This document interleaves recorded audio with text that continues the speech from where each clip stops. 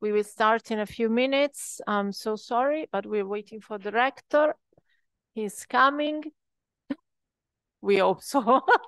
sorry, but Rome is very, oh my God, terrific with the traffic.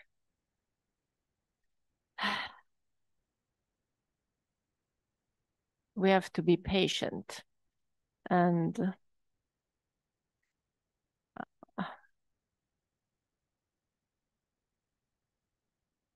Ragazzi.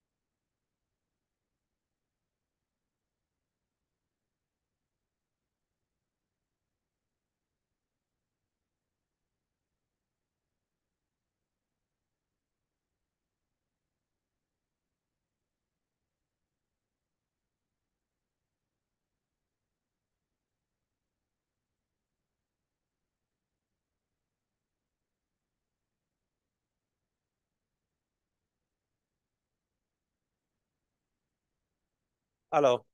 We can start now. Thank you very much for being here. It's a pleasure to me to... Uh, I'm going slow. It's a pleasure to me uh, to introduce this seminar that is very well arranged by Professor Petruccelli and uh, other colleagues of this university.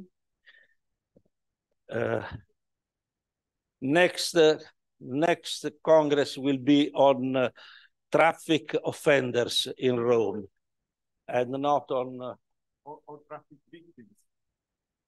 Offenders and victims, the two. Uh, and uh, this meeting is very interesting uh, uh according to uh, some peculiarities of it. First, the team that is in, in I hope, in cultural agenda in uh, our country and also in other countries. Uh, si sente poco. So it's better, I hope. I hope this could be better. Uh, it's a privilege for the team, for the participants. Uh, this, con this, con this conference has been arranged with the uh, participation of the SIMSPE. Uh, I think that it's not necessary to translate this. Thirdly, for the participation of uh, authorities coming from the our Ministry of Justice uh, that participate also with us in other activities that uh, Professor Petruccelli has uh, in which Professor Petruccelli uh, is involved. And mainly, let me say, for the uh, students of our universities, students means students of the first level and second level degree in our university, but also in the doctorate courses uh, in the field of uh, uh, psychology and mainly in the field in uh, uh, social psychology. Uh, and we know that in in this time the uh, opportunity to have uh, clever uh, psychologists. is very necessary. The changing, the transformation of our society with all the problems that uh, this involves uh, uh, prepares to us a very strong agenda to work. I thank very much uh, to the colleagues that are here and uh, also to people that are connected.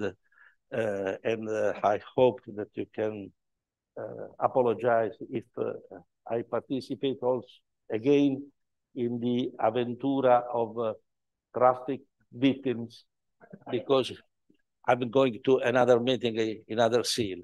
But I wanted to be here to underline the work that uh, Professor Petruccelli has done uh, this time here in our university. And thank you very much to you for uh, uh apologizing my delay. Thank you.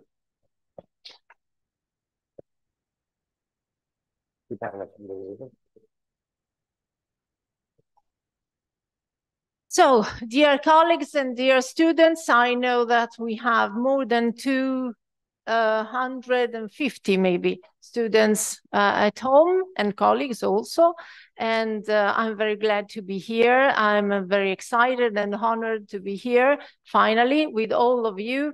And first of all, I want to say thank you to our rector uh, and to our uh, general manager, Dottoressa Patrizia Tanzilli, um, which allowed us to at first imagine and then to plan and create this uh, very important event at a scientific level.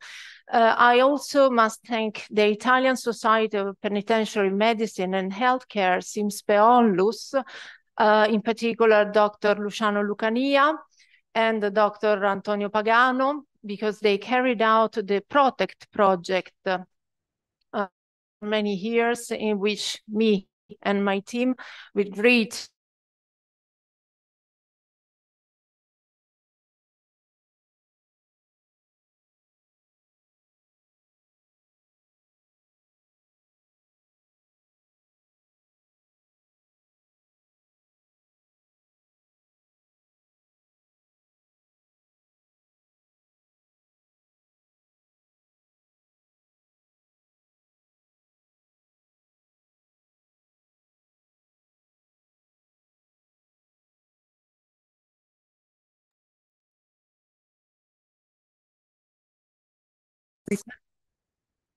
Yes, great.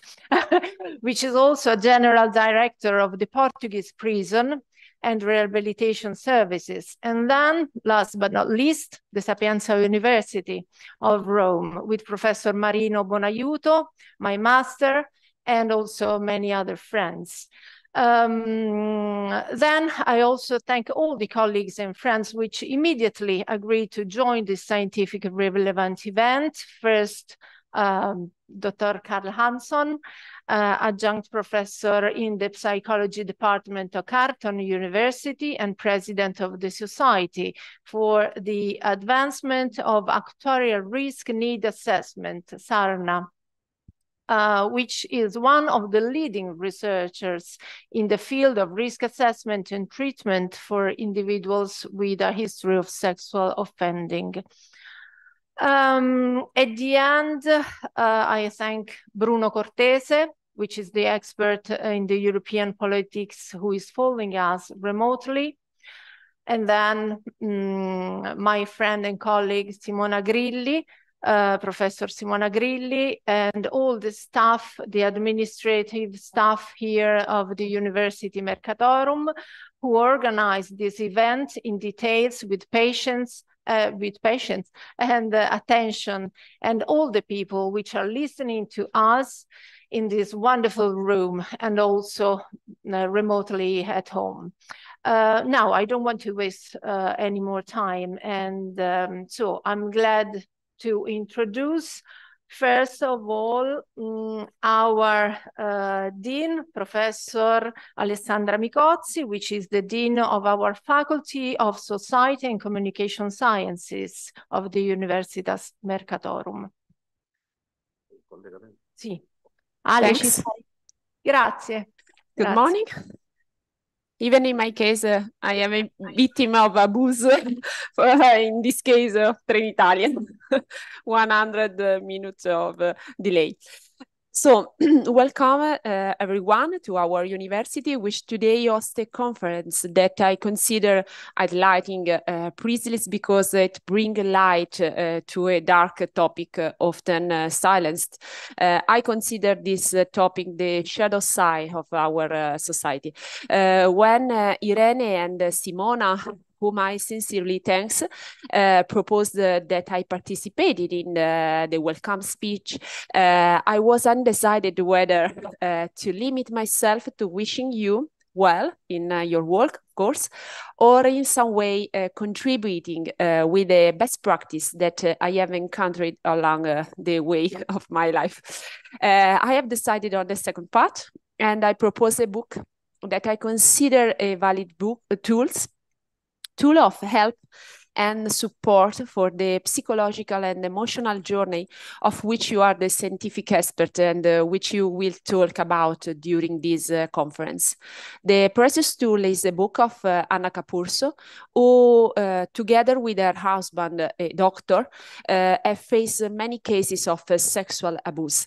no more abuse, the title uh, of this uh, book, uh, can be a tool of uh, help and support due to the fact that uh, by reading it, uh, the person feels encouraged to take control of their life, to turn to professionals in psychological and physical health, of course. I strongly believe that every moment can potentially be the moment to tell the truth and help person who are victims uh, of abuse and every moment can potentially be the moment to help sex offenders. In fact in my speech there is no uh, of course direct uh, condemnation of the sex offenders but the hope that this uh, tra tragedy of humanity can be discussed understood and solved. Uh, from my personal point of view, I believe that uh, only through education and culture, these uh, plagues, uh, plagues uh, of society can be mitigated. So uh, thank you for your participation and I wish you good work. Thanks.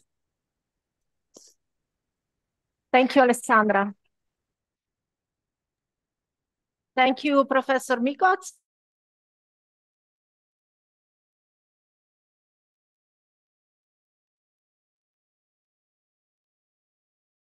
Sei mutata, Irene.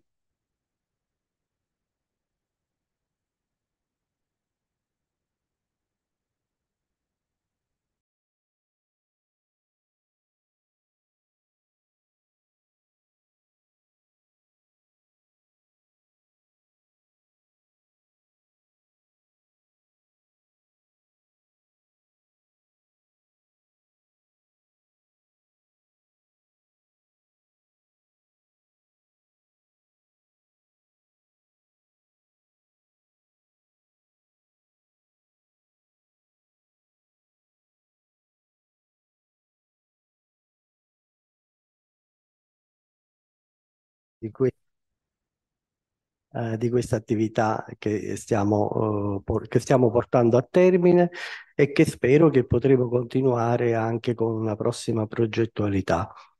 Quello che è, importante e significativo in questo lavoro è che finalmente eh, si è iniziato a mh, mm, pensare e ad intervenire sulle reali necessità di queste persone, sex offender, anche soprattutto in considerazione del fatto che non sono più considerate tutte uguali, No? Ed è questa la cosa importante, perché il trattamento è personalizzato sia all'interno dell'amministrazione penitenziaria e sia per quel po' che riguarda l'assistenza sociale o sanitaria che dobbiamo in ogni caso andare.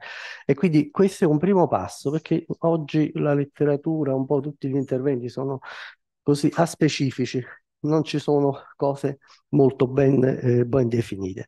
E questo, secondo me, è la cosa importantissima che per far capire agli operatori che lavorano negli istituti penitenziari, tutti, del sistema sanitario e dell'amministrazione penitenziaria, che ogni persona è una persona con dei suoi particolari necessità e possibilità di sviluppo e di intervento rispetto a tutti gli operatori che vanno lì dentro.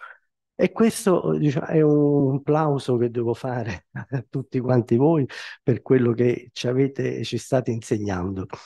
L'altra cosa importante è che finalmente un progetto di ricerca eh, si pone un ulteriore obiettivo, che non è solo quello di un'analisi, no? ma è anche quello di un intervento. L'intervento è, è quello formativo, prima di tutto, e, e su cui si va poi a valutare l'efficacia dello stesso. Cioè, quindi non è più l'intervento formativo finalizzato a se stesso perché dobbiamo presentare dei dati o delle cose, ma dobbiamo vedere se l'impatto formativo determina delle modifiche nel, eh, nelle azioni nei confronti di queste persone.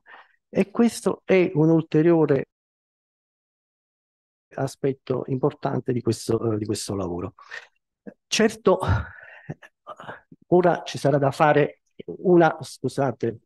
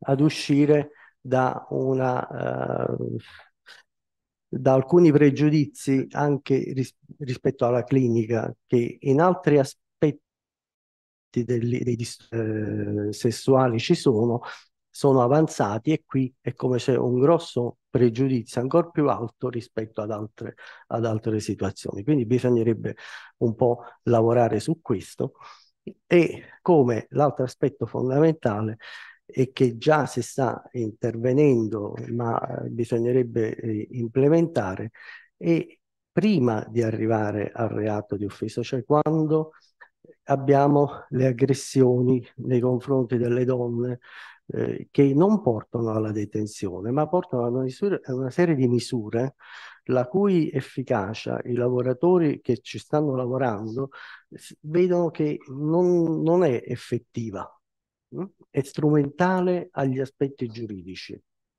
Poi eh, si arriva comunque sempre in carcere.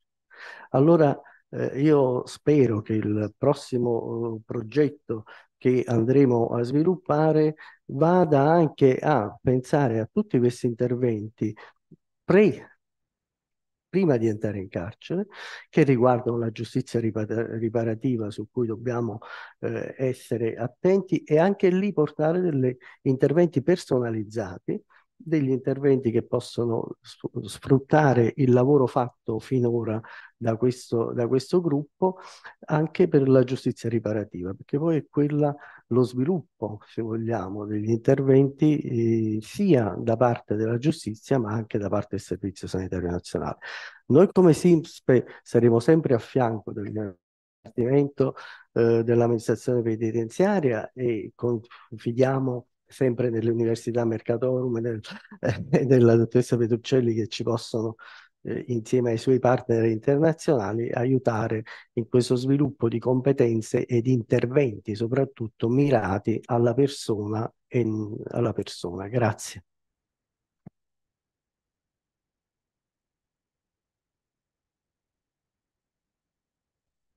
Thank you to Dr. Pagano. And uh, of course, we will think about the new project and uh, also in um, uh, view to prevent and not only to treat and to assess.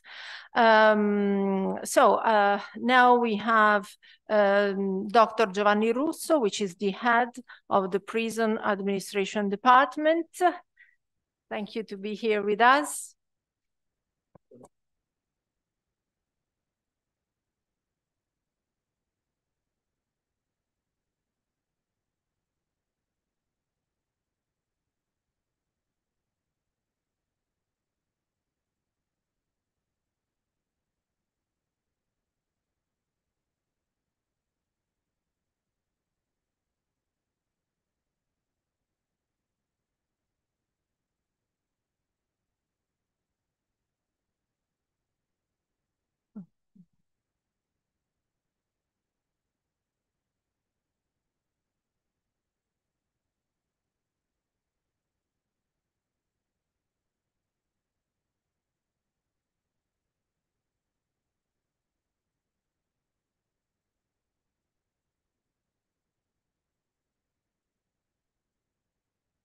Eccoci. Allora, buongiorno a tutti, sono io che ringrazio eh, l'università e gli altri organizzatori contro di questo convegno perché l'amministrazione penitenziaria e il Ministero della Giustizia ehm, hanno investito e intendono investire molto in questi aspetti della ricerca. I crimini commessi dai sex offenders sono particolarmente odiosi. E alcuni recenti episodi che hanno mostrato una eh, diciamo recrudescenza di alcuni fatti, soprattutto quando vengono commessi con particolare brutalità o quando gli autori del reato sono giovani, eh, destano una grande eco nella opinione pubblica e questo non sempre aiuta un approccio scientifico a questi temi. Ha detto benissimo il professor Pagano, eh, la, il mondo di questo tipo di crimini, crimini eh, correlati alle, eh, commessi dai sex offenders, eh, è molto variegato e la necessità di una risposta dal punto di vista punitivo che sia effettivamente ancorata al dettato costituzionale di un recupero, di una rieducazione, di una riabilitazione, non può che passare per una attenta analisi individuale del crimine commesso, delle motivazioni che sono alla base del crimine. Quindi siamo di fronte, per chi si deve occupare della esecuzione penale rispetto a questo tema, quindi siamo fuori dal campo eh, in senso stretto della prevenzione, anche se eh, le azioni che nella, in ambito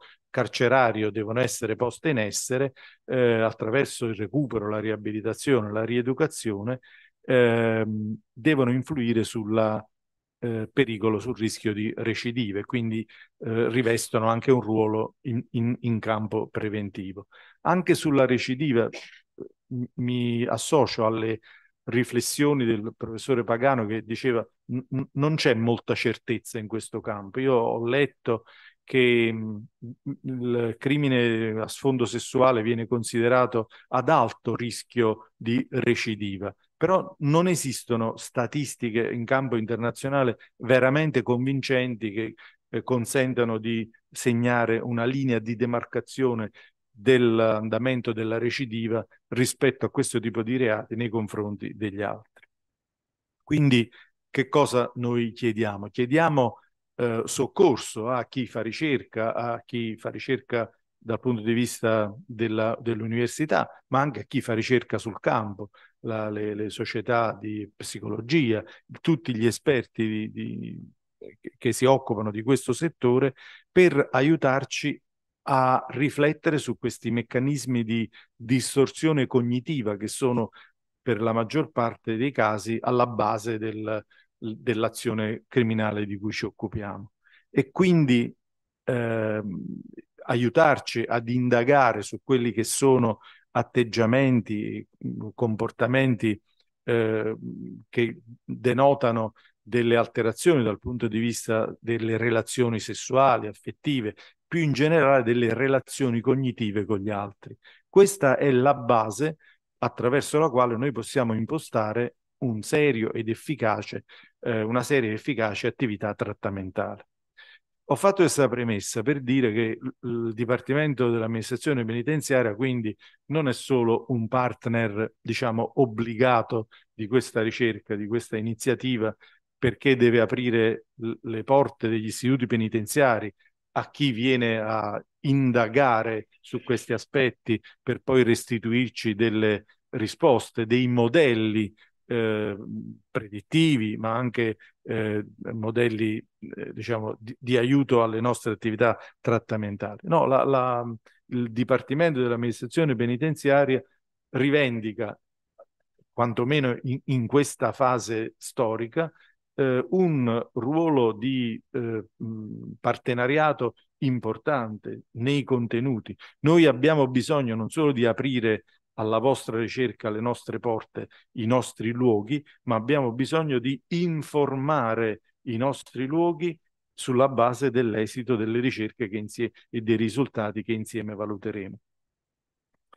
Detto questo, eh, non posso che sottolineare la necessità di una forte cooperazione interdisciplinare nella prevenzione della criminalità sessuale. Quindi il compito di tutti noi è quello di promuovere l'elaborazione di progetti destinati agli autori del reato, eh, inseriti in una cornice strategica per la tutela di questa categoria dei detenuti. E questo è stato, questi sono stati i principi ispiratori del progetto Protect, che ha conosciuto una prima fase e, come dire, auspicabilmente mi associo alle, alla, alla, alla, al pronunciamento del professore Pagano eh, deve avere una sua importante eh, continuazione, prosieguo.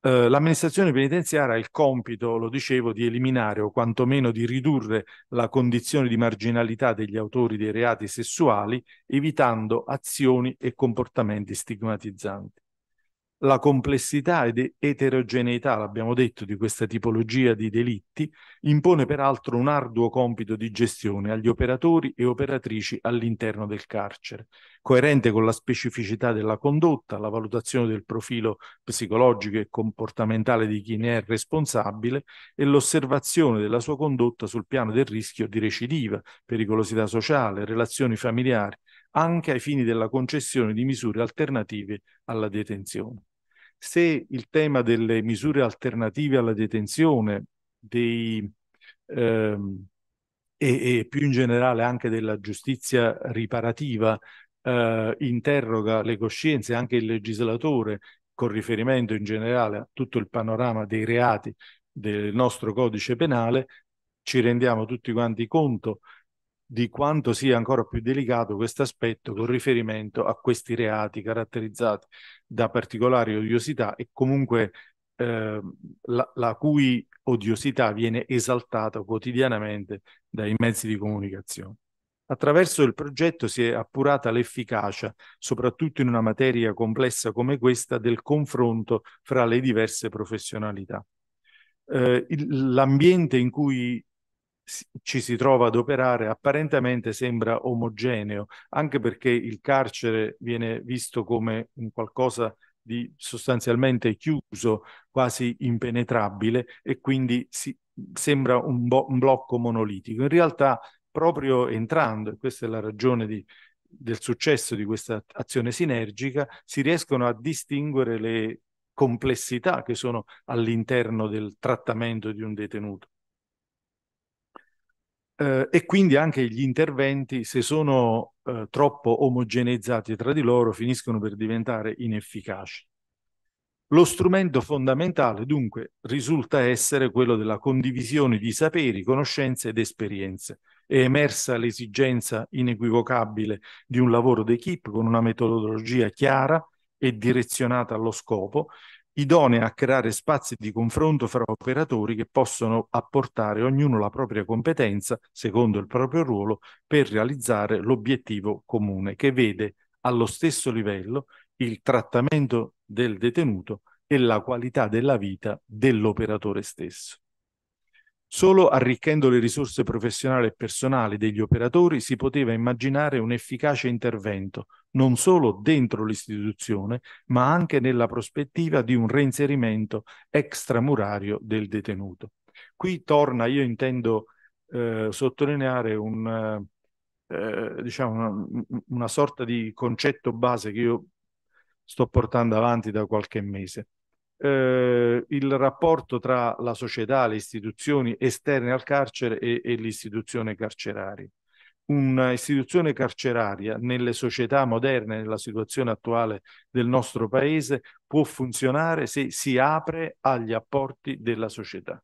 Per apporti della società intendo quelli che già ci sono, il volontariato, le associazioni, il terzo settore, eh, l'apporto delle istituzioni religiose, ma in questo caso soprattutto all'apporto di competenze scientifiche che devono venire non ad osservarci, ma in qualche modo a cooperare eh, fianco a fianco con noi.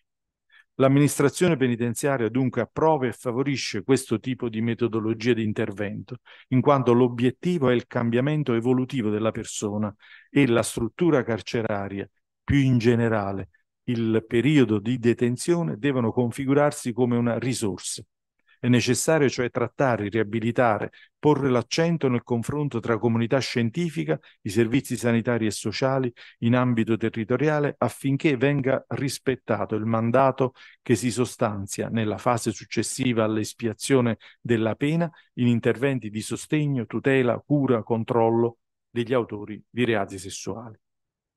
L'esperienza di questa ricerca intervento, che ha visto la collaborazione e la sinergia su più livelli, ci restituisce un patrimonio comune che va tutelato e implementato. Da un lato ci fornisce gli strumenti e le metodologie indispensabili per i diversi operatori la cui formazione diventa perno della suddetta esperienza dall'altro prevede l'applicazione di strumenti di tutela, a tutela di questa categoria di detenuti al fine di favorirne i necessari percorsi di recupero. Pertanto, pertanto ringrazio tutti per l'impegno e il lavoro svolto, auspicando vivamente eh, la continuità di queste preziose collaborazioni per il benessere dell'intera comunità.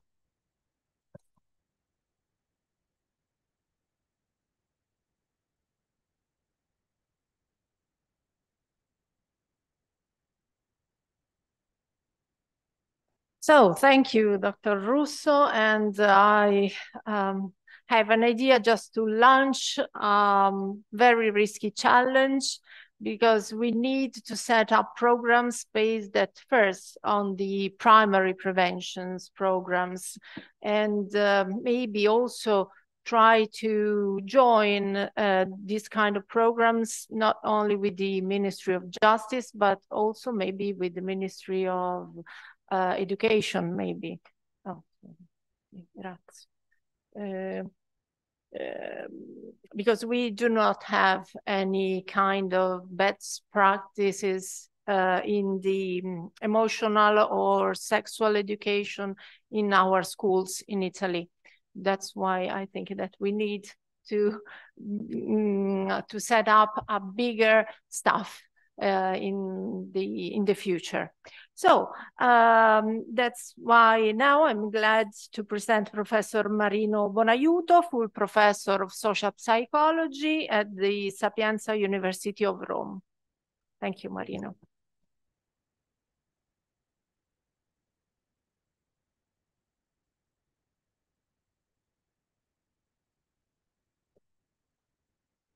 Mi sentite? Sì, perfetto.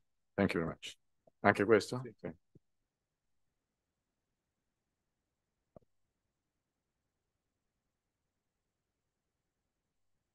Bene. Allora, um, well, thank you very much, Irene, for having invited me, and and of course, thank you very much to the Magnificus Rector um, uh, Giovanni Cannata and to Dr. Patrizia Tanzilli and Universitas Mercatorum uh, to whom I'm very attached. Uh, we have many collaborations, and I always come here with a great pleasure and great honor. Um, I'm also grateful uh, to Irene Petruccelli, who uh, was one of the first persons that um, attracted my interest and, and my uh, effort uh, to to be devoted also to the study of uh, inmates and prisons. Uh, actually, uh, it's it's not my let's say core topic, but I've been uh, in recent years uh, I've been involved in in some projects which um, I think have been very also um, useful to let me understand better the importance of, of studying and applying our disciplines to the study of these environments and these problems. Uh, I just want to mention that uh, we started with uh, also with a, good colleague of ours uh, from our department, who is Silvia Cataldi, who is a sociologist in our department, and we started with uh, a Calypso uh, that was a, a, a, European project with also with Rui Abrunhosa Gonçalves, who was already that in the project. And um, and, and we developed in that project some um, uh, analysis about the uh, training uh, and uh, education needs of inmates. And that was already a very interesting um, uh, project in the sense that helped us to understand uh, how is important has been already underlined in the previous presentations before me, the importance of deepening the knowledge of the individual needs of the inmate in order to prepare an adequate settings in terms of training and education. And after Calypso's project, we have been involved again, thanks to Irene Petruccelli and a larger network, to the Protect project, which will be lately presented uh, extensively. And I'm grateful uh, for, for the presence there, also to Luciano Lucania and Carla Ciavarella. Uh, they will speak later on, so they will give, I think, adequate information about that project uh, which was more specifically focusing on sex offenders, and that has been another uh, very important experience. Um, I would also like to stress a, a, slightly an additional point that is I'm, I'm mainly a social uh, psychologist, but also an environmental psychologist. That is my interest and our competences are mainly in studying and understanding how human psychology uh, belongs, all, of course, as has been already underlined before, uh, to the individual characteristics of the individual. But there is a, a, an important component in uh, behavioral deter in determining or affecting behavioral uh, outcomes of people uh, given by the surrounding environments. And the surrounding environments can be social relations, other people, but they can be also the space, the space that surrounds people. Of course, this is very important in, in longitudinal terms. Uh, I mean, uh, many interactionist theorists in psychology, from Kurt Lewin to Urie Bronfenbrenner and many others, stress that we have always to think that the behavior is the outcome of certain feature of the individual, but also certain feature of the environment. Of course, as psychologists, uh, and there is also cultural bias in this, we tend to interpret and to uh, read behavior and, and, their outcomes as uh, belonging mainly or even only uh, to the features of the individual. But uh, most of these interactionist theories and models explain behaviors is the results of the individual plus the environment where he or she is uh, moving, where he or she grown up.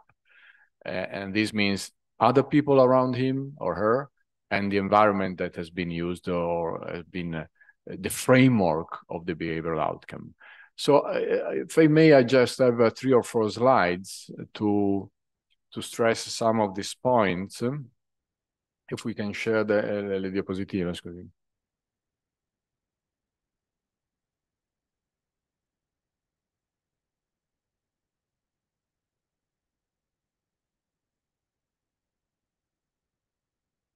Just very few examples uh, one, uh, actually, uh, the first part of the slides are actually a project uh, which has been developed to, uh, together with um, Cristina Cabras, who also will speak later on uh, in, in, in, one of the next sessions. And in that project with Cristina, we tried to study something which is quite often overlooked, that is the way inmates uh, assess and evaluate the surrounding environment they live in prisons. So there are not many studies. And so what we try to do has been to develop a standard scale, for example, for assessing how inmates uh, appreciate or not uh, the surrounding environment in prisons. So what I would like to, uh, yeah, uh, to show in the slides is, that, is um, that we need to approach also the study of how the inmate uh, um, assess and evaluate the surrounding environment in prisons, and also whether this can be an important uh, component uh, in his uh, well-being, in his psychological well-being. So next slides, please. La prossima, grazie. These are some um, results uh, that we have uh, in this, grazie, in this study with Cristina Cabras and Susanna Alves and Diego Bellini. And basically we studied um, inmates that were moving from one old uh, prison to the new one. So we had also a control group that was not moving, at, at, least at that time. And as you can see in, in this um, uh, graph, uh, the, the blue bar, uh, the blue bars uh, refer to the old prison and the red bars refer to the new prison. The, the, for the, the inmates that moved after a period to the new one. And as you can see, I'm trying to read the, the slides. Uh, they are a little bit small, but I will try. You can see some improve, well, improvement in many areas. But as you can see, for example, in the first uh, bars, uh, there, there is improvement in the way the inmates appreciate their surrounding environment, uh, whether the cleanliness, the furnishing, but also some natural environment uh, elements like the natural light that arrives.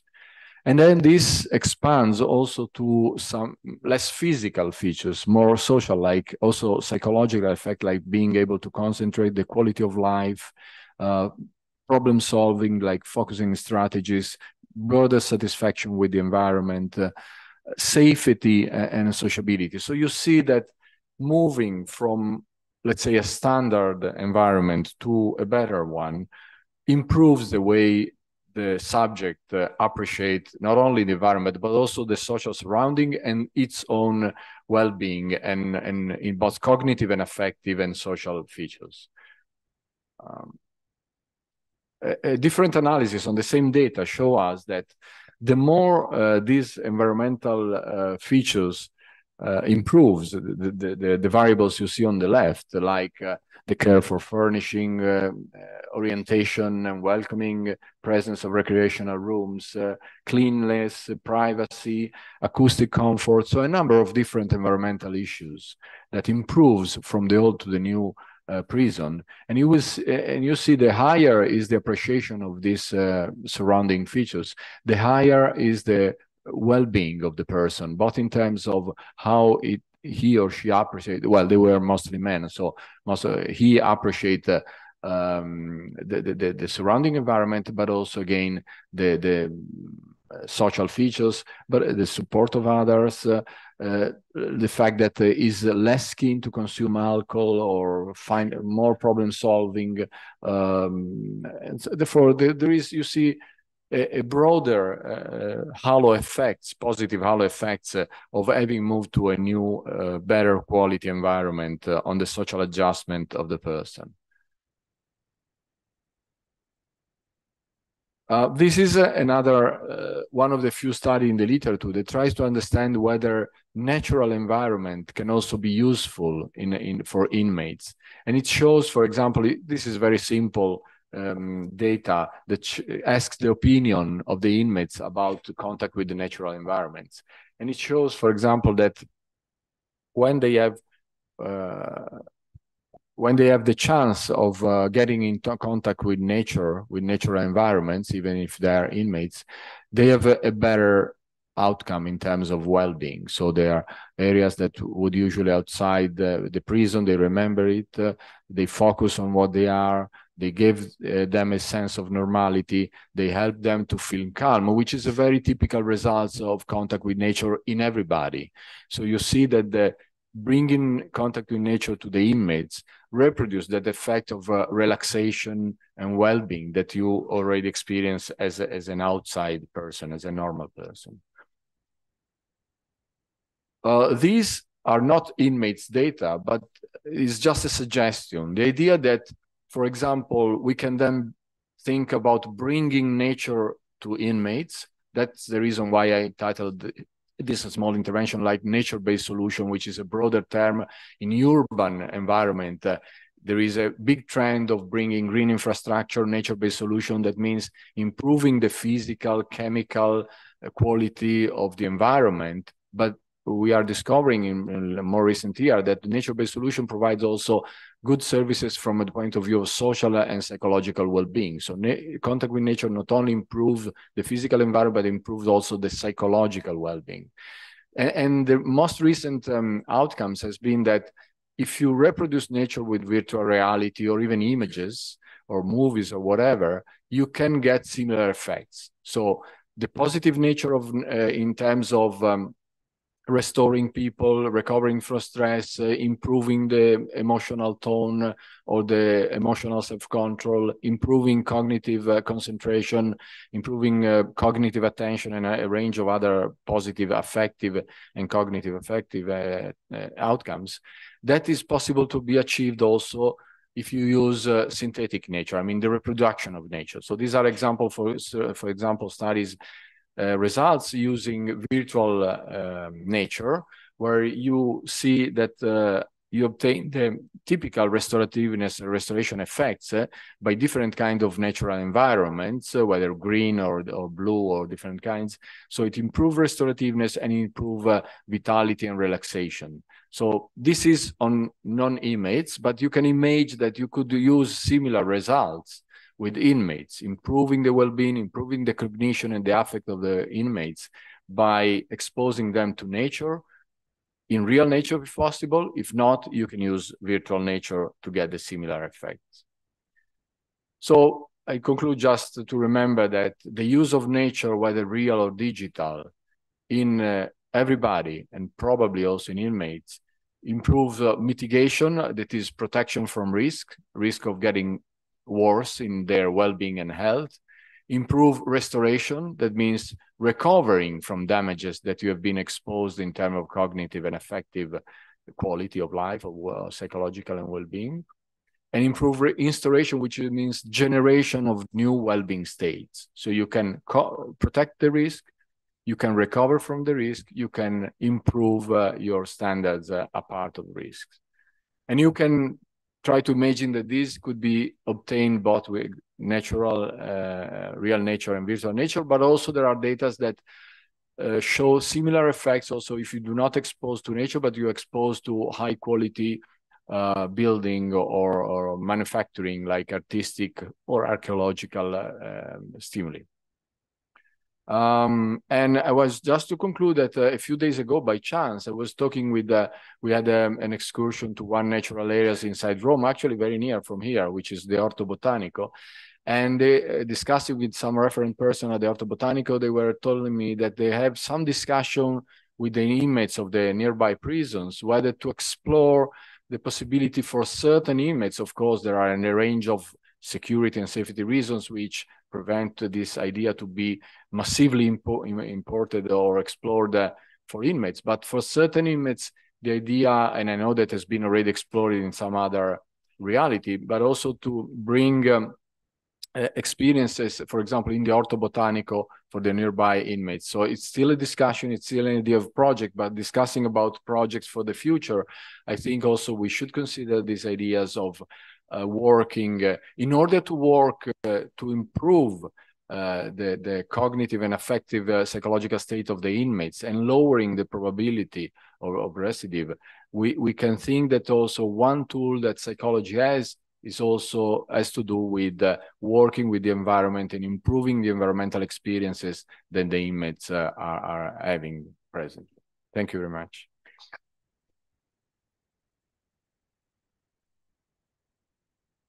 Thank you, Professor. Okay, see, see.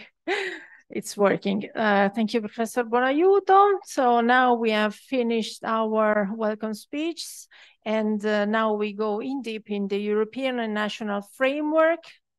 Um, mi sono persa i miei appunti perché qui abbiamo cambiato qualcosa. We've changed a little bit the program.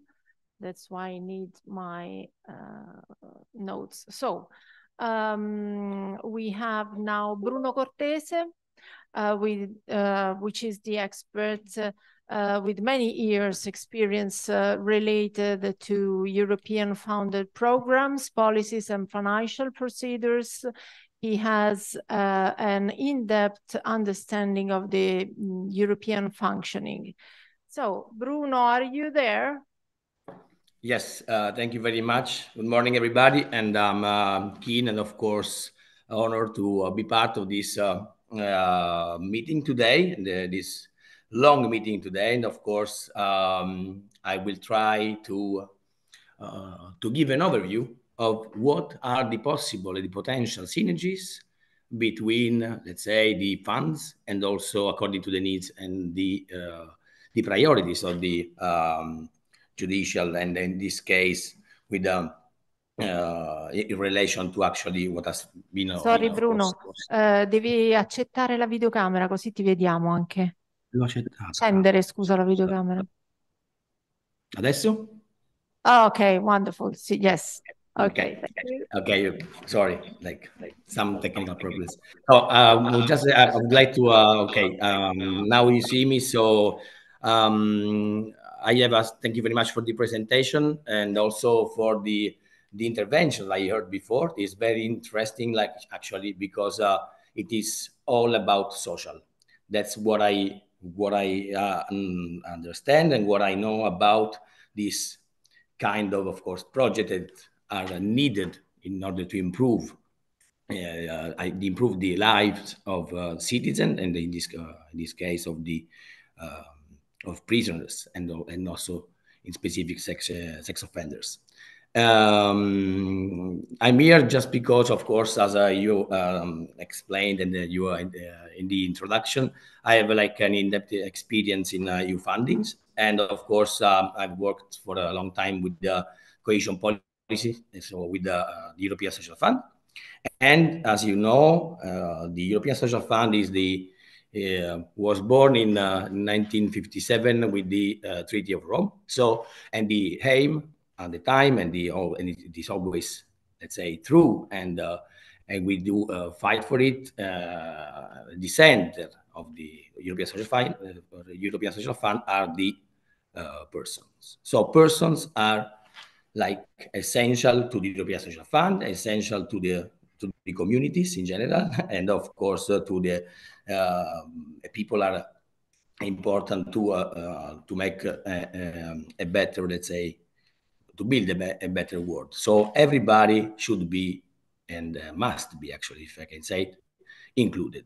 So the exclusion is, the, is, is very like what the European Social Fund, the uh, many funds of the uh, of the European Union are meant to uh, include people. So give opportunities to, uh, to, to, to people that, for instance, committed the crime, in this case, like um, sexual crimes to, uh, of course, give them another possibility through uh, vocational education, like and training inside uh, the penitentiaries.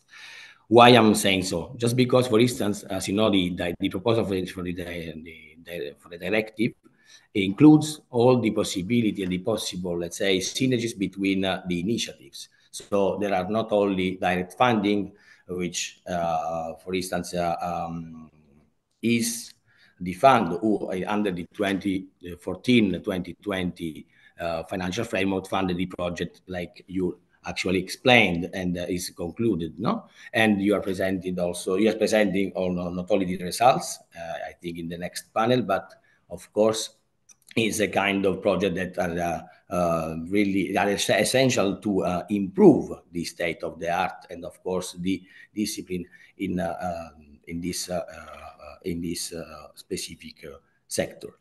Um, the European social rights, uh, Uh, maybe you know, the European Pillar of Social Rights sorry, is a, a manifesto, let's say, but it's an, that was approved and launched in 2017 uh, by the European Commission and, uh, of course, uh, um, welcomed by the the, the member states.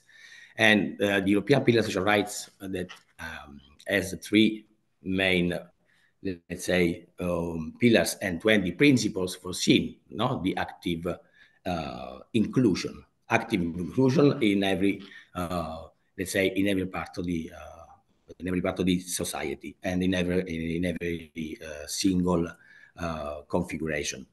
Um, the European social uh, European Pillar of Social Rights is also one of the let's say is connected also with the the gender equality strategy 2020 2020-2025, which is uh, uh, essential to uh, prevent uh, and to, uh, of course, to protect victims and to prevent uh, um, potential crimes in this sense. So it is another a very, long, longer journey, but of course, a project like um, like the one you are actually um, uh, presenting and uh, also the results given by, um, uh, let's say, the, the, results that uh, have been achieved uh, with the pro Protect um, project are really important because, let's say, they they they give a um, they give like they they, they provide us they provide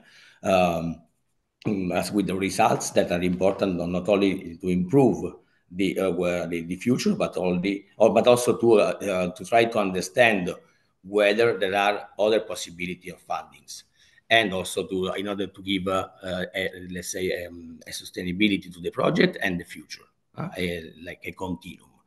And the European uh, the European Social Fund actually under the 2014-2020 financial framework and also now under the 21, 27 framework. Sorry, yeah, gives opportunity under the uh, there are the, the um, investment priorities, and one of them is employment, and employment includes also, uh, uh, let's say, um, include um, uh, specific patterns of uh, training uh, for uh, people for prisoners for um, and uh, of the different uh, crimes they have committed.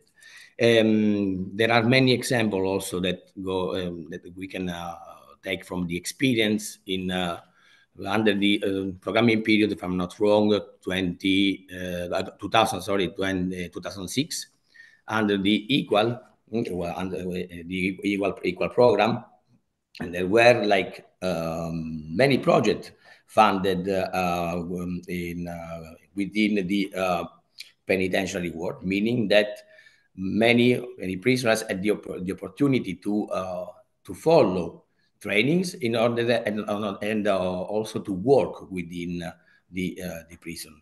And because there are like life sentences uh, sentences um, criminals that they will stay uh, all life in prison. And of course the, the european social fund helped them to to to create let's say a, a space uh, of work and uh, and also to socialize with other uh, person and work together. So there were like many laboratories, and of course, people the people are.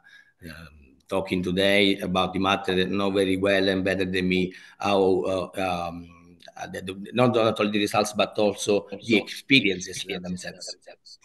And uh, um, there is also the need uh, to to try to, to, to go through the single uh, single programs because the European Social Fund uh, uh, is um, as like national operational programs and regional operational programs. So every single region has, of course, uh, penitentiaries and and there's also uh, specific, specific intervention, intervention, and uh, focusing on on, on prisons. There was a, a project I have visited uh, in um, not, not far uh, like eight months ago in uh, in uh, Sardinia, for instance, and it was of course about uh, uh, minors like um, um, in the prison of minors of Cagliari, close to Cagliari, um, a project giving the opportunity to to prisoners, for instance, to to, to study and also to to, uh, to follow trainings in order to develop some, let's say, uh, uh, some some skills. And because uh, when, when um, a person is in prison is not in a, in a natural uh, in a natural let's say uh, world it is confined and then there is a need also to as was saying uh, actually the professor that uh, um, gave the uh, the speech before give them the opportunity to to create like a better environment.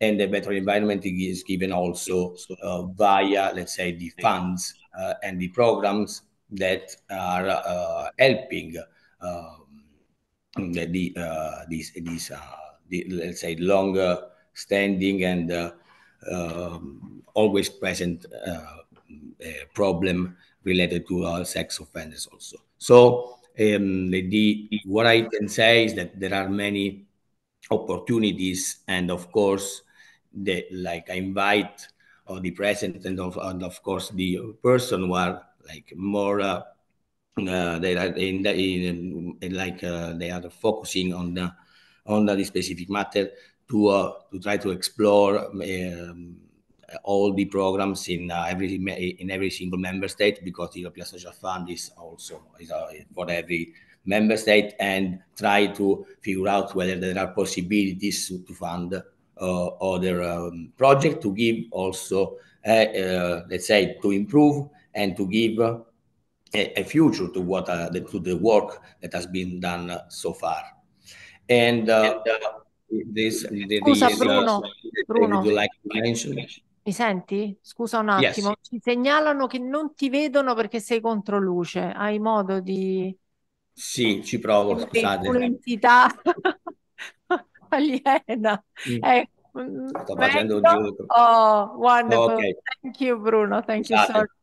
I'm sorry.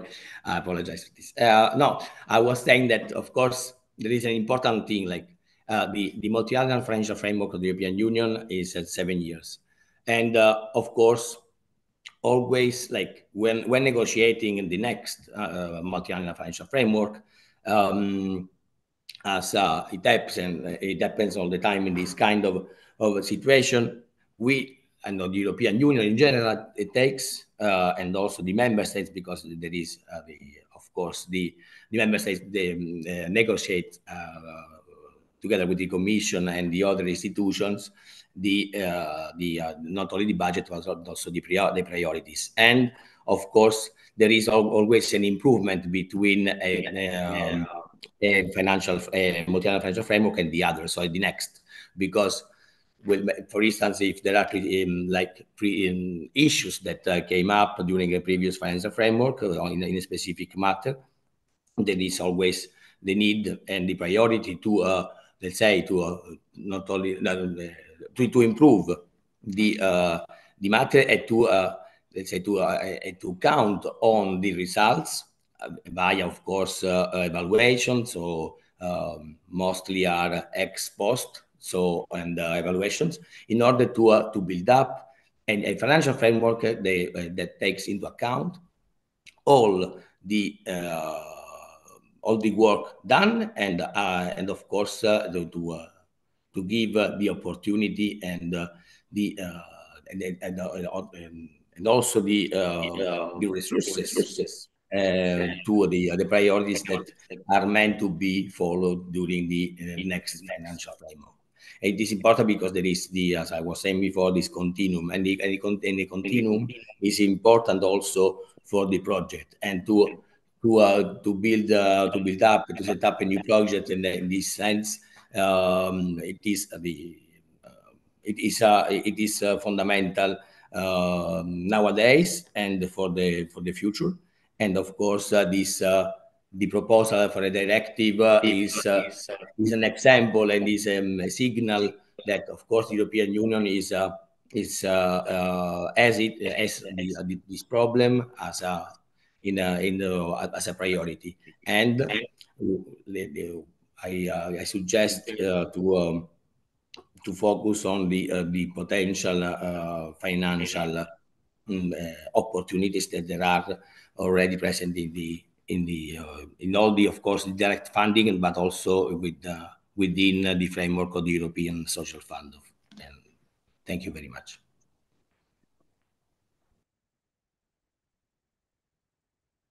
Thank you. Thank you very much. And now I'm glad to introduce Carla Ciavarella, which is the director of the Office of the Coordination of Institutional Cooperation Relations um, in the Prison Administration Department.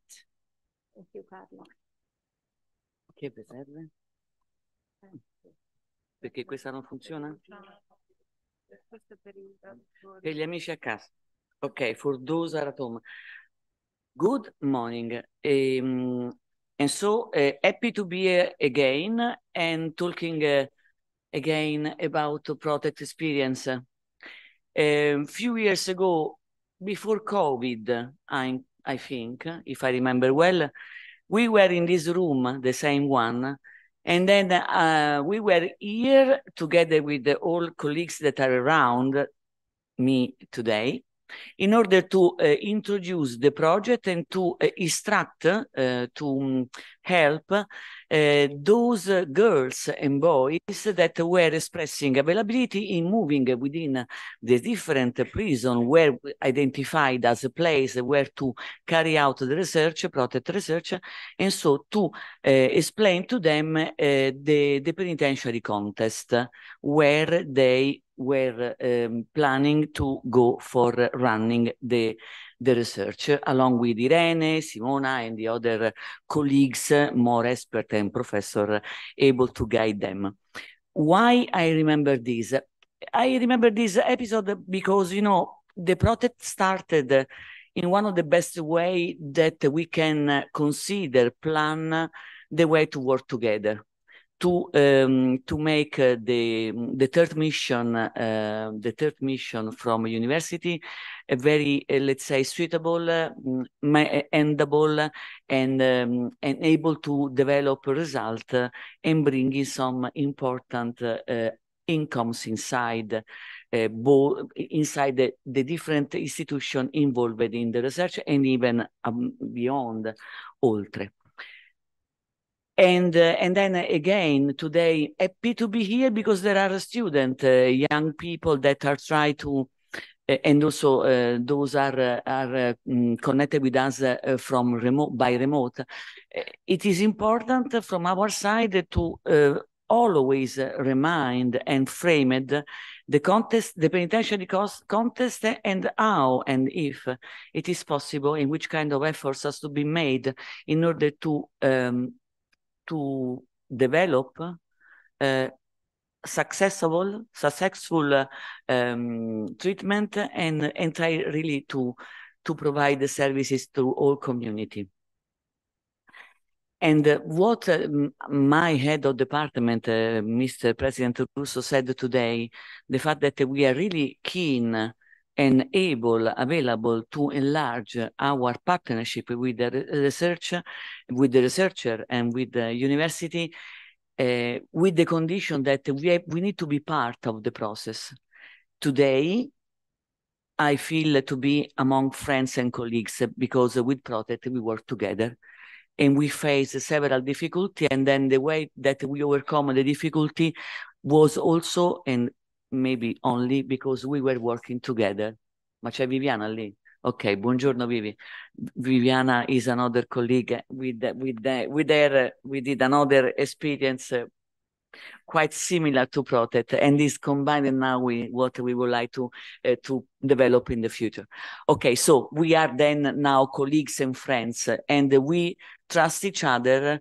We can uh, um, we can really consider the way to stay together and then to uh, work in a way that no one of us can consider itself, its work disregarded. So it's a peer-to-peer strategy, a winning strategy then. I will try now to go through uh, the experience, uh, try to consider to to share with you some principle, and to really en endorse, reinforce the scope of this meeting the fact that we need to go ahead with the research, what we have done so far is good, but it's not enough. The challenges in front of us are very large, uh, relevant, uh, not easy at all, complex, as now the society looks to be, seems to be more complex than in the past. I will try to use this instrument now. I don't know if we'll be able to do it, but I will try. Facciamo qualcosa a schermo intero? Fatemi lo schermo intero, vi prego. Aiutatevi. No. Oh, very good. Now I will try to go ahead. No. Ah, eccola. So let's just try, try to say that uh, rehabilitation in security is uh, the principle uh, stated by the penitentiary law uh, issued in 1975 with several additional amendments, but still principle are praised. Of course, uh, our uh, penitentiary law is inspired by Article 27 of, the of our Constitution that uh, stressed the point that the punishment may not be inhuman and shall aim at re-educating the convicted. And this is the first point. No, vado indietro, avanti, avanti, eccomi. Questo, this, uh, this slide showed uh, us the principles that are within Article 1 of the penitentiary law. And as you can read, uh, there are principles that are part of international and European principles that are implemented and, and uh, placed within our system.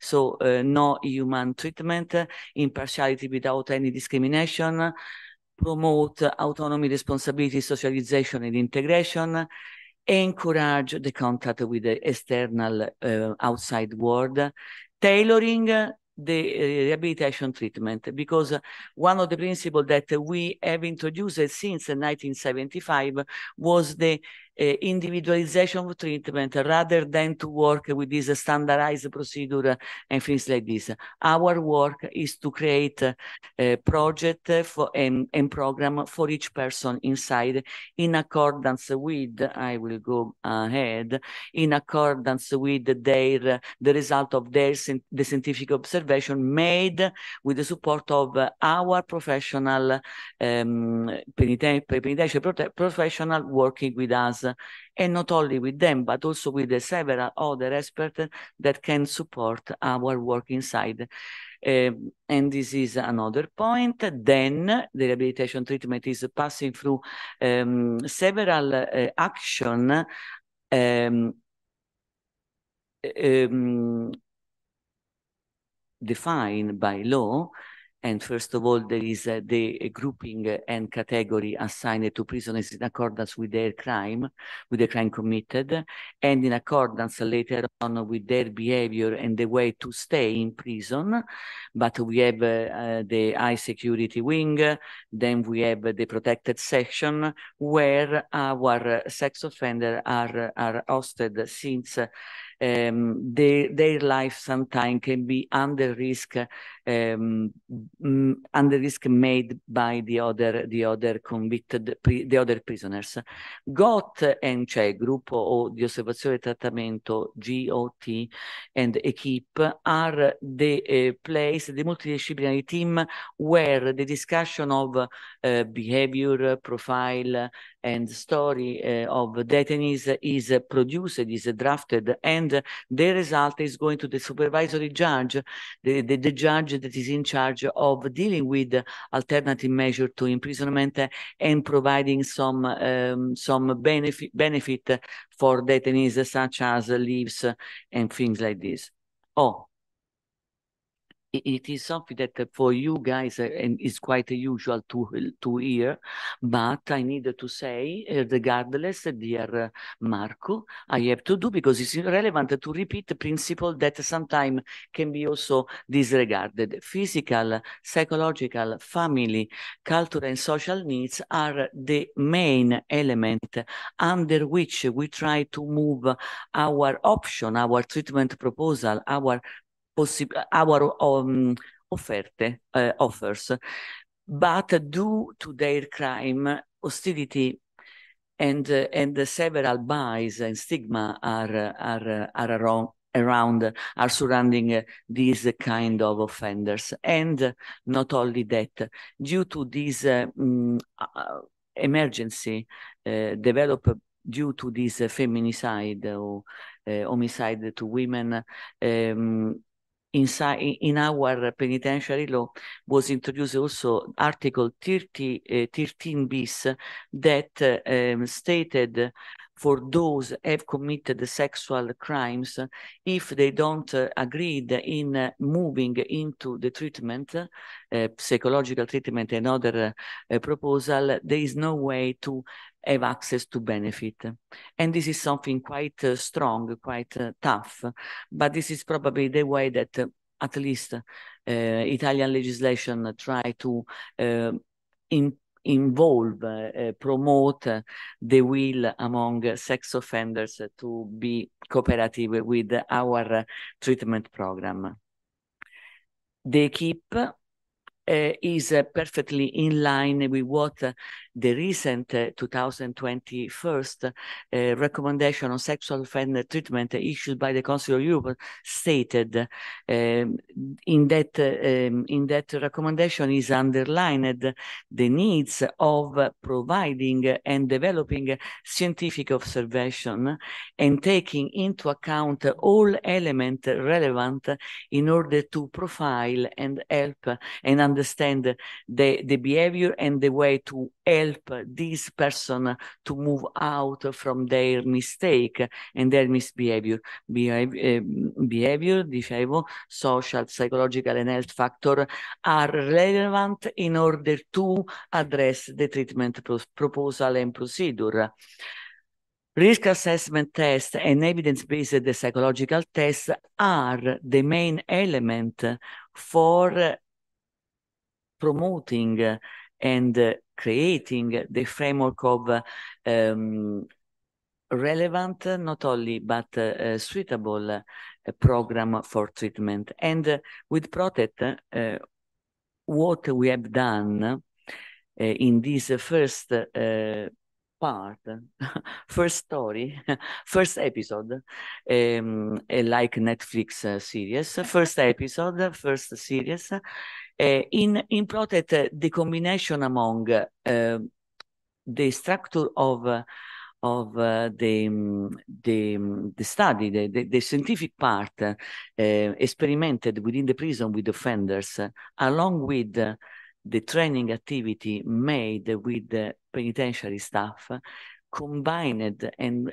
make very, very objective, very clear the fact that we cannot exclude the research, the, the part of uh, study with prisoners, with inmates, along with support, help, and uh, work and training with, uh, with the prison staff and this combination uh, make make is necessary in order to make the development the development of any additional intervention in prison indispensable, not avoidable, if I can say so.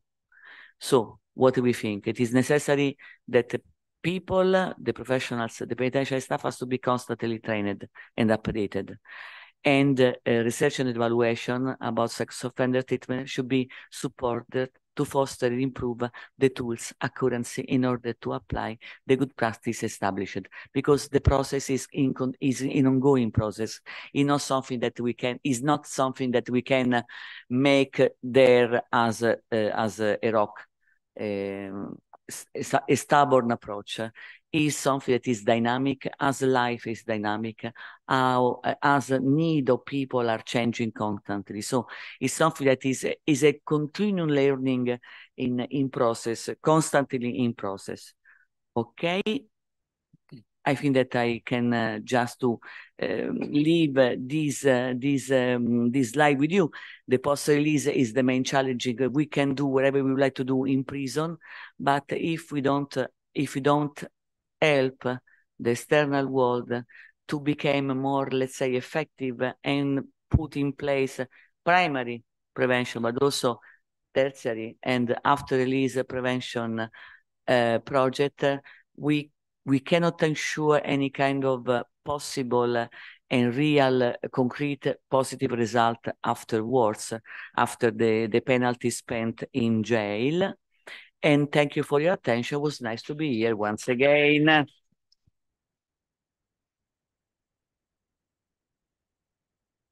Thank you, Carla, for showing us so clearly the Italian system in prison.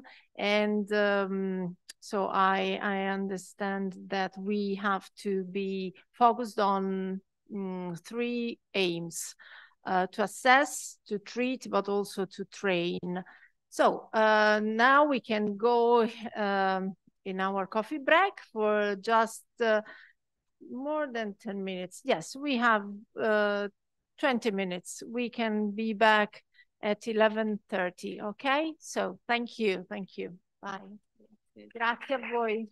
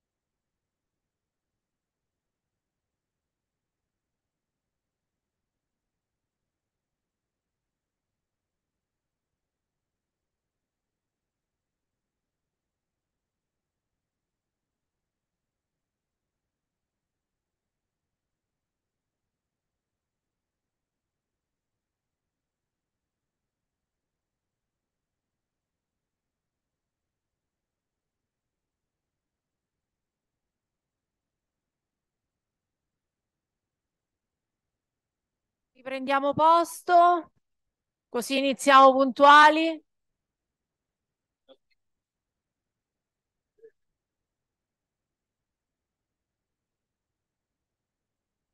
Mamma mia, dobbiamo... Sì, sì. Ecco, anche per me, Simo, ti prego. Mi cancellerò dall'ordine. Se mi raggiano non mi cancello, anche perché a me hanno dato loro, non li devo fare perché rientravo dall'estero. Quindi per un anno sono esente e se Quando? dovessi...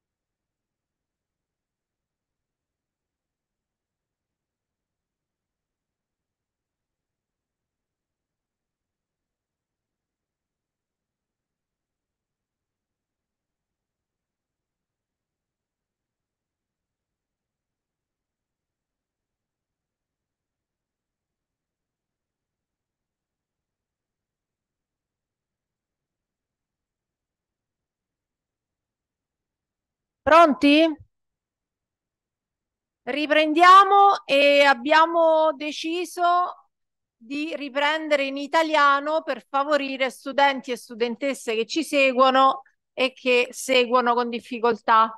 Quindi le prossime relazioni saranno in italiano, ovviamente tranne quella del professor Carl Hanson, che è la nostra Lexio Magistralis nel pomeriggio.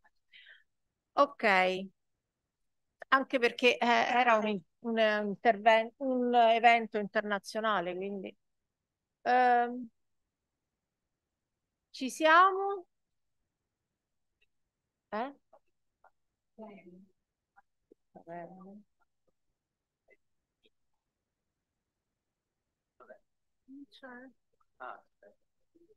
Eh, vabbè,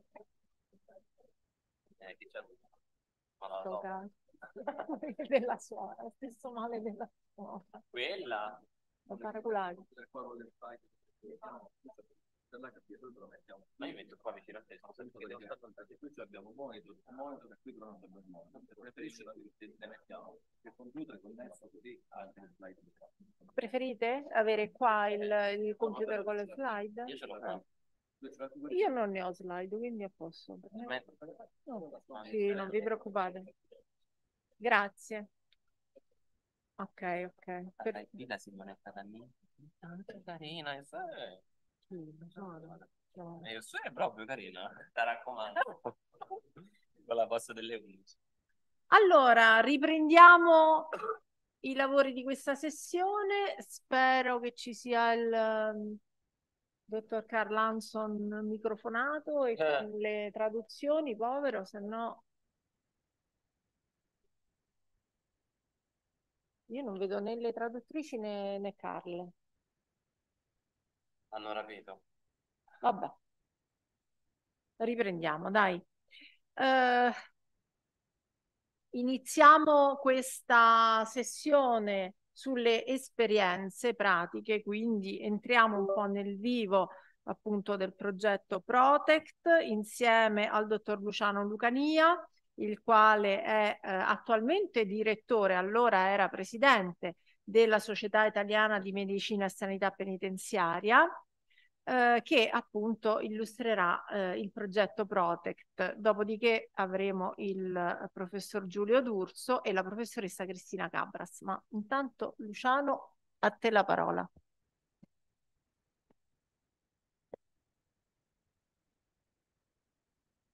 Grazie Irene, grazie a tutti i colleghi che sono qui stamattina e ai colleghi che stanno seguendo da remoto questa iniziativa.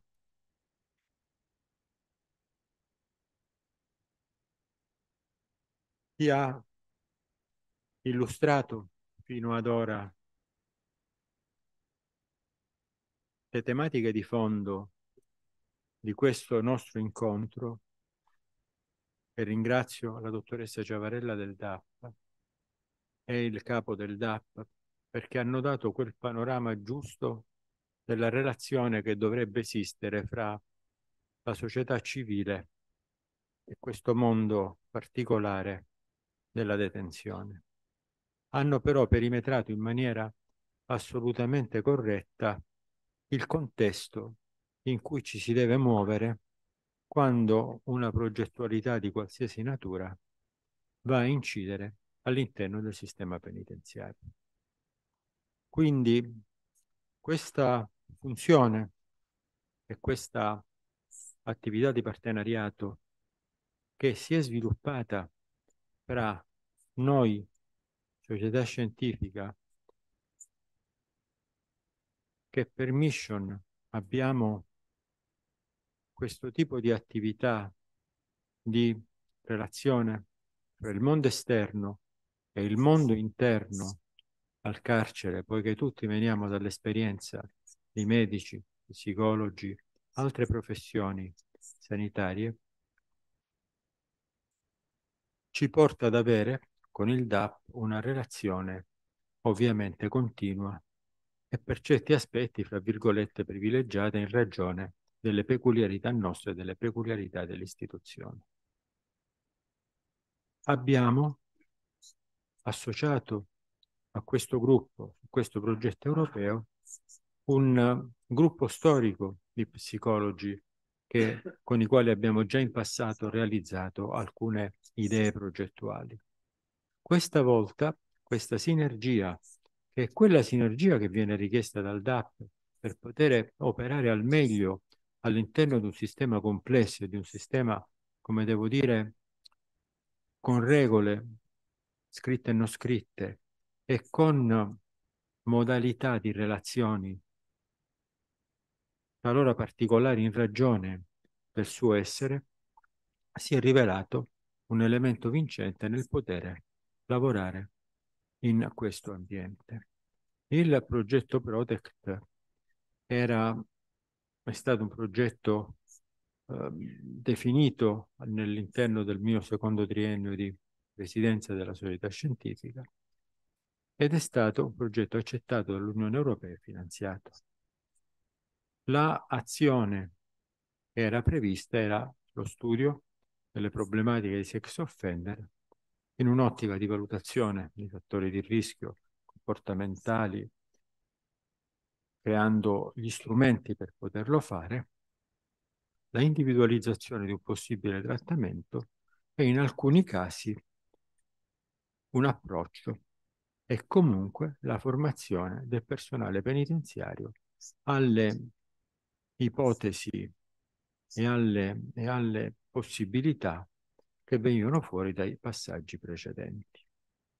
Ovviamente dobbiamo dire che non è stato assolutamente un percorso facile, perché mentre una prima, una prima fase di approccio ai sex offender, ai detenuti sex offender, eh, ovviamente eh, autorizzata e in qualche modo agevolata dal Dipartimento Nazionale, è stata realizzata su più istituti italiani e ha consentito di raccogliere una mole di, di dati su un protocollo che includeva un po' tutta una serie di protocolli validati dalla letteratura scientifica e quindi come tale, come dire, asseverabile a questi. È stato un bel lavoro che è, fatto, è stato fatto dalle, dai partner della Croazia, i quali poi non hanno, diciamo, potuto partecipare alle fasi successive per intrinseche, come devo dire, specificità dei loro sistemi penali,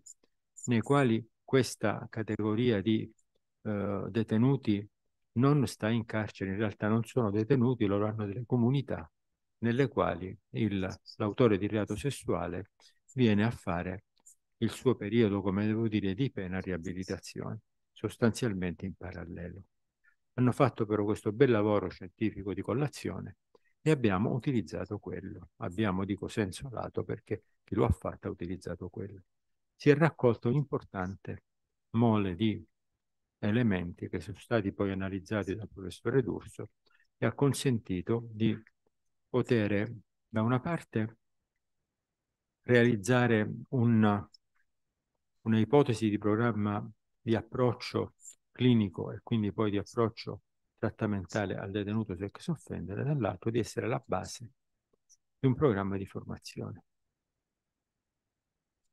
Il programma di formazione è stato fatto e devo dire che così la raccolta a, a pelle, direi, del gradimento del livello di utilità e del livello di significanza generale di questa attività da parte degli operatori coinvolti, molti dei quali, devo dire, in uno degli istituti che io personalmente ho seguito, è stato realmente elevato, con la richiesta anche di immaginare una prosecuzione.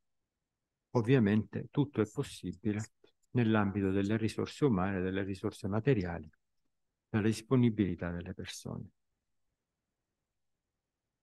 Questa fase è stata una fase propedeutica perché il momento ovviamente più importante era il momento in cui era il possibile approccio diretto, però comunque ha creato una coscienza. L'ho visto, sperimentato, toccato perché ovviamente ho relazione con questi operatori e le domande su questo punto sono sempre state frequenti ed anche importanti. E credo anche che anche solo il fatto di avere creato una coscienza reale sul problema, reale nel senso che si è toccata con mano, perché si è visto gli operatori lavorare, si è parlato con i detenuti, rimane già un primo risultato.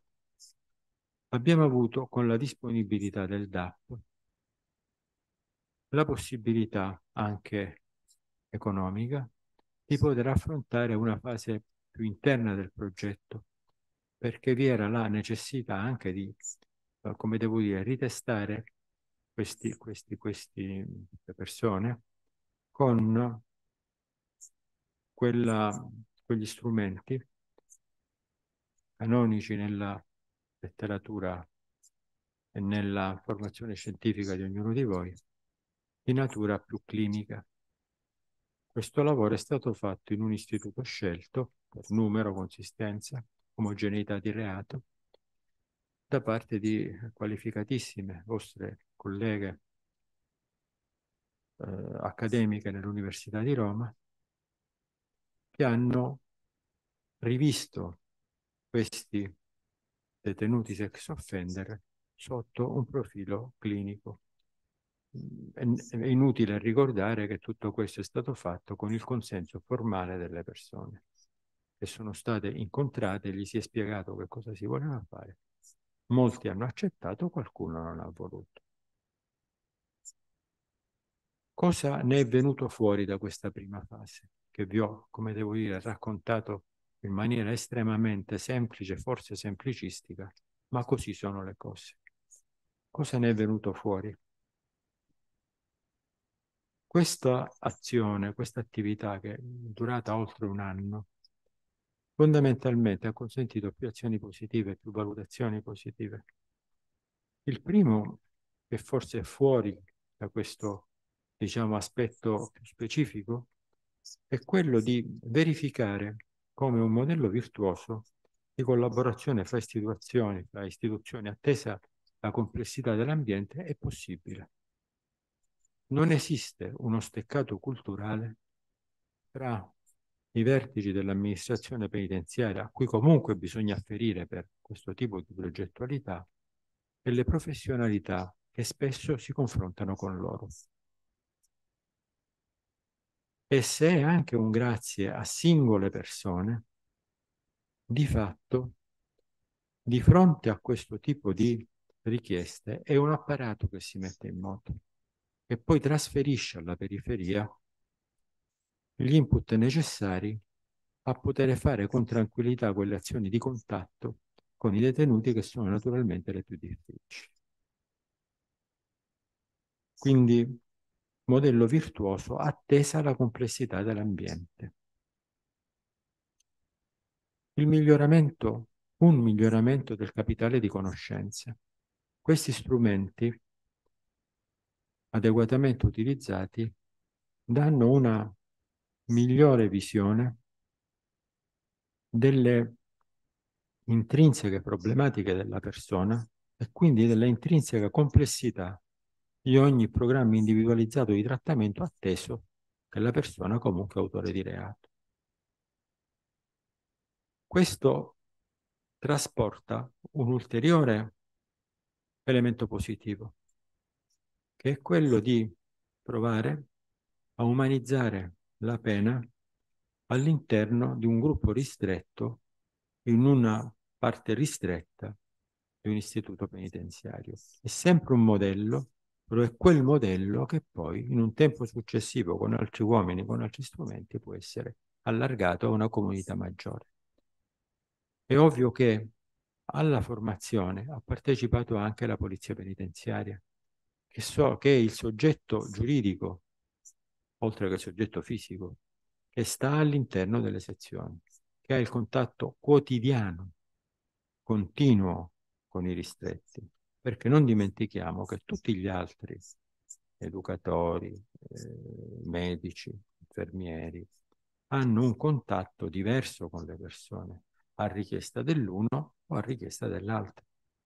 Non vi è ancora una situazione in cui sono sviluppati programmi organici e continui di trattamento, uh, riabilitazione, uh, medicina preventiva. Sono ancora questi grossi gap del sistema penitenziario italiano, ma non li risolviamo noi in questa stanza. Contemporaneamente una migliore conoscenza del problema aiuta anche la polizia penitenziaria, gli infermieri, i medici, gli psicologi operanti in carcere a gestire meglio il rapporto e la relazione con queste persone. Se si migliora la relazione, tante tensioni dell'ambiente detentivo scendono e quindi il posto di lavoro diventa meno ostile. È quello che si chiama benessere organizzativo, che non è una parola sindacale, è l'insieme di azioni che tendono a migliorare il rapporto tra l'operatore e l'utente, che non passano soltanto da rivendicazione economica, ma passano dalla conoscenza vera del proprio contrapposto. Tutto questo naturalmente le buone pratiche, anche empiriche naturalmente, che cominciano ad applicarsi anche spontaneamente, ovviamente migliorando l'ambiente in automatico per assimilazione, possono migliorare la persona e quindi realizzare una possibile avvio di una mitigazione dei, dei rischi di recidiva. Ovviamente qual è la prospettiva e concludo? La prospettiva oggi è quella di un'azione maggiore, allargata anche ad altri partner, per valutare un modello condiviso tra più nazioni, più ordinamenti giuridici e quindi penitenziari, vigenti in ciascuna, per identificazione sotto vari profili, quello sociologico, quello clinico, quello psicologico, del rischio di recidiva e della sua possibilità di trattamento attraverso modelli individualizzati. Azioni il miglioramento del benessere organizzativo in questa tipologia di autori di reato, quindi in realtà non sembrano soltanto un miraggio, ma possono diventare anche elementi concreti. È vero quindi che ci stiamo occupando di un segmento probabilmente ristretto, anzi certamente ristretto, di quella che è la popolazione detenuta italiana e quindi anche gli autori di reato, ma è anche vero che tutto questo poi nel tempo può diventare un modo di aprire questo discorso a orizzonti più ampi, a orizzonti più complessi. Vi ringrazio.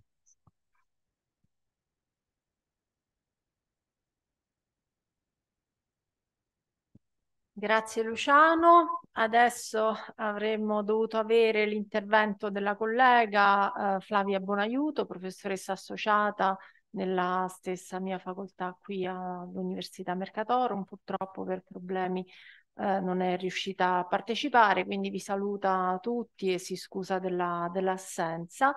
E ehm, passo quindi la parola a... Ok, sì, al, profess al professore, vedi, ora mi io schizofrenica, comincio a parlare mezzo italiano e mezzo inglese, scusate. Uh, al professor Giulio D'Urso, uh, professore associato di... no, Assistant professor, professor ah, scusa, prima ancora assistant professor, scusa, io già ti, ti voglio rettore praticamente. Esatto. Dell'Università di Chieti Pescara, eh, Gabriele D'Annunzio. Grazie, grazie a te Giulio.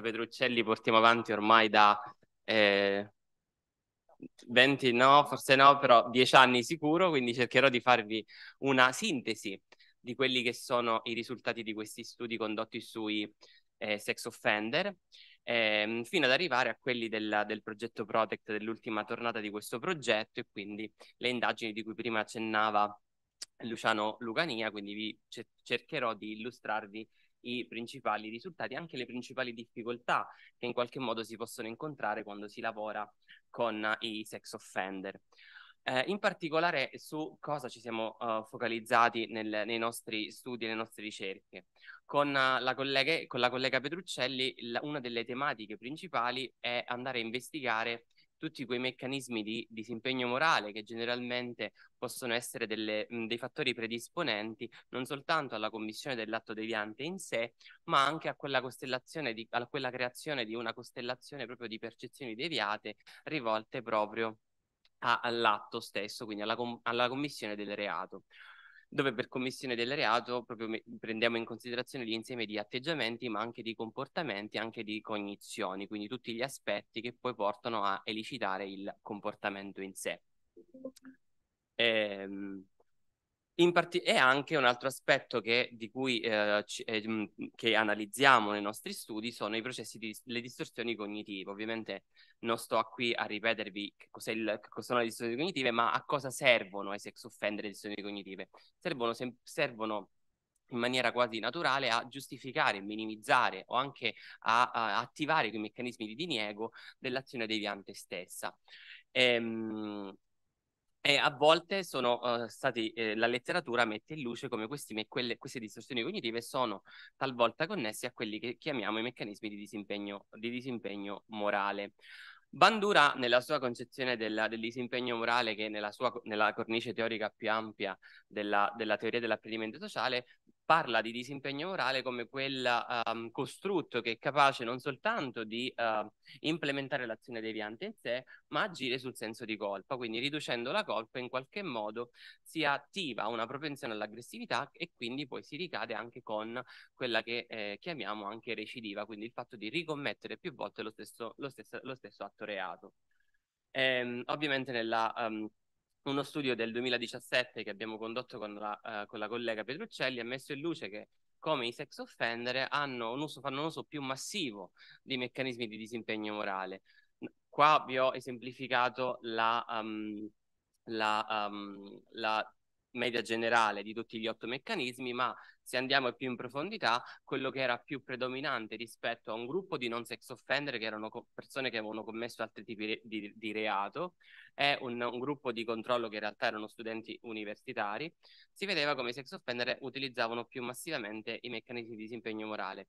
Se scendiamo più in profondità, eh, uh, se i, i, uh, gli stupratori eh, i rapist utilizzavano maggiormente l'attribuzione di colpa, invece eh, se eh, in un altro uh, meccanismo, ad esempio il confronto vantaggioso, i non sex offender utili- utilizzav- li utilizzavano in maniera massiva, forse probabilmente dettati dal fatto che avendo, avendo commesso reato che, lievemente, cioè che è molto più uh, lieve rispetto ai sex offender, veniva anche più facile utilizzare il meccanismo stesso. Invece un meccanismo quale la deumanizzazione della vittima veniva riportata in maniera più massiva dagli autori di reato a sfondo sessuale, in particolare i child molester. Un altro aspetto che, mh, di cui eh, ci siamo occupati negli ultimi, negli ultimi anni mh, e l'abbiamo incluso nostre, nei nostri studi sulle, eh, sui sex offender sono, è il modello ACE, il modello delle esperienze avverse durante l'infanzia. Ovviamente risulta molto complicato a, a applicare un modello re retrospettivamente in una popolazione che ovviamente ha già commesso reato perché tecnicamente dovremmo applicare, come si faceva cenno prima, a dei modelli di studio longitudinale, quindi pensare ad uno studio ora per allora diventa appunto molto complesso, però non, non è eh, tendenzialmente non pensabile, quindi abbiamo cercato di verificare se esperienze passate di uh, avverse, quindi eh, vissuti di trascuratezza, trascuratezza intesa in trascuratezza emotiva, abuso, maltrattamenti, ma anche condizioni avverse, istituzionalizzazioni precoci, piuttosto che abuso di sostanze precoci, potessero avere un impatto sulla storia attuale di vita dei sex offender. In particolare questo modello, applicato a studi longitudinali, fa, um, fa, uh, fa fede al fatto che Uh, alcuni modelli, in particolare modelli relativi all'attaccamento di tipo insicuro, in particolare in, a quello disorganizzato, possono essere dei fattori di rischio legati alla criminogenesi. Però ciò non si esaurisce soltanto al, agli aspetti dell'attaccamento perché altre condotte, quali ad esempio aver uh, istituzionalizzazioni precoci piuttosto che avere uh, un social um, un ambiente ostile culturale di provenienza possono essere rischi eh, con, concorrenti a, um, alla criminogenesi e quindi poi alla, alla, um, uh, al comportamento sessu sessuale deviante.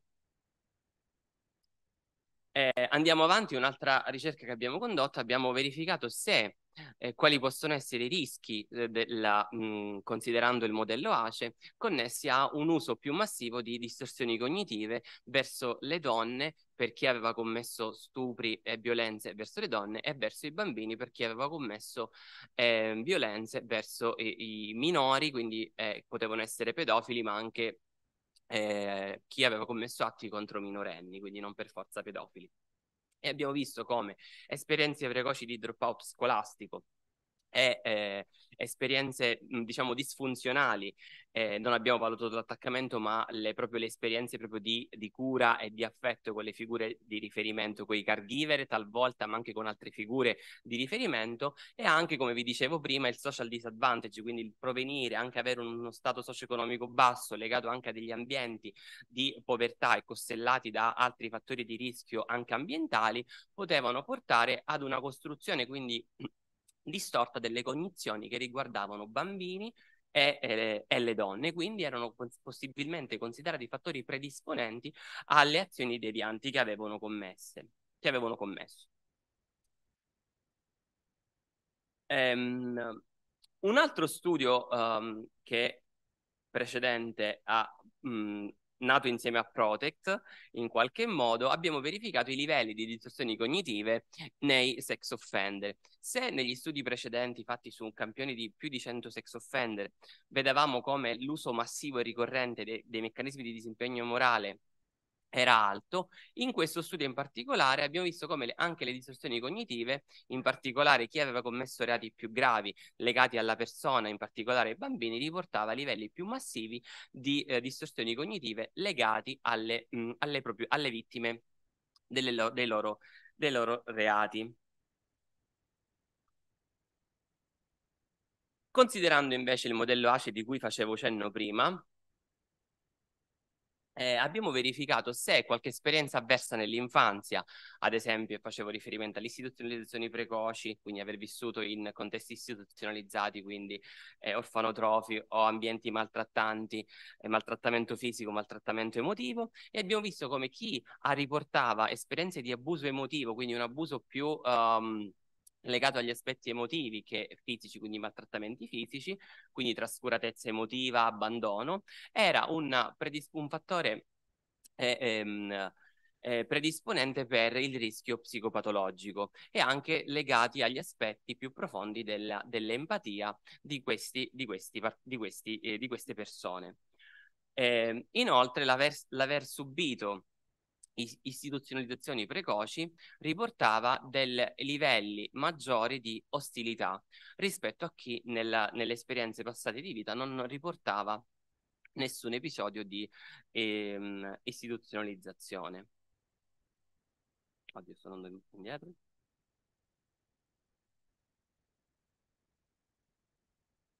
Invece scendendo, e eh, sto per concludere, non so quanto tempo ho, eh, perché non lo leggo. Eh, questa è l'indagine di cui vi parlavo prima, qualitativa del progetto Protect. Eh, ovviamente la difficoltà più grande con questi soggetti è stata valutare soprattutto gli aspetti relativi ai mh, questionari self-report e, e, le indagini legate proprio ai questionari carta e matita perché riportavano livelli altissimi di deseribilità sociale che entrava un po' in dissonanza con quelle che erano le descrizioni fatte dai colloqui clinici. Tendenzialmente Ov ovviamente la numerosità del campione non ha aiutato perché erano soltanto eh, otto soggetti, tuttavia abbiamo concentrato la nostra um, attenzione a quelle che erano le storie di vita di questi otto sex offender e abbiamo uh, verificato come eh, quali potessero essere gli aspetti caratterizzanti dei loro, dei loro vissuti, vissuti non soltanto emotivi ma anche eh, relativi alle circostanze relazionali e ambientali. Infatti tutte le parole che vedete in, in grassetto sono tutti gli aspetti che in qualche modo erano caratterizzanti di questi otto sex offender e che in qualche modo ricorrevano.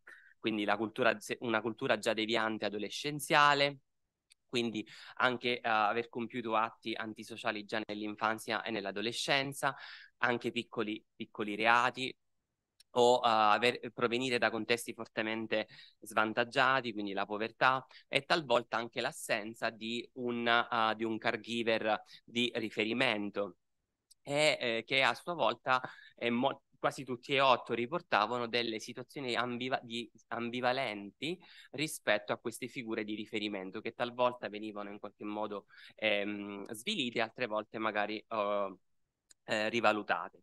In termini relazionali, quasi tutti avevano dei deficit a livello relazionale nelle storie attuali di vita, quindi relazioni disfunzionali in termini di non essere capaci a mantenere una relazione stabile con le figure, di, con, le figure con, cui si rapportavano nelle, nella prima età adulta e nella seconda età adulta, perché questi, una fascia d'età va dai 20 fino ai 50 anni, quindi ci facciamo riferimento a tutte le due fasi del ciclo di vita, quindi la, la, la o anche delle assenze, perché molti riportavano di non avere nessuno, nessuna relazione perché non, alcuni non, è, non, erano quasi in grado di averne di stabili, ma soprattutto basati su sentimenti che in qualche modo face- eh, creas- creassero il trasporto emotivo verso il partner, quindi manifestavano proprio questo deficit anche della, eh, dell'entrare in relazione con il partner.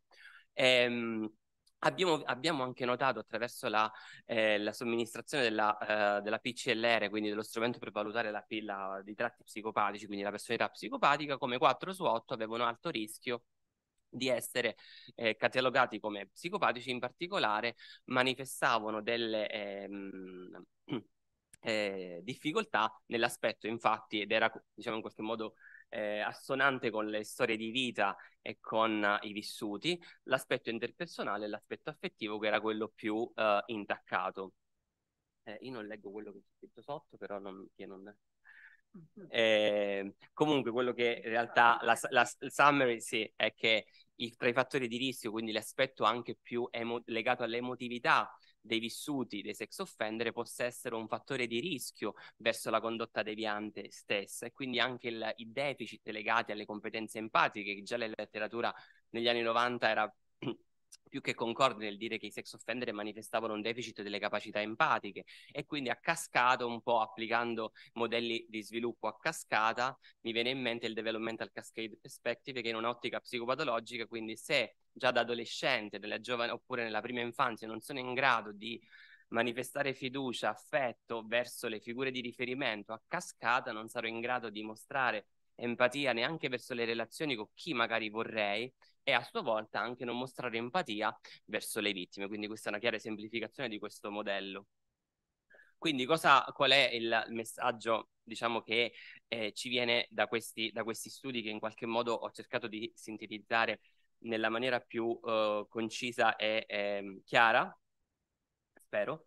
E implementare il, fondamentalmente implementare il trattamento di queste, di queste figure perché spesso le resistenze più grandi si hanno sul fatto che non, non, si, non si, ha la voglia neanche di uh, lavorare con le resistenze più grandi sono proprio il pregiudizio che talvolta investe gli agenti penitenziari e a sua volta anche i professionisti che creano come, eh, li vedono come impossibili, ecco ora utilizzo una, una distorsione forse anch'io, li vedono come impossibili da guarire, quindi, ma se il tentativo non gli si dà o la possibilità non gli si dà di uh, intraprendere una strada trattamentale che non soltanto tocchi gli aspetti cognitivi, ma anche si lavori sugli aspetti emotivi, che sono fondamentalmente quelli su cui si ha più necessità, non si può pensare che la recidiva quindi si riduca una volta che i, i sex offender o chi per, scontino la pena, una volta usciti, il rischio di recidiva, se non si hanno trattamenti specifici, è più alto rispetto a chi appunto segue dei, dei trattamenti specifici e non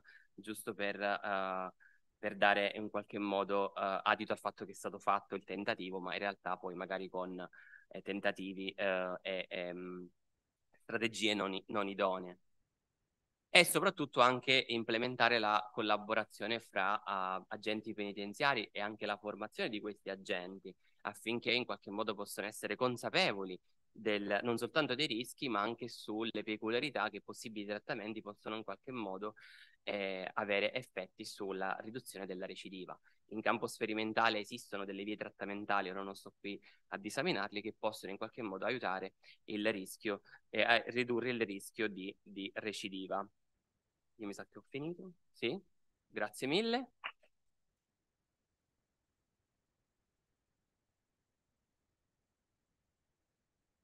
Grazie Giulio. Grazie. Eh, presento adesso la collega e amica Cristina Cabras, professoressa associata pres- di psicologia sociale presso l'Università di Cagliari, che ci parlerà della perce- percezione della violenza sessuale negli eh, operatori penitenziari, lo stato dell'arte della ricerca. Grazie. Cris.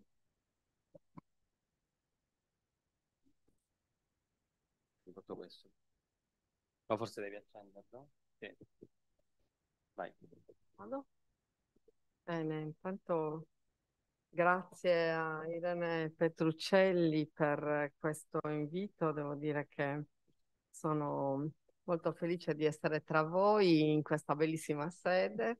E grazie anche al magnifico rettore che ci ha permesso appunto di, di usare questa, questa sede per questa per, nostra, per questo nostro workshop, questo seminario eh, così interessante e, e, grazie a tutti voi che siete qui e grazie al professor Carlson che per noi rimane eh, una, un faro diciamo nel, nello studio del, del, trattamento dei sex offender che è così importante. Io eh, ho, mh, eh, intanto ho avuto molto piacere di, di, parlare dopo Giulio perché così sono riuscita anche ad avere molte più informazioni su questo interessantissimo progetto che avete eh, realizzato e sui risultati a cui siete giunti con tutta una serie di aspetti così importanti che riguardano appunto anche diciamo le, le, le, sottolineature circa ciò che può funzionare meglio all'interno del, del trattamento, eh, del trattamento eh, penitenziario rivolto a categorie specifiche. Questo è sicuramente uno dei temi a me più cari. Io sono, mm, come già Irene ha, um, ha, ha detto, una uh, docente di, eh, di psicologia sociale ma anche una docente di psicologia giuridica e criminale in, all'Università di Cagliari e diciamo la mia specializzazione appunto in criminologia e quindi questo tipo di argomenti sono quelli che privilegio nel mio percorso di, di, di ricerca. E in questo senso ehm, eh, ho voluto focalizzare l'attenzione su altre forme di violenza sessuale che si possono verificare all'interno degli istituti penitenziari. E eh, queste forme sono forme che vedono eh, coinvolti i poliziotti penitenziari perché eh, ci sono forme di violenza che si possono realizzare tra poliziotti penitenziari, in particolare tra poliziotti penitenziari di genere maschile e femminile e eh, violenza sessuale che si può realizzare tra eh, carcerati e di cui sono eh, osservatori, osservatrici, ma soprattutto osservatori, i poliziotti penitenziari. La ricerca in questo ambito è una ricerca molto mh, povera, nel senso che è molto difficile riuscire ad, ad, ad ottenere questi dati e a livello internazionale abbiamo avuto sicuramente una eh, produzione più ampia tra gli anni eh, 80 e 90 e poi un arresto di queste ricerche eh, dopo gli anni 2000. Sono veramente molto poche le ricerche che noi possiamo rilevare eh, nell'ambito appunto del sexual harassment eh, che viene eh, perpetrato all'interno del, del sistema della, della, polizia penitenziaria. Ehm, e, e, diciamo che, che, le ragioni sono ovviamente tante. Eh, il primo è il fatto che ehm, siamo eh, a livello globale, quindi non sto parlando soltanto dell'Italia, in, una, eh, in un contesto che è fortemente maschilista, in cui ehm, la, non soltanto la cultura è maschilista, ma la presenza di persone di genere maschile è decisamente dominante rispetto alla presenza di, di, di soggetti di genere femminile e questo porta sia in un caso che nell'altro a eh, interpretare eh, il, il, sexual harassment come eh, un modo per scherzare e come una modalità per creare legami all'interno del gruppo della polizia. Eh, questo, badate bene, vale eh, non soltanto per la polizia penitenziaria, ma per qualunque eh, corpo, eh, diciamo, di, eh, eh, che, che, coinvolga ehm, persone che, che, lavorano, per esempio, nel, nelle forze dell'ordine in maniera più ampia quindi non parliamo, ripeto, solo di polizia penitenziaria, ma all'interno di questo stesso scenario ci sono eh, la Polizia di Stato, Carabinieri, così come tutte le forze, eh, tutte le forze che ritroviamo appunto nei, nel, ne, ne, nell'esercito, insomma, e, e, in tutte le altre forme eh, militari, eh, in tutti gli altri corpi militari eh, soprattutto perché da quando sono entrate le donne all'interno di questi corpi, questi fenomeni ovviamente sono, eh, sono aumentati. Eh, ma eh, il maschilismo all'interno di questi contesti è talmente forte che anche le donne eh, hanno difficoltà a riconoscere questi comportamenti come comportamenti di violenza sessuale nel senso che, come sappiamo, noi utilizziamo il, il, il, concetto, il costrutto di violenza sessuale come un concetto ampio che non corrisponde allo stupro necessariamente, anzi per fortuna non corrisponde solo allo stupro, ma tutta un'altra serie di comportamenti che sono ehm, diciamo chiamati molestie, ma che in realtà sono violenze, e nel senso che tra molestia e violenza c'è una differenza, insomma non sto qua ad aprire eh, il dibattito sulla terminologia utilizzata, però il termine molestia serve semplicemente a ridurre l'importanza che ha questo tipo di azione, mentre diciamo che le conseguenze ci sono comunque. Le donne nell'ambito della eh, poi eh, io mm, eh, cioè, non so come, cosa devo fare perché sto andando avanti col mio computer, ma in realtà non era, non era proprio quello, non era proprio quello il, il, insomma, il modo corretto. Ehm, dicevo, le ragioni che portano le, le donne a non denunciare eh, sono eh, innanzitutto ragioni che, eh, che, che si, si, si, si, ritrovano anche eh, in, eh, in, situazioni simili in, in, tanti altri contesti, compreso quello accademico. Abbiamo terminato di recente una, eh, una ricerca sulla, sulla, violenza e, e sull'harassment in, in ambito accademico e abbiamo visto che le donne, sia studentesse che eh, dello staff amministrativo che del, del, corpo docente, hanno difficoltà a ehm, denunciare questi eventi per le stesse ragioni, eh, e cioè per la paura di essere accusate di aver contribuito a mettere in atto quel, quel comportamento di violenza eh, per eh, la paura che eh, di non essere credute perché la propria parola vale eh, meno di quella di soggetti di genere maschile che hanno più potere all'interno di quei contesti e poi ancora perché questo è interpretato come un suicidio professionale.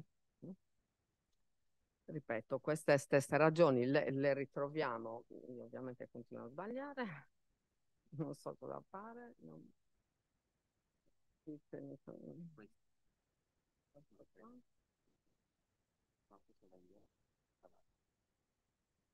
Scusate.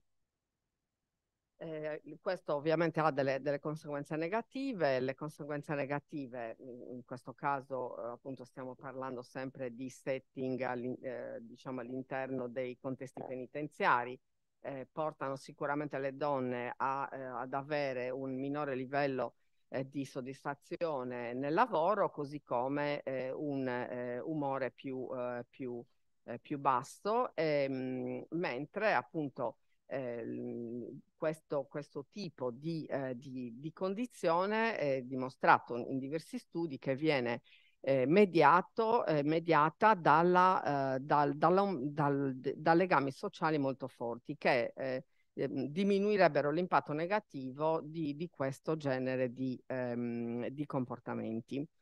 Ehm, inoltre abbiamo altre conseguenze che possiamo ovviamente rilevare che sono date da un lato da ehm, difficoltà sul piano psicologico che eh, per l'appunto si possono eh, rilevare, così come l'aumento dell'assenteismo, la presenza di depressione e ansia e in alcuni casi eh, di abuso di sostanze. Eh, dicevo prima, l'altra forma di eh, violenza eh, sessuale che troviamo all'interno degli istituti penitenziari è quella tra condannati ehm, sappiamo bene che anche in questo caso le ricerche sono molto poche perché eh, difficilmente ci sono autorizzate ricerche che, che, ci permettono di rilevare questo tipo di comportamento tra uh, i soggetti in stato detentivo. E, ehm, e quindi diciamo le, le, le poche ricerche che, che, abbiamo a disposizione ci dicono che ehm, c'è eh, una ehm, accettazione di questo tipo di comportamento nella maggioranza dei casi eh, da parte della polizia penitenziaria che osserva queste, eh, questi, questi, stupri ma che ehm, in qualche modo ehm, diciamo crea eh, una eh, sia direttamente che indirettamente una facilitazione della vittimizzazione eh, in, nei contesti penitenziari eh, troviamo eh, diverse, diversi atti ehm, sessuali eh, che diciamo nel senso che non tutti sono violenze sessuali. Eh, ma la distanza tra questi due tipi di comportamento è, è veramente difficile da riconoscere, non fosse altro perché eh, per chi osserva dall'esterno, come per esempio la polizia penitenziaria, è, è, ben difficile sapere se si tratta di una condizione di, eh, di violenza o una condizione di eh, eh, consensualità nell'atto sessuale. E certamente ci sono dei segnali a cui però eh, i, i, i, poliziotti penitenziari non, non, sono addestrati, nel senso che eh, non è che non si possa riconoscere, il problema è che eh, il, il, i detenuti intervistati eh, non dichiarano effettivamente di aver subito violenza eh, perché ne subirebbero poi delle conseguenze ulteriori all'interno del gruppo di detenuti e quindi anche per, per la polizia poi è più difficile eh, riconoscere questi, eh, questi comportamenti, ma eh, eh, ci sono purtroppo anche delle situazioni dove eh, questi comportamenti, anche se eh, visibilmente violenti, sono ignorati. Eh, oppure eh, diciamo no, non sono registrati come infrazioni. Noi sappiamo bene che l'uno e l'altro tipo di comportamento sono vietati all'interno degli istituti penitenziari, sono puniti con sanzioni disciplinari per, per, sia per, per, gli attori che, che, per le vittime, quindi eh, chiunque si ritrovi in quella situazione è portato a eh, negare l'esistenza di questo, di questo tipo di fenomeno. Eh, ovviamente ci sono eh, delle, delle, delle, condizioni che anche in questo caso sono legate ad una cultura eh, fortemente eh, ehm, for fortemente maschilista all'interno degli istituti eh, penitenziari perché non a caso ancora una volta sono eh, le persone di genere maschile a, ad avere eh, un, una presenza eh, elevatissima rispetto a quello che invece succede per le persone di genere femminile. Eh, è la cultura che si, eh, che si sviluppa all'interno degli stessi soggetti in stato detentivo è una cultura in cui le persone che sono uh, vittime sono considerate effeminate o omosessuali, mentre chi realizza uh, l'atto di, di, di, di, violenza sessuale è considerato uh, un vero uomo, comunque un uomo che mette, diciamo, che utilizza la sua sessualità nel, nel, nel modo più, più corretto. Eh, questa è ovviamente una, un, una condizione di, di, rischio che ancora una volta, ripeto, per chi deve poi osservare, questi comportamenti aumenta, uh, aumenta la, la, confusione perché eh, c'è un'ambiguità diciamo ne, nei segnali di riconoscimento che, non, che, ripeto non possono essere ehm, eh, categorizzati in maniera corretta se non ci sono uh, se non c'è un addestramento specifico da parte eh, della polizia. Ehm, in, in, questo senso ci sono studi che eh, per esempio dimostrano come eh, i poliziotti possono addirittura usare eh, la violenza sessuale tra uh, detenuti come minaccia, nel senso che se ci sono delle situazioni da governare possono eh, minacciare eh, i, i, i, soggetti di essere inseriti in stanze in cui sono presenti eh, dei soggetti che notoriamente eh, svolgono uh, questo tipo di, eh, di aggressione. Ehm, ancora, vabbè, qua vado avanti perché eh, entriamo su una, una, questione più tecnica, ma voglio invece qui eh, presentarvi una eh, ricerca che siamo riusciti a condurre eh, nel 2022, eh, o meglio, l'abbiamo conclusa nel 2023 eh, non l'abbiamo ancora pubblicata, ma eh, i dati sono stati raccolti eh, negli ultimi mesi del 2022.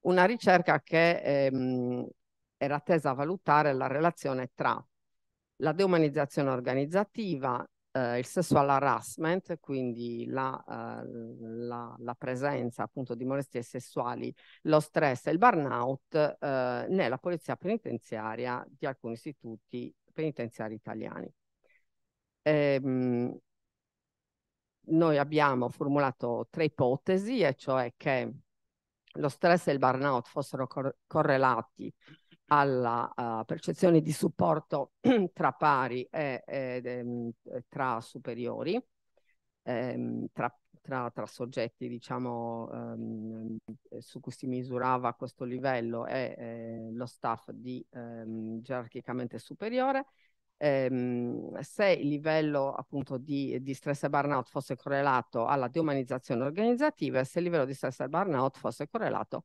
alla percezione di, ehm, di, eh, di sexual harassment tra i detenuti. In realtà avevamo anche ehm, intenzione di eh, somministrare eh, appunto una, una, eh, una, scala che misurasse il sexual harassment tra poliziotti, ma mh, diciamo questo non è stato possibile fare. Eh, gli strumenti utilizzati sono questi che vedete, eh, e quindi alcuni strumenti che misurano la deumanizzazione e lo stress, eh, uno strumento che misura il, il supporto dei, dei superiori, eh, il supporto tra pari e eh, la percezione di, eh, di, violenza sessuale tra detenuti.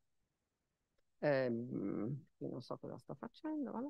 I partecipanti coinvolti sono 201 eh, poliziotti di genere maschile.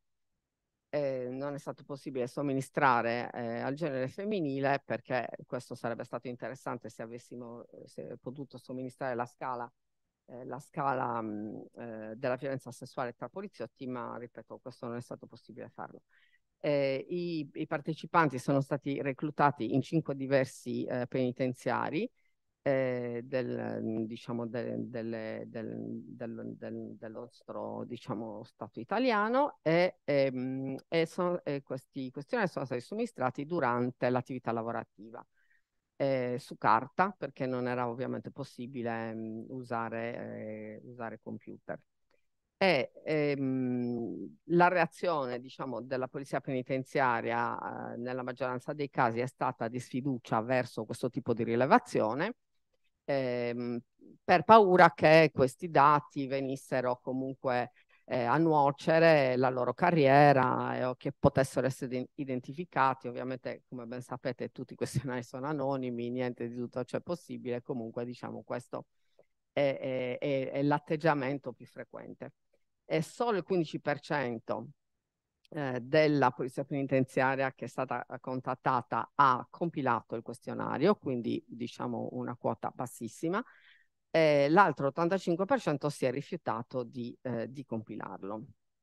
Ehm, I risultati ci dicono subito che il livello di deumanizzazione presente a livello organizzativo, mh, insomma, mh, riassumendo, la, la, la, deumanizzazione è un comportamento che, che porta l'organizzazione a eh, diciamo, percepire le persone come eh, come deumanizzate, quindi come persone che non hanno eh, ehm, sentimenti umani, non provano emozioni eh, e non hanno eh, cognizione eh, umana, ma eh, che diciamo sono eh, usate per il tipo di servizio che deve essere utilizzato. Eh, come vedete, il livello di molestia sessuale, di percezione di molestia sessuale tra eh, detenuti è eh, decisamente alto, quindi questo significa che chi ha completato il questionario è in grado di percepire la presenza di molestie sessuali tra detenuti. Eh, il supporto dei superiori è considerato, diciamo, medio-basso, così come il supporto dei pari. Eh, e un dato interessante è che eh, la percezione di molestia sessuale è altamente correlata con lo stress positivo. Questo vuol dire che tanto più le persone ehm, sono in una condizione eh, positiva sul livello dello stress, come sapete lo stress è diviso in stress positivo e stress negativo, quindi diciamo se hanno bassi livelli di stress e quindi no, no, non soffrono di una condizione negativa sul piano psicologico organizzativo, sono più in grado di riconoscere eh, le molestie sessuali o meglio, sono più sereni nel riportarle, cioè nel eh, denunciarle. Perché? Perché in questo caso eh, si sentirebbero più protetti dall'organizzazione nel, nel, compiere questo genere di, eh, di denuncia. Eh, l'interazione tra le variabili che abbiamo, eh, qua non si vede esattamente, comunque ve la racconto, eh, l'interazione tra le variabili che abbiamo eh, ottenuto è, è tale per cui eh, la, la, percezione di sexual harassment anche in, eh, in situazioni di prevenzione e quindi mh, diciamo eh, una, una, condizione che ci permette di intervenire immediatamente prima che si realizzi del tutto è altamente correlata al, allo stress e invece ha una correlazione negativa, un'interazione negativa con eh, con l'esaurimento emotivo, quindi con una condizione negativa di, eh, di, di stress. Questo eh, è, è, un dato molto interessante perché eh, ci permette di... Ehm... Boh, non funziona più. Ci permette di, eh, eh di, di, di commentare eh, questi, questi, risultati ehm, che sono ehm, diciamo, soprattutto legati alla eh, importanza che ha quindi il supporto organizzativo percepito dai eh, poliziotti penitenziari nel riconoscere in, in termini preventivi eh, le situazioni di violenza sessuale all'interno degli istituti penitenziari tra detenuti, eh, l'importanza di una formazione per la polizia penitenziaria che sia addestrata al riconoscimento di violenze sessuali che eh, vanno distinte ovviamente dalle eh, mh, attività sessuali di tipo consensuale, malgrado queste siano, eh, ehm, eh, diciamo, siano vietate comunque all'interno dell'istituto penitenziario, ovviamente c'è una differenza in termini di conseguenze per il benessere dei soggetti che vivono all'interno degli istituti. Ed inoltre una eh, importanza che deve, che deve essere ulteriormente attribuita anche al mantenimento basso dei livelli di stress eh, dei, dei, poliziotti perché tanto più sono bassi i livelli di stress dei poliziotti, tanto più questi si sentono ehm, più sicuri nell'intervenire eh, per bloccare situazioni che si possono presentare all'interno di questi contesti e quindi eh, sarebbe utile promuovere del, delle azioni che siano ehm, rivolte ad un aumento del benessere dei soggetti che lavorano all'interno del corpo di polizia penitenziaria, eh, così come dei, dei detenuti che, eh, che vivono all'interno di quegli stessi contesti. Questo è tutto, grazie.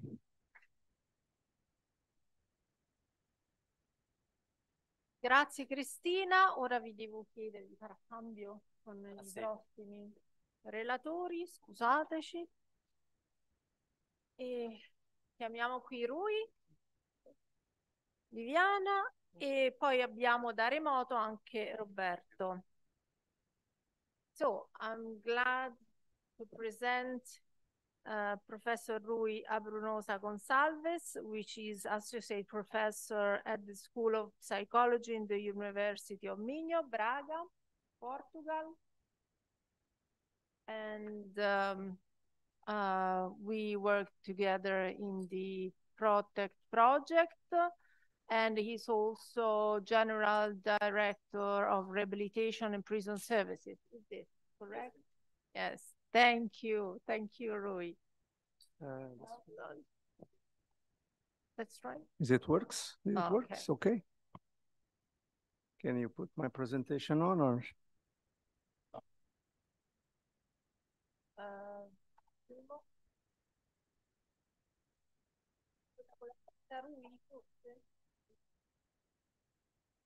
I'll give it.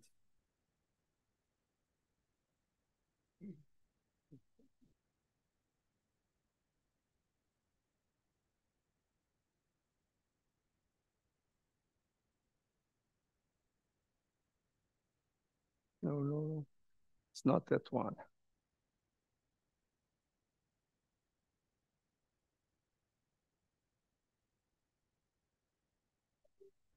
I give it to you. The pen again? Just.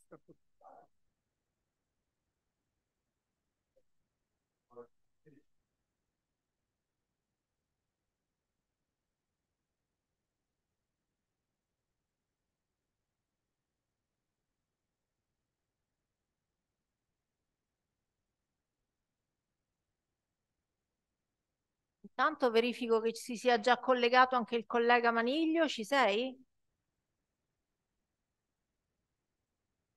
Sì, sì, Ah, ok. ci sono, ok. sto con l'audio disattivato e Ah, il video disattivato, Grazie, sono. a dopo.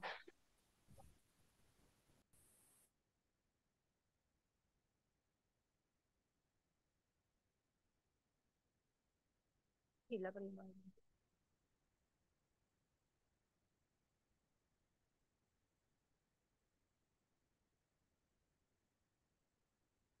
Oh, this, this works.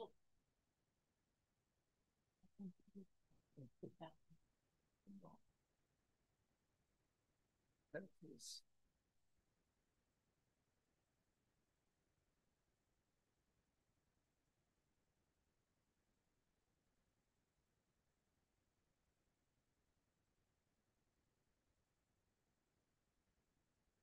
Fine, thank you. Well, I, I just want to, to thank Irene and to thank the University Mercatorum for this um, uh, possibility of being here. And um, uh, I would like also to, to cherish the, the previous uh, presenters because this is um, a particularly interesting uh, conference um, that we talk about some things we did in the past, but uh, some things we want to do in the future. So um, between the, the Protect project uh, and, uh, and now on, I was nominated um, General Director of the Prison and Probation Services of Portugal. So it is difficult now here to talk as a forensic psychologist and university teacher and also as a, a general director. So sometimes I'll get to uh, another place and sometimes I'll get to the first one. Um, anyway, um, uh, I, I have some some some data to present, and uh, that's what we we're going to see. Um, well, this is the the, the way uh, the Portuguese penal code uh, um, uh, deals with with sexual crimes uh, with two great groups one of the crimes against adults and then uh, the other one of crimes against children and youths.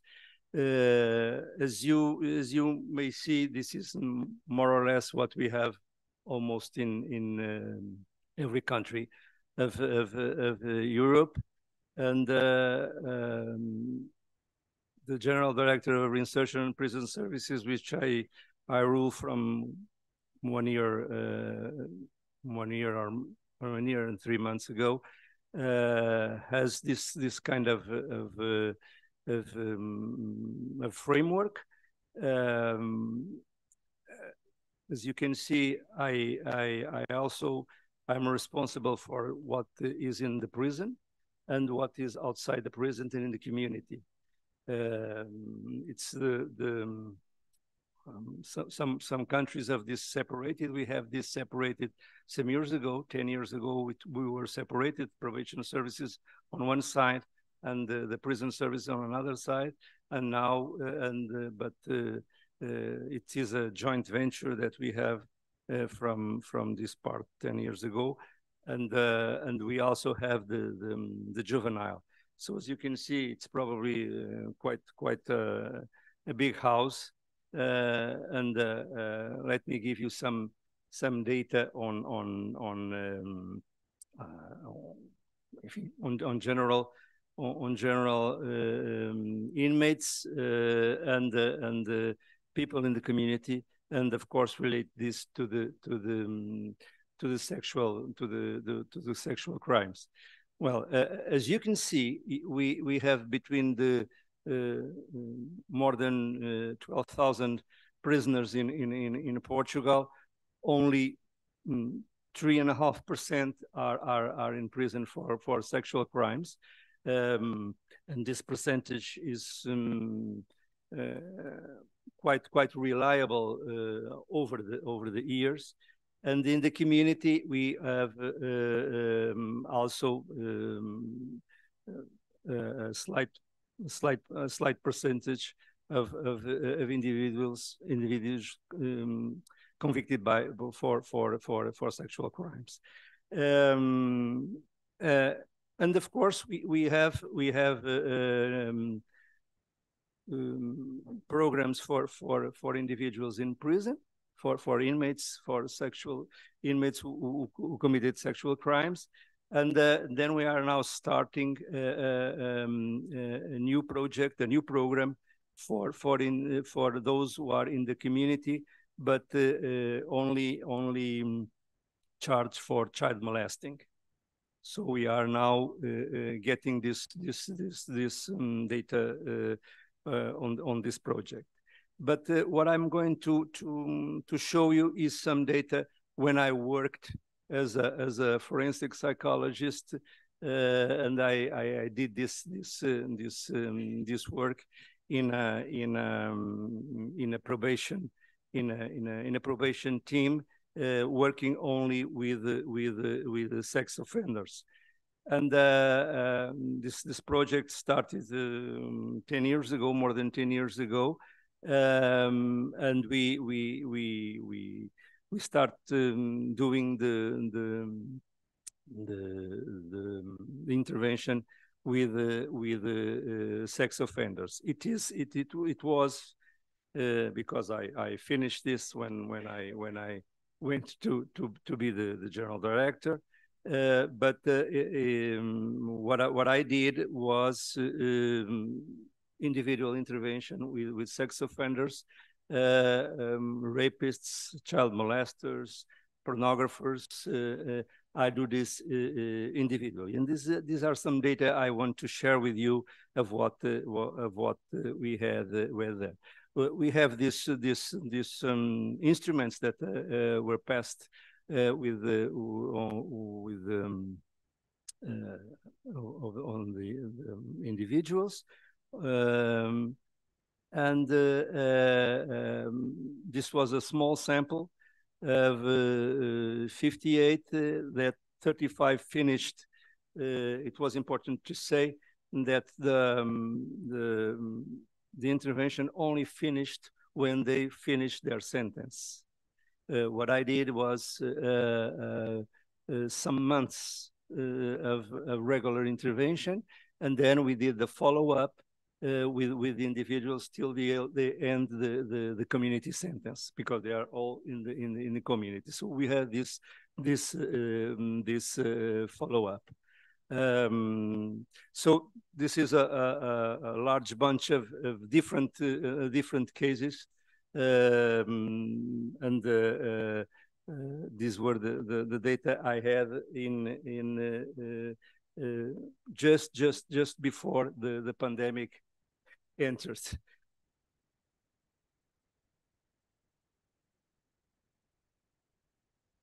Um, as you can see, we had uh, five child molesters in provisional suspension. Well, these these are the the, the, um, community uh, sentence, sentences they have. Provisional suspension, which is uh, uh, uh um, an order from the judge that uh, suspends the process while they are on treatment and if they they they achieve the whole treatment, they won't be convicted, and they they uh, and this won't be charged in their criminal record.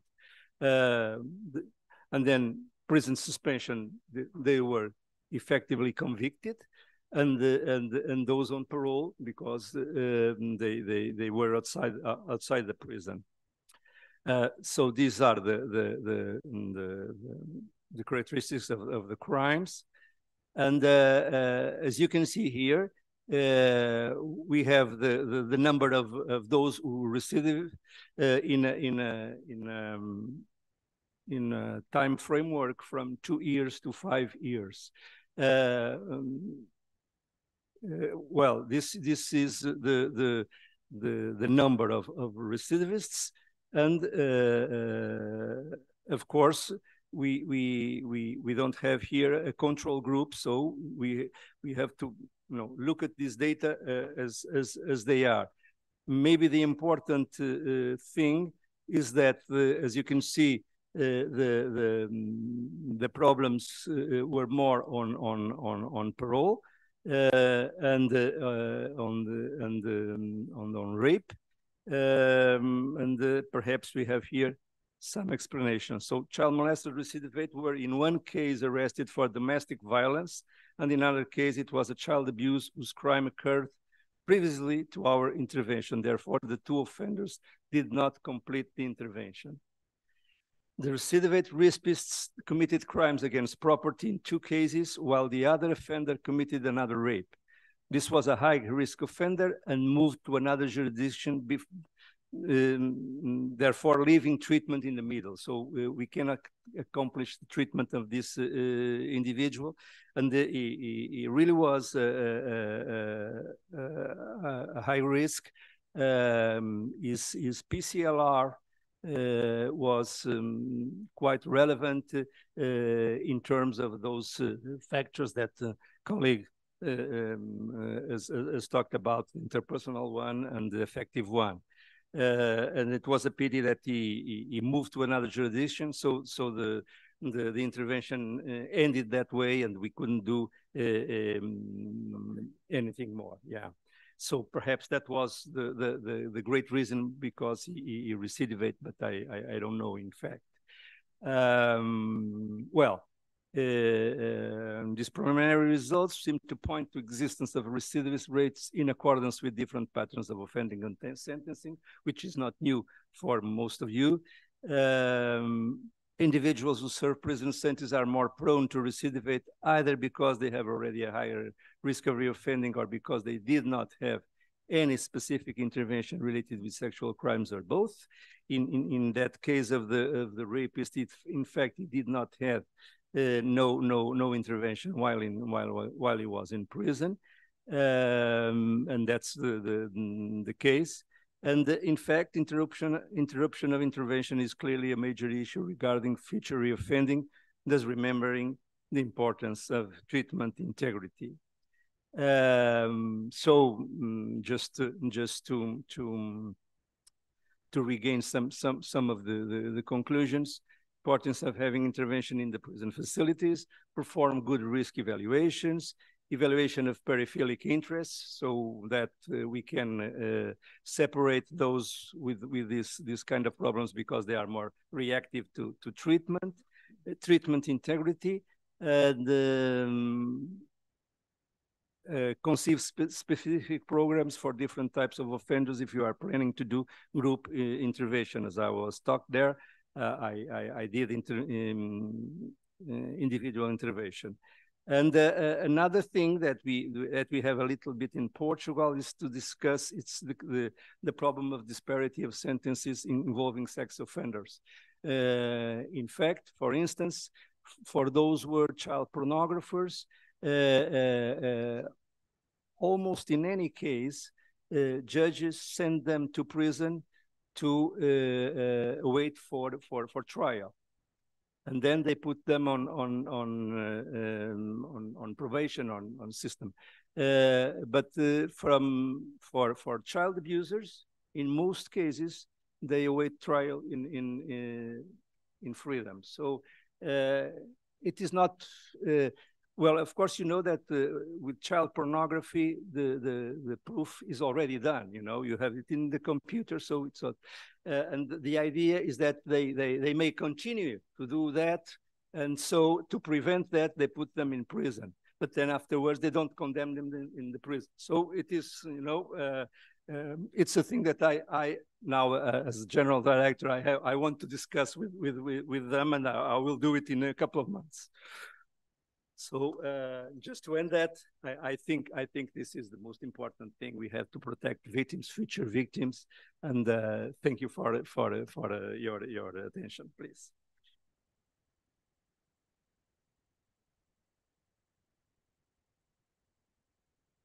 Thank you, Rui. Thank you, thank you so much. Eh, passo ora la parola alla collega Viviana Langher, professoressa associata all'Università Sapienza di Roma e con la quale appunto abbiamo intrapreso il secondo percorso, la seconda puntata della serie Protect nella realtà eh, territoriale del carcere di Arghilla. Grazie Viviana. Grazie Irene e a tutti. Penso che funzioni il microfono. Ok. Va bene? Ok. Eh, sì, grazie per l'opportunità di condividere un'esperienza. Prima cerco di sopravvivere con il trabiccolo per andare avanti. Non è questo, ma sarà questo, perfetto. Ehm, vado in italiano con i miei appunti in inglese, speriamo di non fare troppa confusione. Ehm, dunque, è un'occasione secondo me importante avere tutte queste persone riunite mm, con l'esperienza di affrontare questo tema così sensibile e delicato della, della valutazione del trattamento, della gestione del rischio delle persone che commettono atti di violenza sessuale che in generale richiama la nostra attenzione a, alla gestione eh, più complessiva, più ampia delle persone che commettono atti di violenza. È un tema questo di eh, grande attualità per altri motivi, insomma, che non sono legati strettamente al motivo per cui siamo qui, cambiamenti nella società, nelle abitudini, nei consumi anche delle sostanze. Io lavoro in vari ambiti, eh, abbiamo adesso un emergente problema dei minori non accompagnati e dei comportamenti violenti che hanno nelle eh, situazioni di prima e seconda accoglienza. Ecco, uno scenario che è piuttosto recente, che per esempio mette a repentaglio, facendo vivere con disagio il proprio lavoro, le operatrici donne di questi centri, che sono sempre state invece in prima linea. Quindi noi bisogna che ci cominciamo a ragionare su questi temi fuori dai pregiudizi o fuori anche da questioni ideologiche con l'idea, il desiderio di approfondire eh, in una maniera più lucida e razionale possibile anche per individuare le contromisure necessarie, insomma, in termini di prevenzione, in termini di gestione, in termini anche di trattamento. È in quest'ambito che ho pensato di presentare, spero sinteticamente, il, il mio contributo ehm, legato alla seconda fase di questo progetto che condivido con eh, Irene e con gli altri colleghi, eh, però diciamo mettendo un po' a frutto anche eh, le considerazioni che mi derivano dall'aver eh, partecipato a progetti nell'area e quindi diciamo utilizzo questa occasione per fare un punto di sintesi. Eh, molti hanno già detto, quindi vado velocemente su questo, il, il problema dell'osservazione, della valutazione negli istituti penitenziari delle persone che hanno commesso reati violenti, poi nella fattispecie eh, violenza sessuale, è una, una valutazione cruciale perché da una parte ci dà la dimensione del problema individuale e in relazione al contesto penitenziario, dall'altra ci dà indicazioni che sono utili rispetto alle misure, dagli sconti di pena, alle misure alternative, anche alle misure trattamentali. Quindi eh, l'osservazione è un passaggio, l'osservazione e la valutazione è un passaggio molto cruciale in questo ragionamento. Quello che abbiamo potuto capire fino adesso è che c'è una diciamo, tendenza non ancora del tutto superata negli istituti penitenziari italiani a mettere in atto um, procedure di valutazione di assessment di tipo non strutturato. Eh, cioè tutti rispondono al principio dell'osservazione scientifica, come si chiama in gergo della personalità, però è a macchia di leopardo la possibilità che alcuni penitenziari abbiano individuato dei protocolli, delle strategie utili a sistematizzare l'osservazione. La sistematizzazione dell'osservazione naturalmente a beneficio sia della pregnanza, della coerenza dell'osservazione, della sua robustezza intrinseca, della sua capacità predittiva, con limite che noi dobbiamo conoscere sulla nostra possibilità di predire esiti futuri, però insomma avendo una buona corte di dati anche una valutazione predittiva ragionevole è possibile. Il problema della valutazione che chiamo così tra di noi non strutturata è che eh, può essere fallace per una serie di motivi, insomma, che ho un po' provato a, a sintetizzare, cioè manca di, per esempio, di coerenza, manca di andata troppo veloce con il trabiccolo, sto ancora su questo punto, manca di coerenza, manca anche di trasparenza, nel senso non che sia intenzionalmente una osservazione non trasparente, ma può risultare non trasparente nel momento in cui i criteri di osservazione non sono ostensibili, non sono condivisi, non sono sistematizzati. Quando l'osservazione punta molto alla percezione soggettiva del professionista, che è una fonte di conoscenza importantissima, quindi nessuno, penso saggiamente, potrebbe mai svalutarla, ma la soggettività dell'osservatore, del professionista, sia educatore, sia componente dello staff penitenziario, deve essere disciplinata, cioè in qualche modo deve seguire criteri che consentano anche una revisione dell'osservazione stessa per come essa viene condotta. Uh, diciamo che eh, l'altro aspetto è eh, questo pure è importante, la mancanza di formazione, nel senso che tutti i professionisti eh, che lavorano negli istituti penitenziari naturalmente sono formati per la loro funzione compresa l'osservazione e la valutazione di personalità. In assenza di protocolli che siano sistematizzati, in qualche modo standardizzati, di nuovo si lascia, come dire, spazio alla motivazione personale all'aggiornamento, alla motivazione personale all'utilizzare strumenti più robusti, più solidi e quindi eh, la valutazione può essere problematica. Sottolineo sempre ricordando il fatto che eh, una valutazione non, non, positiva porta conseguenze sul piano delle decisioni che debbono essere prese possiamo aggiungere che porta conseguenze anche sul piano del benessere organizzativo che eh, è stato nominato più volte oggi, no? Se io, per esempio, compio una valutazione in una relazione con un detenuto, diciamo anche pericoloso, che ha commesso reati importanti e in qualche modo non sento la eh, sicurezza, la robustezza di condividere all'interno di un protocollo sistematico la mia valutazione con altri colleghi, io come valutatore posso sentirmi eh, all'interno di un rapporto con il detenuto che sto valutando in cui, mh, come dire, sperimento anche la, la paura la preoccupazione di quello che sto facendo, cioè posso sentirmi minacciato come osservatore. E questa è un'esperienza che molti operatori all'interno degli istituti penitenziari ci hanno raccontato, quindi ci sono vari motivi per cui è raccomandabile eh, fare uno sforzo organizzativo a livello di sistema per mettere in atto procedure di valutazione che possano garantire una buona solidità e robustezza della valutazione di per sé, aiutare gli istituti penitenziari interni e anche i referenti esterni, penso al magistrato di sorveglianza, ad avere dati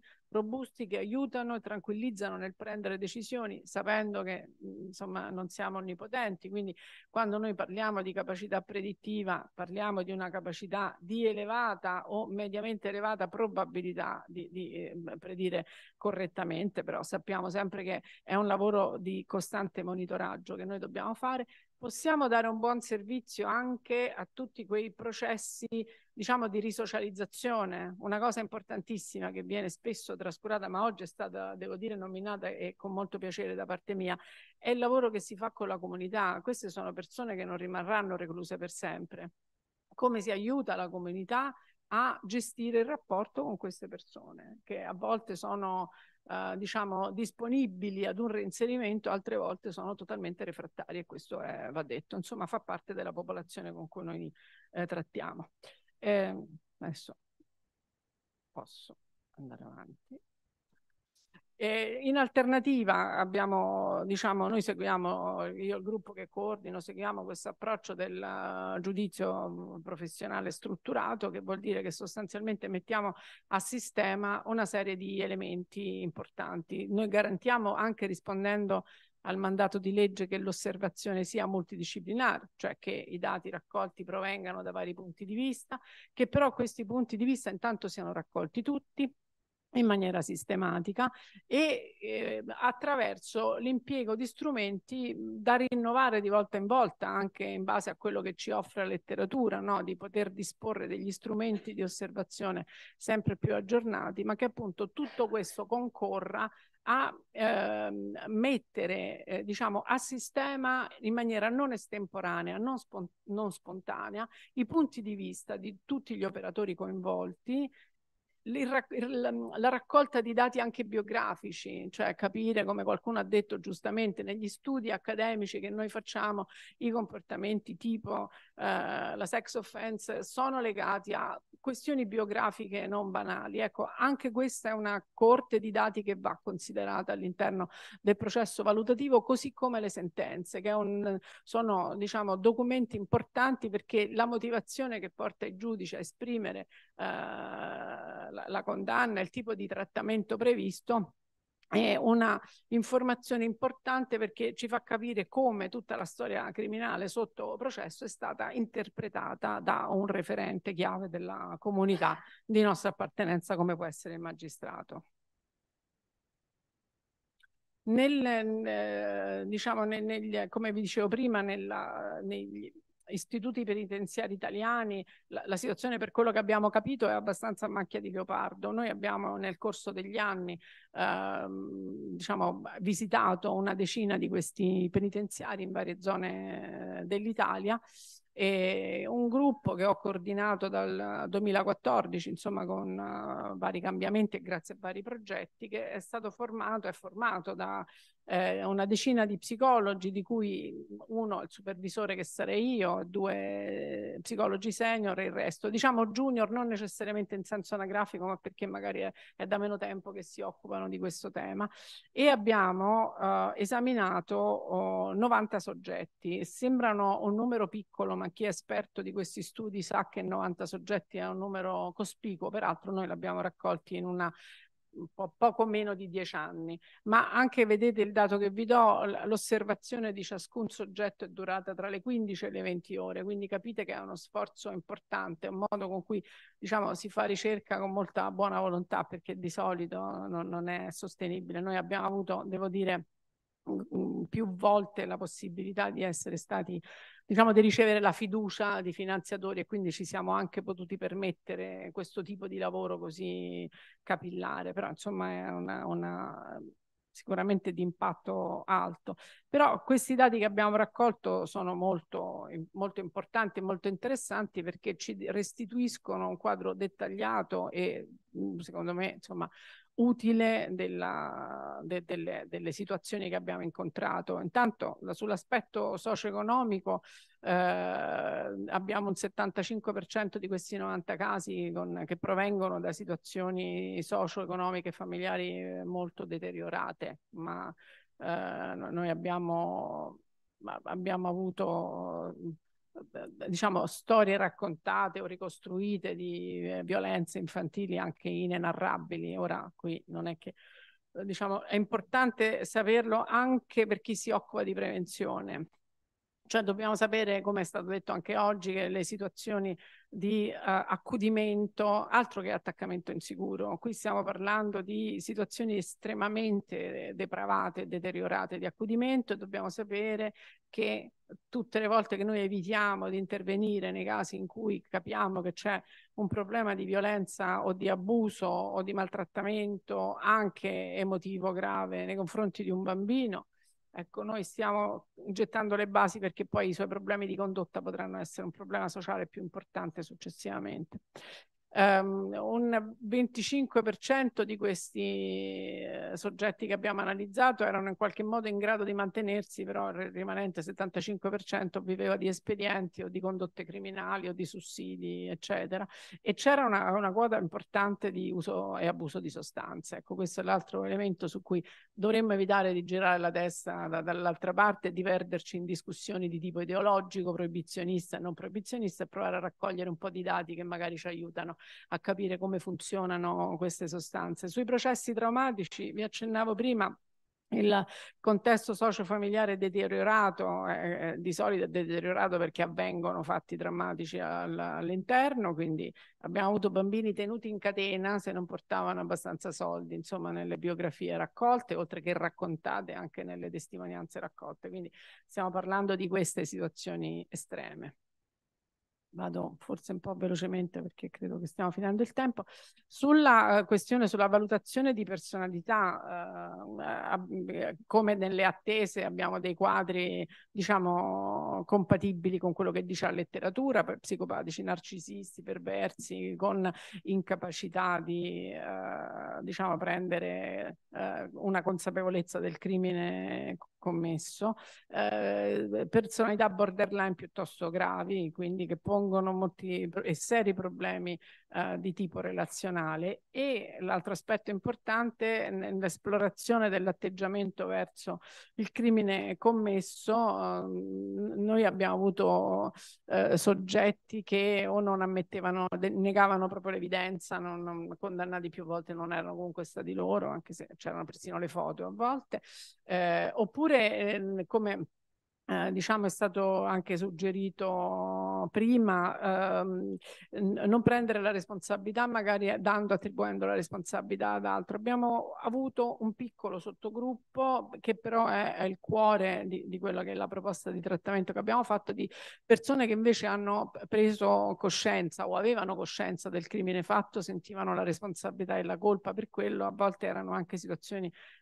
psicopatologiche gravi nel senso di predisposizione o rischio di suicidio. Diciamo che su quelli noi abbiamo ipotizzato una possibilità di trattamento. Um, in sintesi, mettendo insieme questi soggetti con quelli che avevano almeno una minima, quindi avendo un atteggiamento generoso, non un criterio largo, verso quelli soggetti che avevano almeno una minima cognizione de, di quanto avevano fatto, ma da un punto di vista oltre che cognitivo anche affettivo, cioè integrato, noi diciamo che una metà di questi soggetti potevano essere in qualche modo potevano beneficiare di un trattamento psicologico, psicosociale, che fosse psicoterapeutico, di contenimento, di sostegno in base alle indicazioni. Il problema è costituito dalla rimanente metà, che invece eh, si presenta come non trattabile. Allora questo mette l'istituzione in una strettoia perché bisogna garantire il trattamento, ma bisogna che questo trattamento abbia senso. Allora su questo penso che la letteratura, lo studio, la ricerca ci deve dare una mano per individuare trattamenti che molto lontani dall'essere i gruppi psicoeducativi che non funzionano con quelli che hanno il senso di colpa, figuriamoci con quelli che pensano che l'altro sia un oggetto, però insomma qualche forma va sperimentata che permetta alle eh, persone in questa, diciamo così, metà del, delle, dei soggetti che hanno commesso questo tipo di crimini di recuperare un senso morale, non so come, ma è la sfida che io pongo, ma anche di recuperare, qui forse la psicologia clinica dà una mano in più, una, um, un ricontattare le dimensioni affettive di bene e male, cioè recuperare la capacità di soffrire per l'altro. Ecco, questa secondo me è la sfida, oltre che allocare un budget idoneo perché questi soggetti non trattabili forse hanno bisogno di un trattamento a vita, che sia persino di tipo modellamento per il bene della società naturalmente, oltre che per i soggetti stessi. E con questo credo di aver concluso.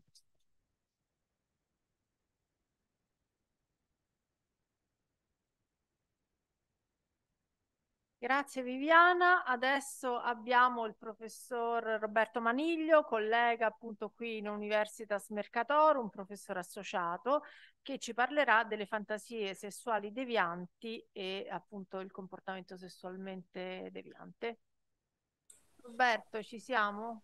Sì, eccomi, saluti a tutti. Scusate, eh, diciamo il eh, il, il, mio sfondo, non sono riuscito a mettere uno sfondo adeguato perché Zoom non lo conosco e provo a, sto vedendo ora se, se, se, se sfoga in qualche modo, se si può mettere qualche altra cosa. Non so se mi vedete, io mi vedo bloccato. Io mi vedo bloccato, non lo so perché. Vediamo.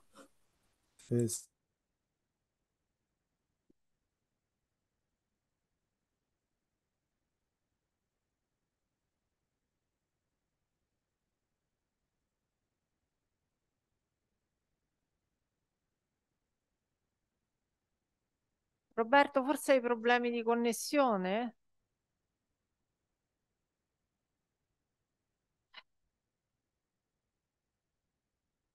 Però non ti sentiamo e non ti vediamo più. Ci sei?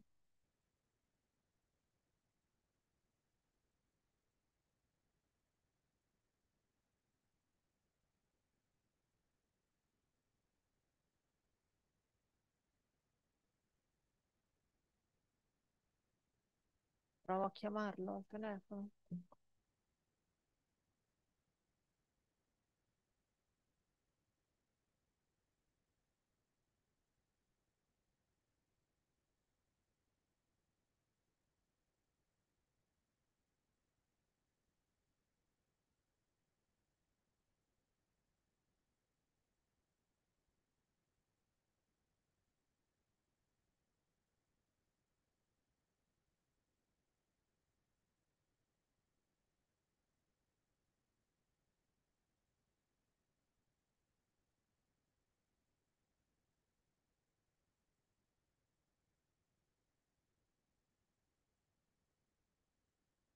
Eccoti, ci sei?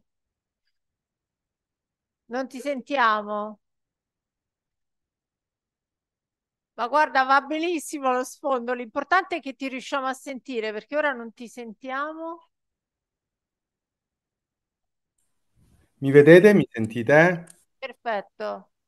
Sì, scusate, allora eh, nel frattempo ne ho approfittato per cambiare stanza, visto che no, eh, stavo, forse è stato il, ehm, lo sfondo ha bloccato tutto. Chiedo scusa. Allora, saluto in italiano, poi procedo in inglese. Eh, grazie per essere con voi, per avermi incluso in questo importante evento. Eh, Scusa Roberto, grande... abbiamo deciso di fare tutto in italiano perché gli studenti seguono meglio in italiano, quindi... Ah, io, io però ho preparato slide in inglese e Eh, diciamo... Abbiamo tutti preparato in inglese, non ti preoccupare, però puoi parlare italiano per facilitare gli studenti Come, come volete, ero, mh, come volete voi, indifferente per me. Quindi procedo in italiano, diciamo, ok. Procedo allora subito, condivido lo schermo oppure c'è già una mia proiezione? Ok, la facciamo da qui, mi dicono, la proiezione delle tue slide. E quindi vi deve dire però lui avanti o No, no, infatti forse condivido lo schermo e faccio prima. Ora provo se non crea di nuovo Guarda, problema. eh, l'hanno già condivise loro, quindi poi Però io non, non mi muovo qui, no? Non, non Ok. muovo io però. Te l'hanno messe loro, quindi se vuoi puoi cominciare e poi ci dici quando dobbiamo passare alla successiva. Ok? Ok, va bene, magari mi seguite, se no diventa, mh, eh, diciamo, stucchevole dire sempre passa, passa, più o meno mi, mi seguite voi e cambiate, dico, tanto eh, sono mh, concetti facilmente intuibili. Parleremo eh, delle fantasie sessuali devianti. Io insegno psicologia clinica e psicologia dinamica, quindi di mio interesse eh, come ricerca andare poi a scrutare rispetto agli altri, diciamo, mh, i colleghi che mi hanno preceduto, è mio interesse andare più a scrutare poi quello che accade nella, nella mente. Un argomento molto seguito in letteratura è quello delle fantasie sessuali, in particolare quelle devianti, cioè che sono quelle fantasie che contengono eh, temi eh, che riguardano mh, il perpetrare eh, danno o dolore durante il rapporto sessuale, come anche eh, comportamenti sessuali che siano socialmente o legalmente non appropriati, oppure insomma in generale eh, se- attività sessuale non consensuale o comunque non appropriata secondo quelli che sono magari eh, le sensibilità soggettive oppure un po' i canoni, i criteri comuni. Quindi diciamo è una definizione molto ampia che comprende un po' di tutto, tutto quello che in qualche modo diciamo devia da, ehm, da ciò che oggettivamente o comunemente viene ritenuto come appropriato anche sulla base di eh, questioni oggettive come il dolore, il danno eh, emotivo, fisico che sia. Però si pone un grande, grande- un grande problema, un grande dilemma, ritorniamo a quella di prima, eh, cortesemente, sì, del perché eh, alcune persone hanno fantasie sessuali devianti eppure non non le mettono mai in pratica, rimangono a livello di fantasia, e perché invece alcune persone che hanno le fantasie, delle fantasie sessuali devianti le mettono in pratica, e dando a, a volte quindi origine proprio a delle offese sessuali per voler adattare il termine inglese, cioè quindi dei reati o delle violenze sessuali. E quindi è importante capire l'origine, lo sviluppo e le funzioni che hanno, che ha la fantasia, che hanno le fantasie sessuali devianti nelle persone comuni, in particolare nei sexual offenders. Prego, sì. Sulla base di tutta la revisione della letteratura che ho operato in tanti anni su- sul tema delle fantasie sessuali devianti, ho trovato materiale che mi ha permesso, accanto poi anche allo studio e ad alcune ricerche che ho condotto su sexual offenders eh, in carcere in, eh, o in altre strutture riabilitative, e, ho messo insieme delle caratteristiche che accomunano, che sono molto frequenti e che permettono di rintracciare due possibili ehm, ehm, percorsi, percorsi da esperienze precoci a fantasie sessuali devianti e conseguentemente, perché eh, questo studio è stato fatto nei sexual offenders e conseguentemente quindi messa in atto di eh, violenze sessuali. Un primo percorso parte da esperienze traumatiche, in particolare l'abuso sessuale, come vedremo, e porta a disturbi psichiatrici, eh, compresi quelli di personalità, de- de- depressivi e di altro tipo, che legati all'assenza di strategie di coping efficaci possono dare seguito a fantasie sessuali devianti. Vedremo anche il motivo, il perché. Il secondo, qui c'è un errore, questo dovrà essere B, il secondo percorso invece porta da, com, da esperienze di, nella relazione genitore-figlio disfunzionali che hanno portato ad un attaccamento insicuro e a difficoltà, percorso tipico diciamo di molte persone, a difficoltà poi sociali interpersonali, però qui prende la strada, diciamo, inizia la strada però di difficoltà nelle relazioni intime, per quelli che poi hanno avuto difficoltà nelle relazioni intime, con bassi livelli, diciamo, di ehm, soddisfazione e di intimità e problemi gravi, diciamo, di solitudine, ehm, ritiro e e anche di emotività negativa come ostilità, rabbia verso i potenziali partner, quando si, è, si può creare questo mix, ci può essere un ritiro, una fuga, diciamo, dalla realtà e un ritiro, diciamo, verso un mondo di fantasie sessuali devianti che poi possono essere attualizzate. Ecco, il primo percorso appunto è quello che da esperienze traumatiche, in particolare l'abuso sessuale, eh, risulta insomma in difficoltà, in problematiche psichiche che in, con, in assenza di strategie di coping efficace può portare a usare le fantasie sessuali devianti come una modalità per evitare temporaneamente o comunque per interrompere, per ridurre gli stati mentali eh, dolorosi legati a quelle esperienze traumatiche del passato, no? in particolare gli abusi sessuali subiti. Un attimo indietro, in particolare gli, gli abusi sessuali subiti. Quella di dietro, un attimo, eh, per favore, la slide precedente, sì. Eh, proprio per ridurre, no? c'è una sorta di automedicalizzazione, potremmo, di, potremmo dire, un po' come quei meccanismi che accadono con l'uso delle droghe in questo caso qui, diciamo, l'uso di fantasie sessuali devianti che provocano piacere e che permettono di eh, attutire, ehm, evitare, interrompere, ridurre quegli stati mentali negativi, in particolare il dolore legato ai ricordi di esperienze traumatiche ricevute. Sì, si può andare all'altra, grazie. O i sintomi psichiatrici, diciamo, eh, in quel momento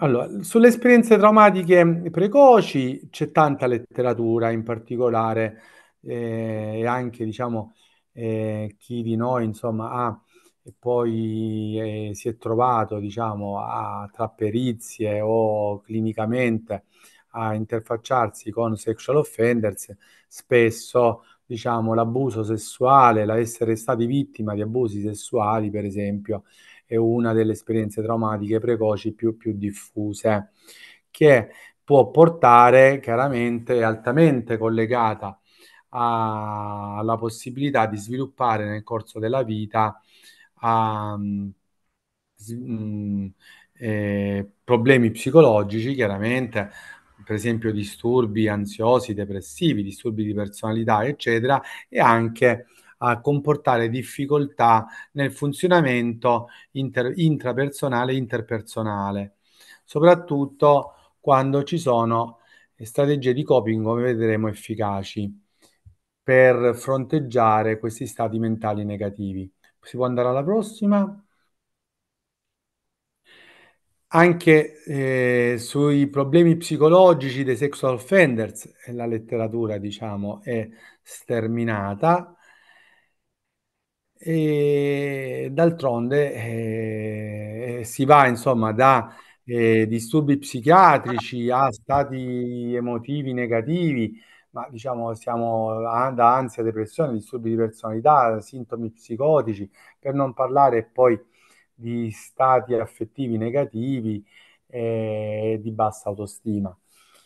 E in particolare spesso collegati all'abuso sessuale. Possiamo andare avanti per velocizzare. Altro, altra evenienza diffusa e collegata alle precedenti nella letteratura e anche nella pratica clinica è quella delle strategie di coping inefficaci. In particolare era stato notato uno stile, l'emotion focused coping style, no? cioè questo stile di coping basato molto sull'emotività ehm, sulla percezione del proprio malessere, dei propri malesseri psichici, sulla, quindi sulla volontà di trovare una soluzione impulsiva, immediata, eh, che spesso diciamo, è, è, associato anche all'uso di sostanze, eh, per, proprio come automedicalizzazione.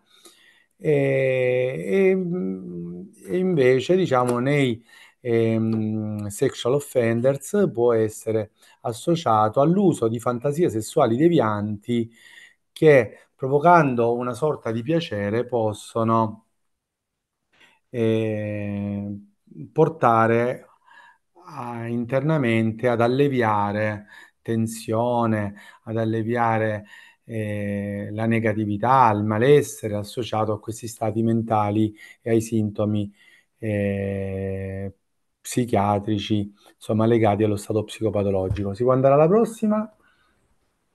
Quindi, ricapitolando, questo primo percorso può essere, diciamo, derivare, diciamo, si può far derivare da esperienze traumatiche precoci, in particolare l'abuso sessuale, che eh, comportano problemi psicologici, diciamo, disturbi psichiatrici o comunque stati mentali dolorosi associati magari alle memorie, al trauma subito, e può portare eh, a, quando mancano delle strategie di coping efficaci per affrontare questo stress, diciamo, dovuto al trauma e ai, ai sintomi conseguenti, a mh, trovare rifugio in un mondo interno immaginario di fantasie sessuali devianti che possono, eh, per, mh, grazie alla gratificazione, alla soddisfazione, al piacere, che comportano, che sono assenti nella realtà, invece possono ehm, diciamo mh, eh, far agire contro il dispiacere, il dolore, la sofferenza che invece proviene dalla realtà, in particolare dalla propria sofferenza psichica. E quindi c'è un rifugio. Come? Scusami Roberto se ti interrompo, mi segnalano dalla regia che abbiamo tre minuti. Ok, andiamo velocemente, eh, passiamo al... saltiamo avanti di schermo, ok.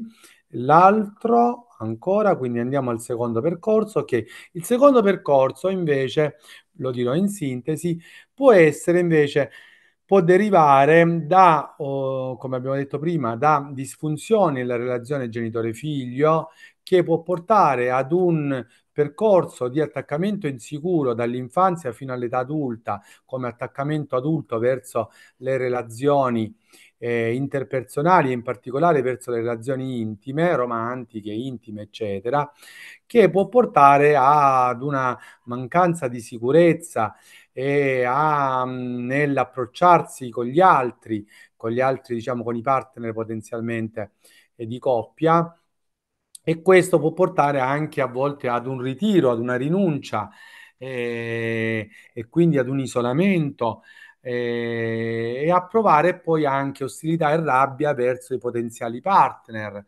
che con un progressivo ritiro dal mondo reale, un rifugio in un mondo interno di fantasie devianti, in questo caso non come automedicalizzazione, ma come eh, per soddisfare quella, diciamo, eh, necessità di intimità, di, ehm, no? in questo caso ci può essere anche un alto consumo di pornografia ehm, per sperimentare, diciamo, per fantasticare, eh, per ritrovarsi in un mondo fantastico dove c'è intimità e dove c'è spesso anche un desiderio di riaffermazione di potere in maniera patologica che si pensa di aver perso eh, derivante da quella sicurezza che si pensa di aver perso nel mondo reale.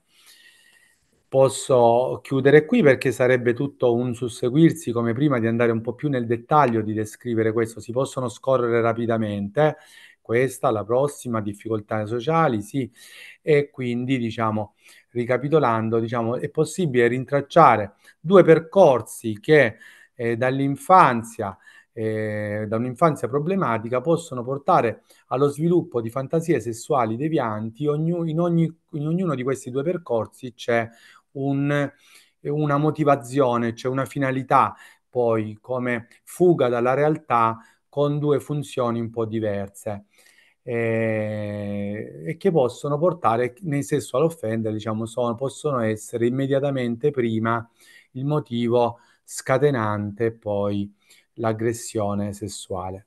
Vi ringrazio e spero diciamo di essere riuscito a esprimere i concetti, sebbene in maniera sintetica, chiaramente come, come spesso accade in questi casi. Allora, possiamo dare spazio a qualche domanda, se ci sono domande o osservazioni tra i colleghi, tra il pubblico, studenti, studentesse, eh, anche eventualmente da casa che le leggiamo, se ci sono domande. Altrimenti anticipiamo a questo punto la pausa pranzo? Tanto, se non ci sono domande? Qualche domanda in sala? Sì, presente? Sì.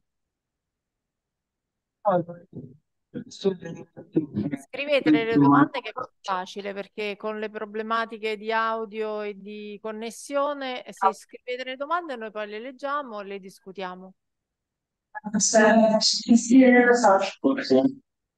No, l'unica di- disattivali che li, cioè a meno che non siano i relatori, gli altri scrivessero le domande che noi poi le, le discutiamo qui. Ok, perché altrimenti si attivano contemporaneamente gli audio alla fine.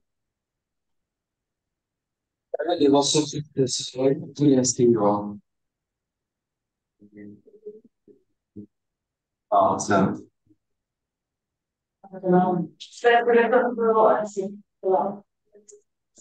Allora, c'è una domanda per il dottor Lucania. Sì, ti leggo. Dottor Lucania, grazie intanto del suo proficuo intervento. Volevo chiederle se rispetto alla sua esperienza sul territorio reggino c'è differenza rispetto ad alcune città, tipo Roma o Milano, inerenti il reinserimento nel proprio territorio dei sex offender. Domanda da un milione di dollari, devi venire qui per favore. Grande sempre più e basso si sala e c'è per più possa comunque eh, non essere di fame.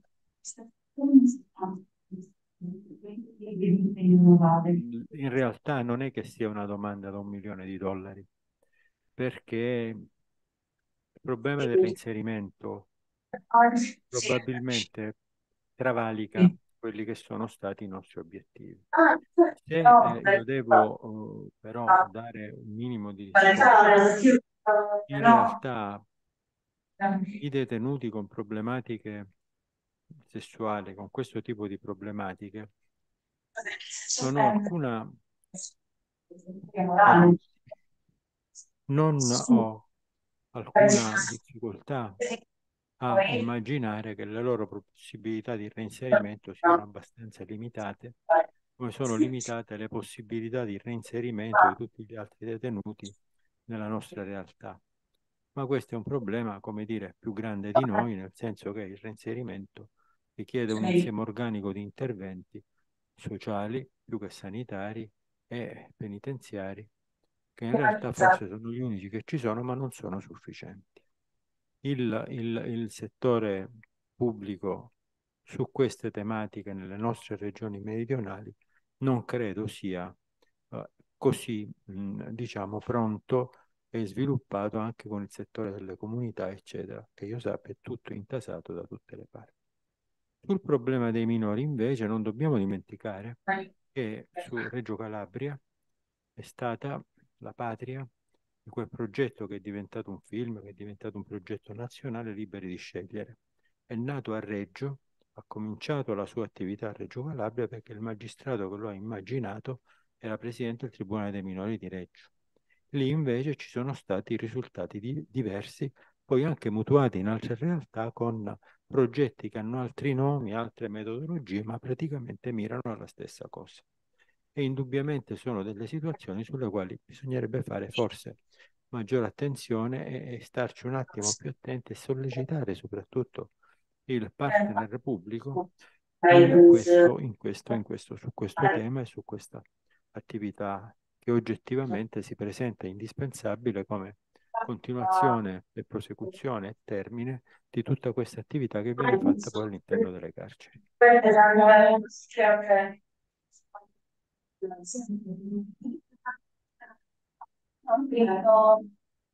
Altre domande? Andiamo in pausa pranzo perché mi sembra che ormai siamo, ci siamo con i tempi e ci aggiorniamo alle ore 15.30. Qualunque tipo di domanda scrivetela in chat che poi eventualmente dopo risponderemo.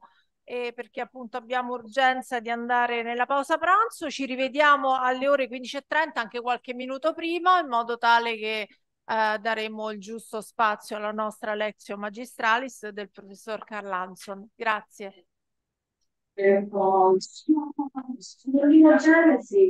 Per favore di restituire gli auricolari all'ingresso alle due traduttrici, per favore, grazie. Uno è qui.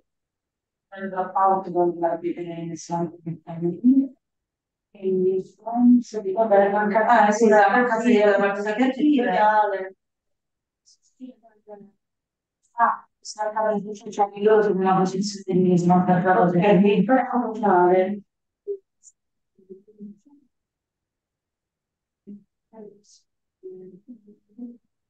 questa loro uh, vantaggio sociale può portare alla raggiungimento di elezioni medianti.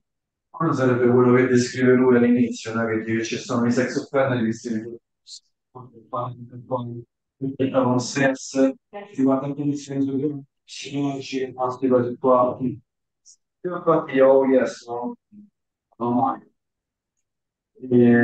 Cioè, secondo lui erano più recuperabili quelli che sono diventati sex offender nel primo modo oppure quelli che sono di trattamento che danneggia, che ancora la capacità di prendersi cura dell'altro, capito? Però, e poi volevo scrivere anche una seconda domanda che è relativo al comportamento psicopatico, no?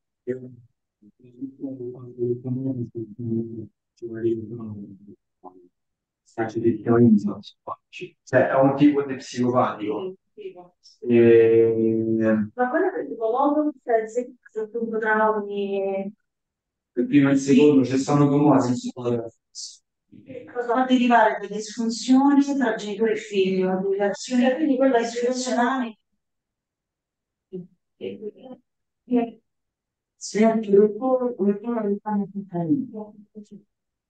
disfunzionale la situazione del caro la madre si vive fuori nella relazione col compagno e col partner, quindi e anche nelle relazioni intime col partner. Quindi che cosa succede? A un certo punto si vivono quindi il genitore figlio, ma anche il genitore genitale.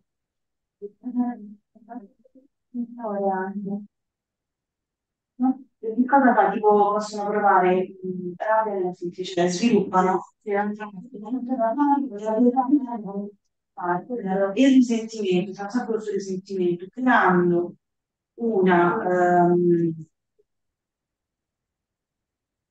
creando fantasie, creando delle fantasie per soddisfare quella intimità che non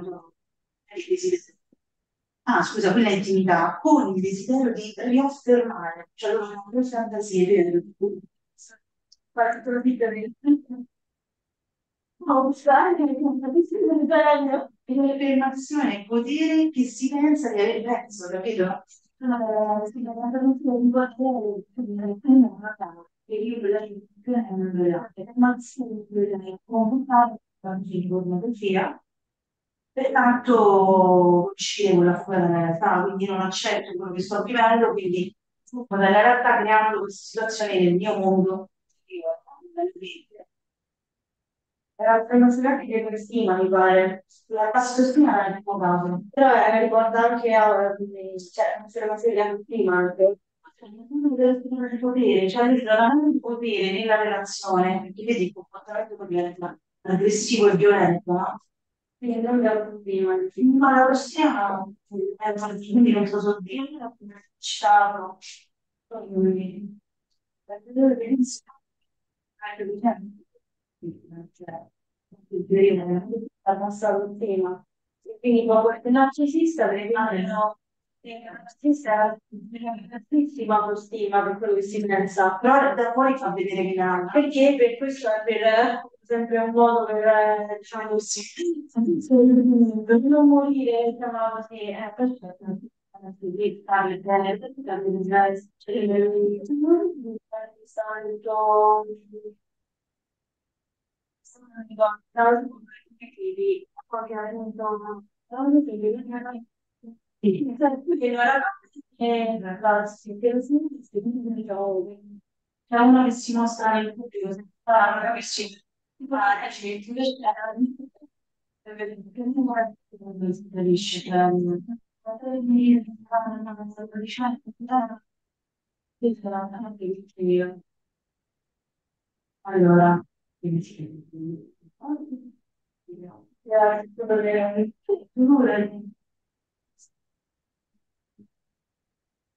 ci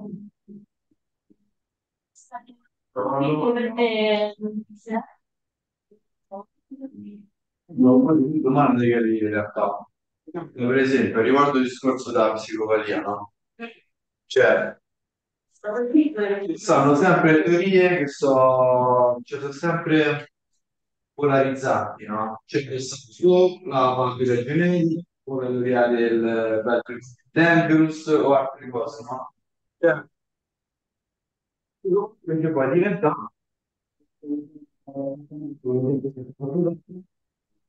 essere magari una persona che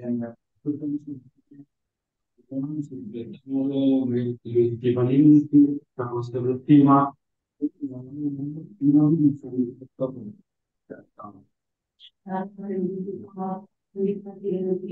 Ma non so, che sti cazzo di cose che funzionano.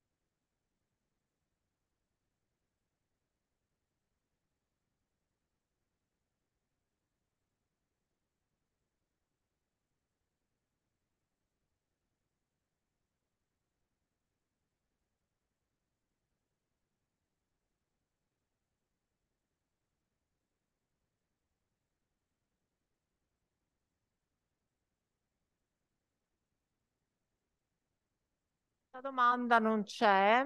Secondo lei sono più recuperabili? Eh, lo so, che dobbiamo fare? Non c'è. C'erano già... Niente, mandagliela per email, così glielo, chiedi... glielo chiediamo a lui. Oppure se volete proviamo a ragionarci qui e a vedere se... Ah. Allora, secondo lei sono più recuperabili sex offenders che la leggo prima in italiano, eh? E poi chiediamo magari alle traduttrici. Ah, stanno già traducendo? Vabbè, non ti preoccupare. Uh, sono più recuperabili i sex offenders che si rifugiano in fantasie devianti, per esempio a causa di stress, oppure persone che hanno subito una frattura all'interno del legame di attaccamento, quindi una rottura, una perdita, immagino, che danneggia il cuore e la capacità di prendersi cura. This is a good question, maybe. Okay, ok, no, e allora niente, non gli funziona la trama.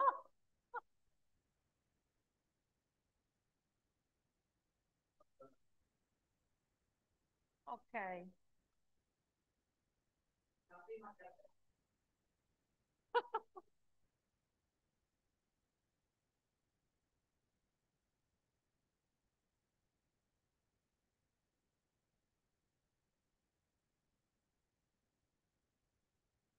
Eh sì, perché là gli puoi curare lo stress, puoi fare qualcosa nello stress management, mentre invece sulla rottura del cuore ci possiamo fare poco.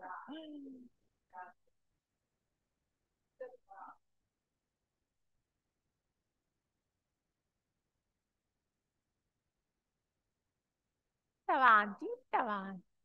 Eh sì.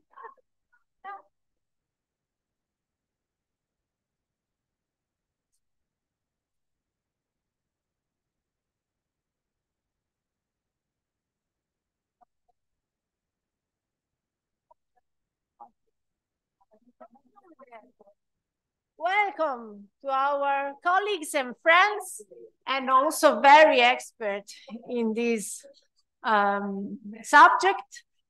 So it's important to have you here.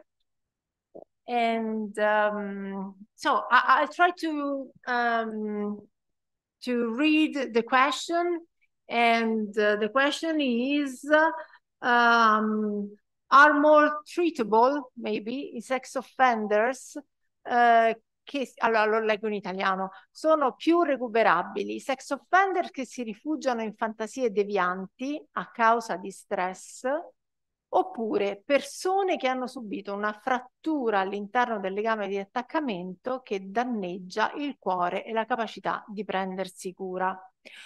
Quindi nel tentativo di rispondere a questo quesito darò la parola al professor Carl Hanson eh, e eh, professore aggiunto in, eh, nel Dipartimento di Psicologia della Carleton University ad Ottawa in Canada e presidente del SARNA che abbiamo letto prima, no? è uh, l'ente che si occupa appunto della valutazione dei sex offender e uh, uno dei più importanti esperti in questa materia di uh, valutazione e dei sex offender per la messa a punto di protocolli di intervento mirati. grazie Carl di essere qui. Thank you Carl to be here. Thank you.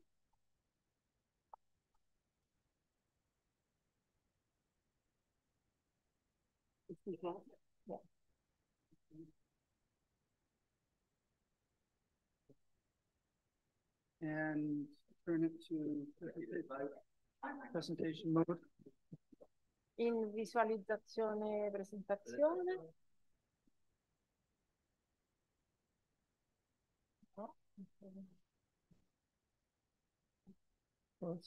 It's quite working.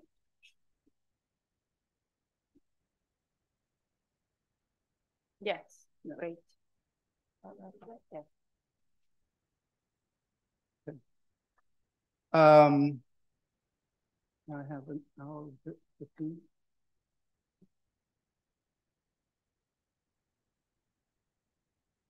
Okay, thanks for being uh, being here. Uh, I'm very. This off. Um, it's nice. Uh, sex offending is a very uh, serious topic. Um, it's important that people who are committed and educated pay attention to it, because uh, it's only if we pay attention, take it seriously, and get over the really strong emotion that it comes with that we're going to be able to find solutions and move forward. So I'm pleased that you're organizing uh, this conference today and that you have uh, teams of people who are committed to making a difference. This is really important work. I encourage you forward. Um, in my presentation, I'll first thank my colleagues, used to be students, who helped me put together this research. I will be presenting research for the last 20, 30 years on this topic. I'll be giving you big summaries. Here are some of the people who helped establish this. So sex crimes are serious. Uh, they are among the most serious crimes in terms of causing victim harm. People who are sexually assaulted or sexually abused often have the most trauma, have the most uh, harm, psychological harm, uh, of just about any crime except for murder. It is also a serious moral transgression, and that even if people are not harmed for it, this is something we do not want people to do. This is a serious violation of what we expect of good people should be doing. And I believe that those two things are true and need to be taken seriously. There's a third assumption, which often comes with the first two, that all individuals who have ever committed a sex offense have an elevated long term risk for sexual offending. And this is the basis of a lot of public protection laws. I know in many countries we have laws like sex offender registries and notifications. And it's also the basis of a lot of rehabilitation programming. A lot of the behaviors that we do and train psychologists to do are based on the assumption of preventing recidivism.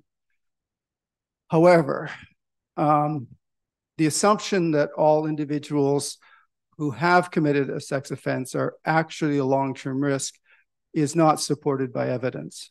There are some individuals who are very high risk, and we can identify them. And there are many people who, once you catch them, stop, and that there's not much you need to do other than catch them. Um, and that it's important to distinguish between the people who, after you've caught them, will stop and those people who are going to continue unless you do some form of intervention, such as a psychological program or some types of correctional programmings. So, how do we respond to sexual offenses? Well, denunciation and punishment, which I fully support. We don't want people to do things. We should uh, call people out. We should uh, um, recognize have consequences for this behavior. Um, we also, as I say, have public protection laws uh, that things including imprisonment for some people, community supervision, which was talked about, um, and uh, civil public protection measures as well. The focus of this conference and the uh, my presentation will be on correctional rehabilitation which is could be seen as one element um, in the overall big response to people who have committed sex offense. And it largely breaks down into assessment, figuring out who is likely to do it again and why, what are their features, and treatment.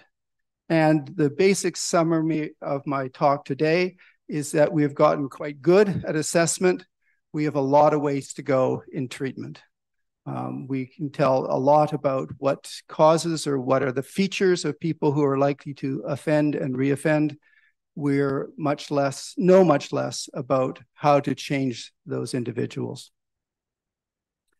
Um, I will be presenting from the context of the risk need responsivity model of correctional rehabilitation. I noticed this, this was mentioned earlier today. Um, and this was developed by Don Andrews, Jim Bonta, and Bob Hoge. For 20 years, Jim Bonta was my immediate boss. I know lots about this model. He uh, taught me a lot, and I was uh, a close colleague of Don Andrews as well the basic elements of the risk need responsivity or RNR are the following. Um, first of all, not everybody who commits a crime um, is likely to reoffend. Some are, some aren't. And that you should uh, give the interventions to the people who are most likely to reoffend. They're not necessarily the nicest people. They often don't ask for help. Often they have the, the worst life problems and they don't like you. Um, and so these are the people who actually need the most help. And if you're able to connect with these people, with the higher risk groups, you're able to make the biggest difference. And with the low risk groups, the people who say, who already recognize what they've done with wrong and, and are already committed to change, much less intervention. And so with the low risk groups, um, you can do almost nothing. Um, and I will, uh, uh, and we're able now to tell those groups apart. So we're able to tell the people who are likely to reoffend, um, who need intervention, and those who don't need intervention of the type that we're going to be talking about today. The second element of the risk need responsivity model is target criminogenic needs. S people who are in our systems have a lot of problems. They have uh, pr some problems which they may not sleep well, they may have anxiety, they may have depression, they may have anger. Not all of these problems are related to crime. Some are, some aren't. So, for example, depression and anxiety aren't related to recidivism. They're problems, and if you're working with these people, you have to recognize and address them. But if you change their anxiety level, you're not going to change their recidivism rate. Where something like anger is criminogenic. People who are hostile, who believe the system's out to get them, who believe they've been done wrong by you and others. If you're able to work with that anger, you can reduce their recidivism rate.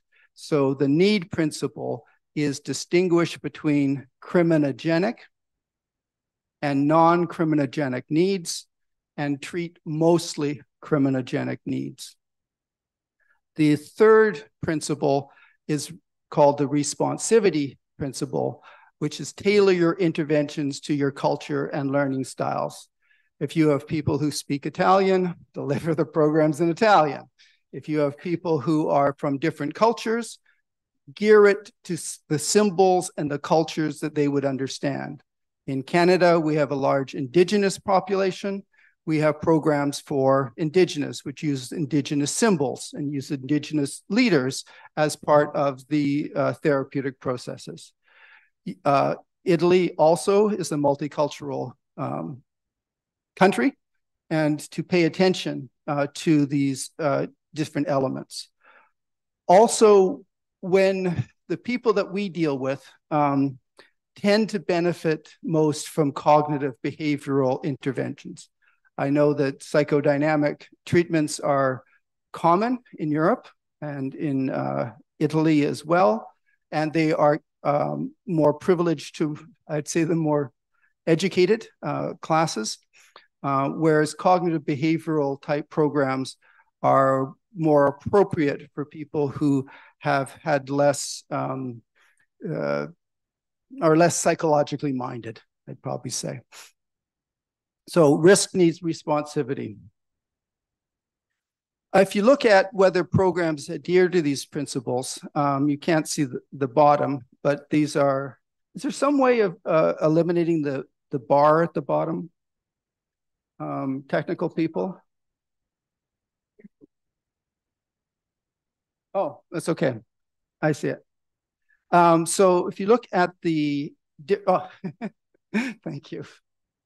Um, the different types of outcomes. These are general recidivism, violent recidivism, treatment for women, uh, treatment for youth, and sexual recidivism.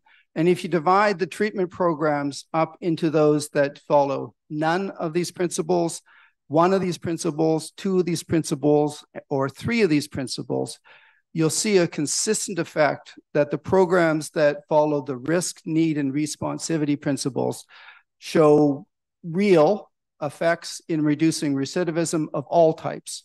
It applies to all types that we've studied so far. And the, the programs that follow none of these principles don't. They have basically no effect. So if you're treating low risk people, you're treating the wrong things and you're doing it in the wrong way, good luck, basically. But you can make a difference if you treat higher risk offenders, treat the problems that are actually related to crime, and you get through to them, you communicate with them, you can make a difference. It doesn't reduce recidivism rates to zero, but you can lower it from higher to lower rates.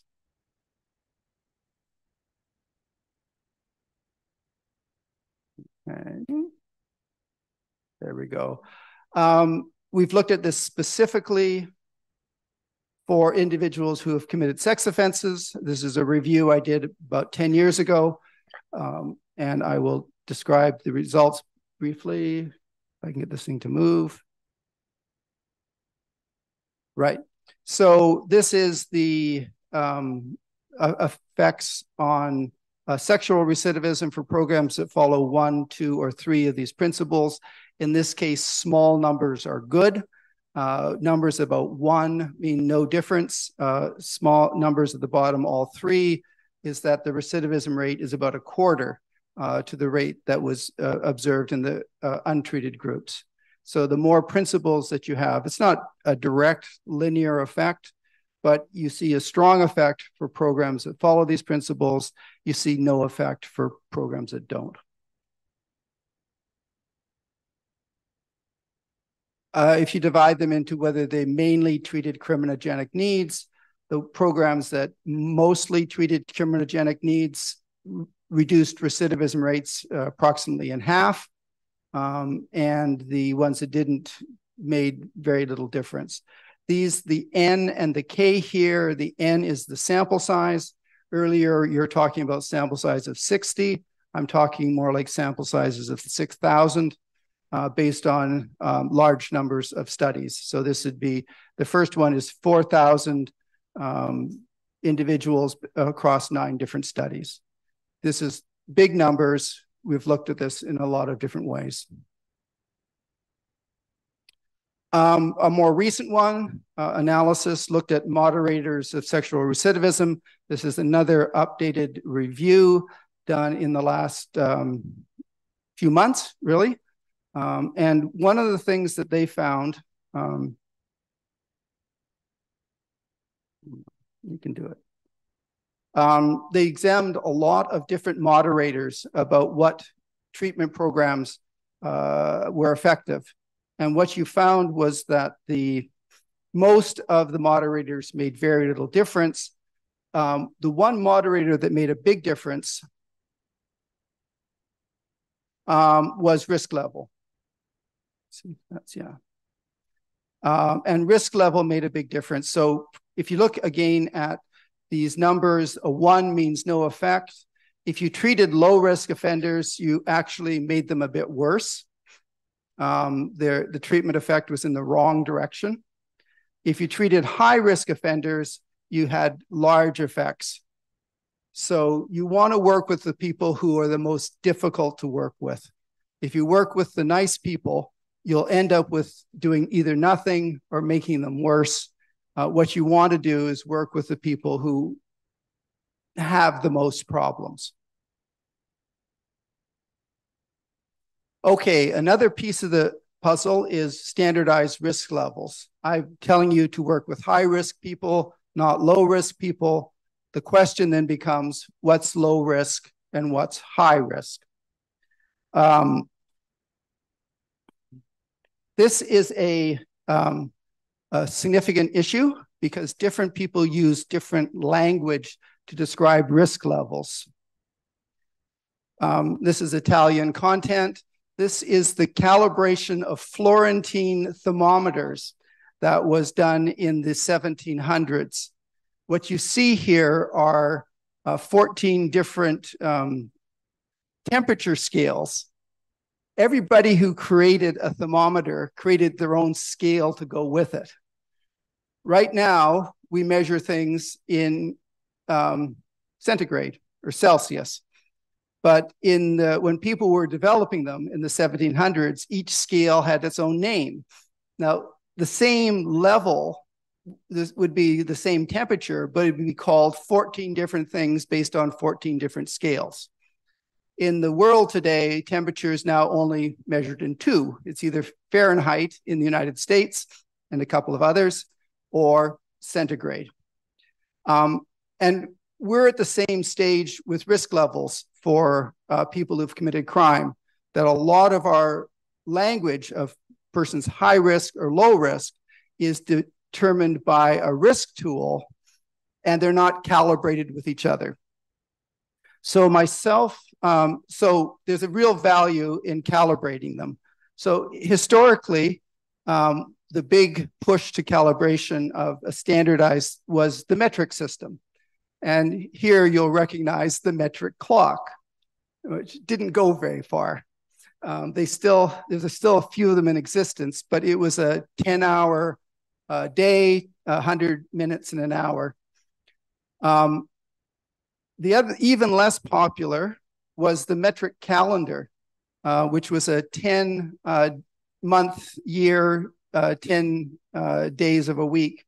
It had the unfortunate consequence that there's only one holiday out of 10, as opposed to one holiday out of seven. So it, nobody really liked this one. But the rest of the metric measures actually caught on, and almost all the world now has a standardized system of measurement, which you mostly can understand, which is meters, uh, kilograms. And we want something similar for um, risk levels of people who have been involved in the criminal justice system. So a few years back, myself and some of my colleagues in the United States developed uh, this five level risk need system uh, for general criminal recidivism. And it can roughly summarized into these five levels. Most people are in level three, which is sort of your big middle, uh, but there's also the very low risk people, uh, level one, basically pro social people who've made a mistake. Um, and there's people with minor concerns. Uh, there's people with a, sort of chronic rule violation, uh, level four, and then the virtually certain to reoffend. And if you work with people in the criminal justice system, you'll pretty quickly be able to place people in these levels. Um, a lot of the people in level one get diverted out of the system and do not even go in. The police will divert them. The people in level five are often found in secure um, facilities uh, because they're very high risk. We have developed similar uh, levels uh, for the risk for sexual offending. Oops. Um, so we have uh, five levels. They're not exactly the same. Uh, but most people would fall into level three, uh, which are the these people would have typical problems associated with sex offending. Uh, the very low risk people are, tend to be older, generally pro-social, and their offending rate is no different from that of the offending rate of men in the general population. So if you're a level one um, with a history of sex offending, you are no more risky to reoffend than somebody who doesn't have that history. We also have a level 4A and 4B, which are the higher risk people. And what we recommend is that you provide uh, interventions for people who are average risk and above. and that you need not provide interventions for people in the uh, level two, and you should not provide interventions for people in level one. So at level one, you'll probably just make them worse. Okay. So how frequent is sexual recidivism? This is an important question because we're comparing the recidivism rates to people with a sex offense history uh, to those without. Um, so how frequent is it? Here's a summary of um, 73 studies, uh, 35,000 cases. Um, each bubble is a study. Um, so most of the bubbles uh, are in the range of 10 to 20%. Uh, some of the bigger bubbles are down below 10%. Uh, very rare to find a bubble over 40%. Um, and I, am not sure there even is one over 50%. So if you look at the sexual recidivism rates of people who have committed sex offense, mostly it's in the sort of 10% range. Here's another collection of studies um, done uh, in the US and Canada. The rates are slightly higher in Canada. This is probably related to better information. So if you do uh, studies, it depends on the sources of information that you have available. But again, most of the rates are less than 20%, often around 10%. Oops. So factors that influence recidivism rates, the definition, if you include um, all types of sex offenses, including what I call morality offenses, people having consenting sex in public places, for example, uh, the definitions will get bigger. If you're restricted into only hands-on offenses, it will get smaller. Um, if you include arrest, it will be bigger than if you include conviction. But the big ones that influence it are follow up time. The longer you wait, the more likely you to find something, and the risk level of the cohort. So the riskier the group, the more likely you're going to find uh, recidivism. One important uh, limitation of all this research is we're looking at the observed rates, not the actual rates. We know that many sex offenses are never reported to anybody, um, and that the actual rates would be higher than the observed rates. We don't know how much that influences our numbers, but we do know that the numbers that we see are smaller than the real numbers. Oops. Here's a look at recidivism rates over 20 years for a particular group. Um, at about 10 years, you have about 20% uh, recidivism rates, and it grows up a little bit after that, not much after 20 years. Um, if you're going to summarize the recidivism rate research um, now, uh, it's the recidivism rates are between 5% and 15% after five years. Uh, I suspect the numbers would be very similar in Italy if you actually collected them. It's closer uh, to 5% in recent samples uh, in using local records and restrictive definitions. It's closer to 15% when you use a very comprehensive searches um, and use broad definitions. So that, that's where you usually find it is somewhere in that range. And so if you're going to be intervening with these people, you've got to reduce the recidivism rate from somewhere around 10% to something meaningfully lower than that.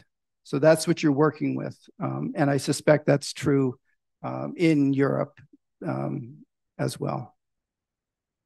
Here are recidivism rates by risk levels. Um, here. So if you look at it, it's divided. Um, this is recidivism rates over 20 years. Um, you start at the top left-hand side. Uh, this doesn't work on screens.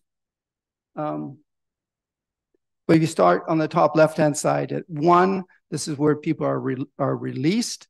Uh, what you find is that the um, high-risk group, uh, the, it starts to reoffend quite quickly uh, and you find a quite dro uh, steep drop in the uh, in the proportion of people who um, are surviving.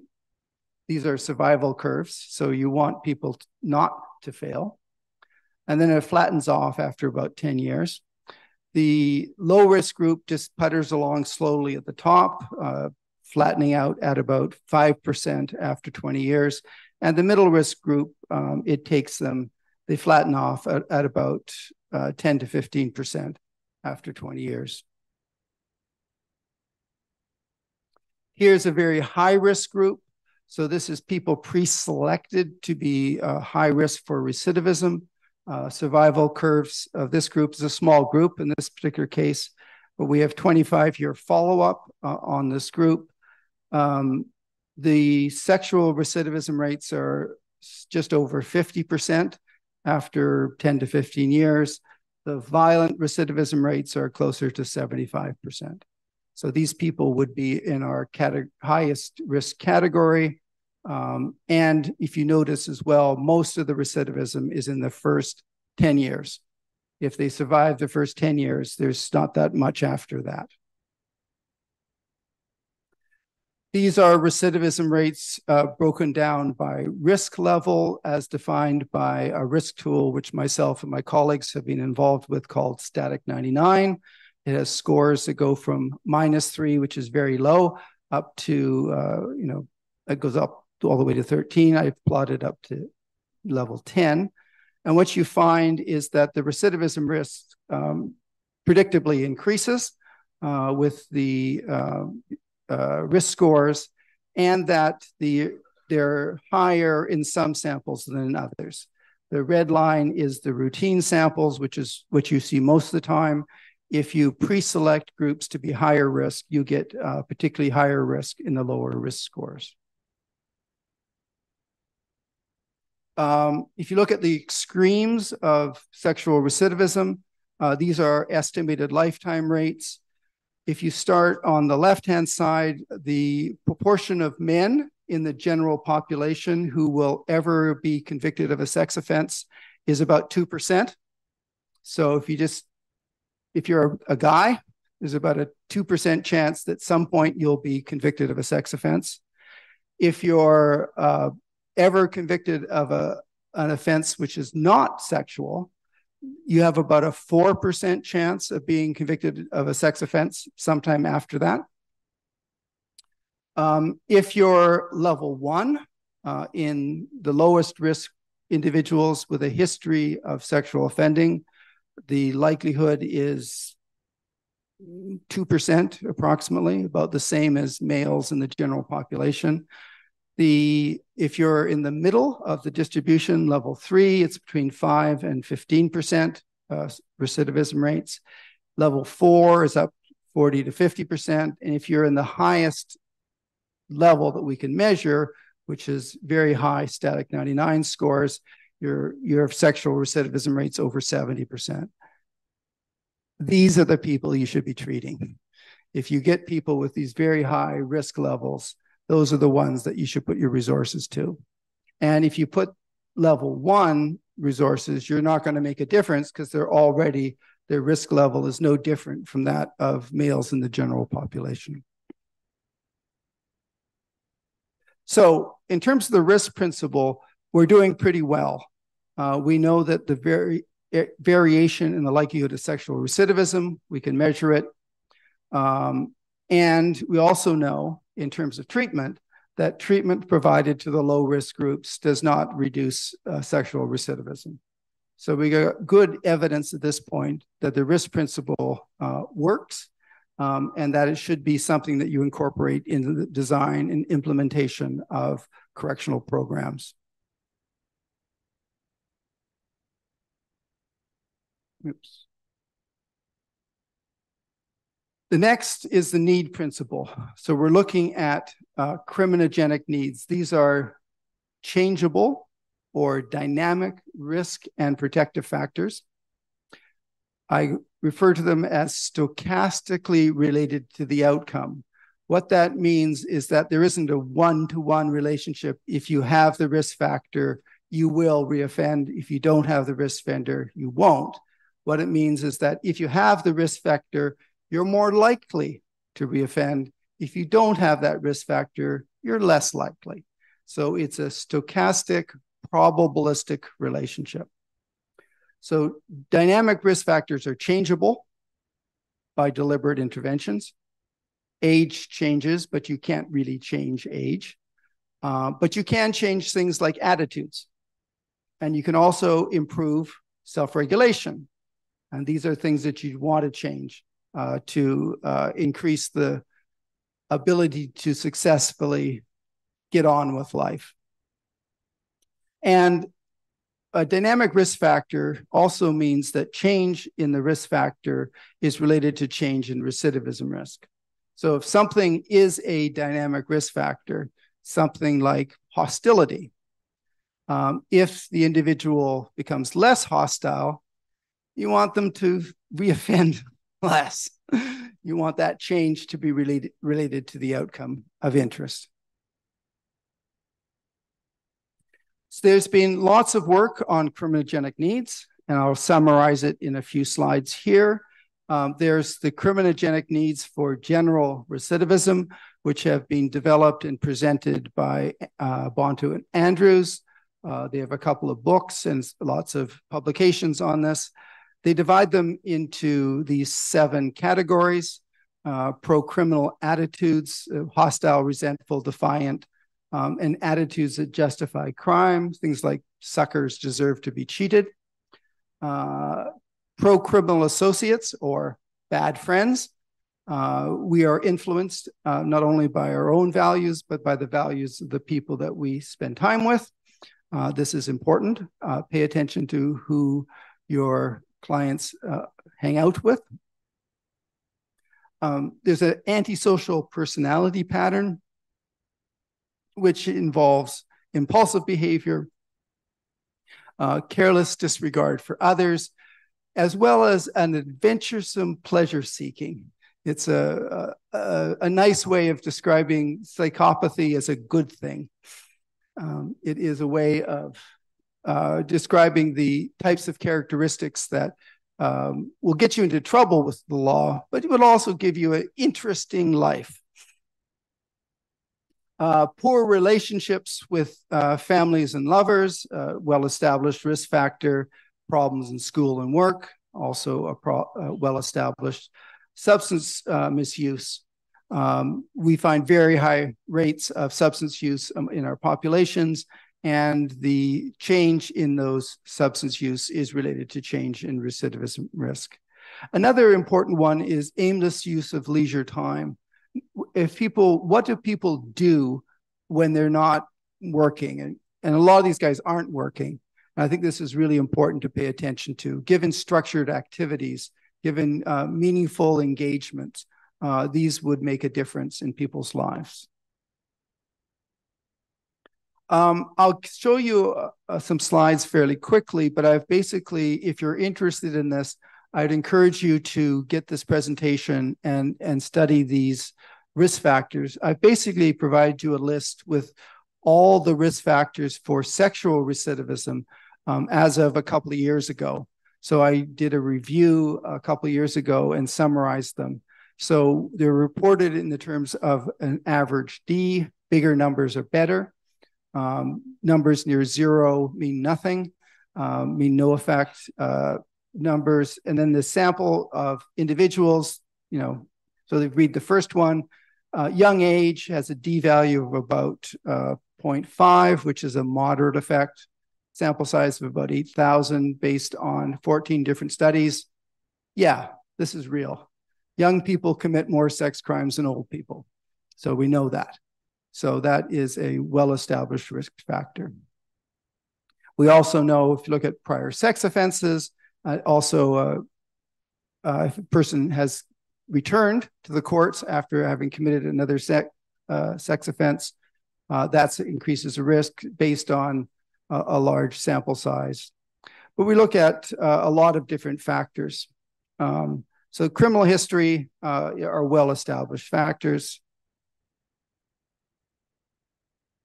Um, victim characteristics, people who offend against uh, unrelated strangers, um, males are increased risk. Sexual, atypical sexual interests or deviant sexual interests increase the risks. Uh, sexual interest in children, sexualized violence, or multiple paraphilias uh, all increase risk.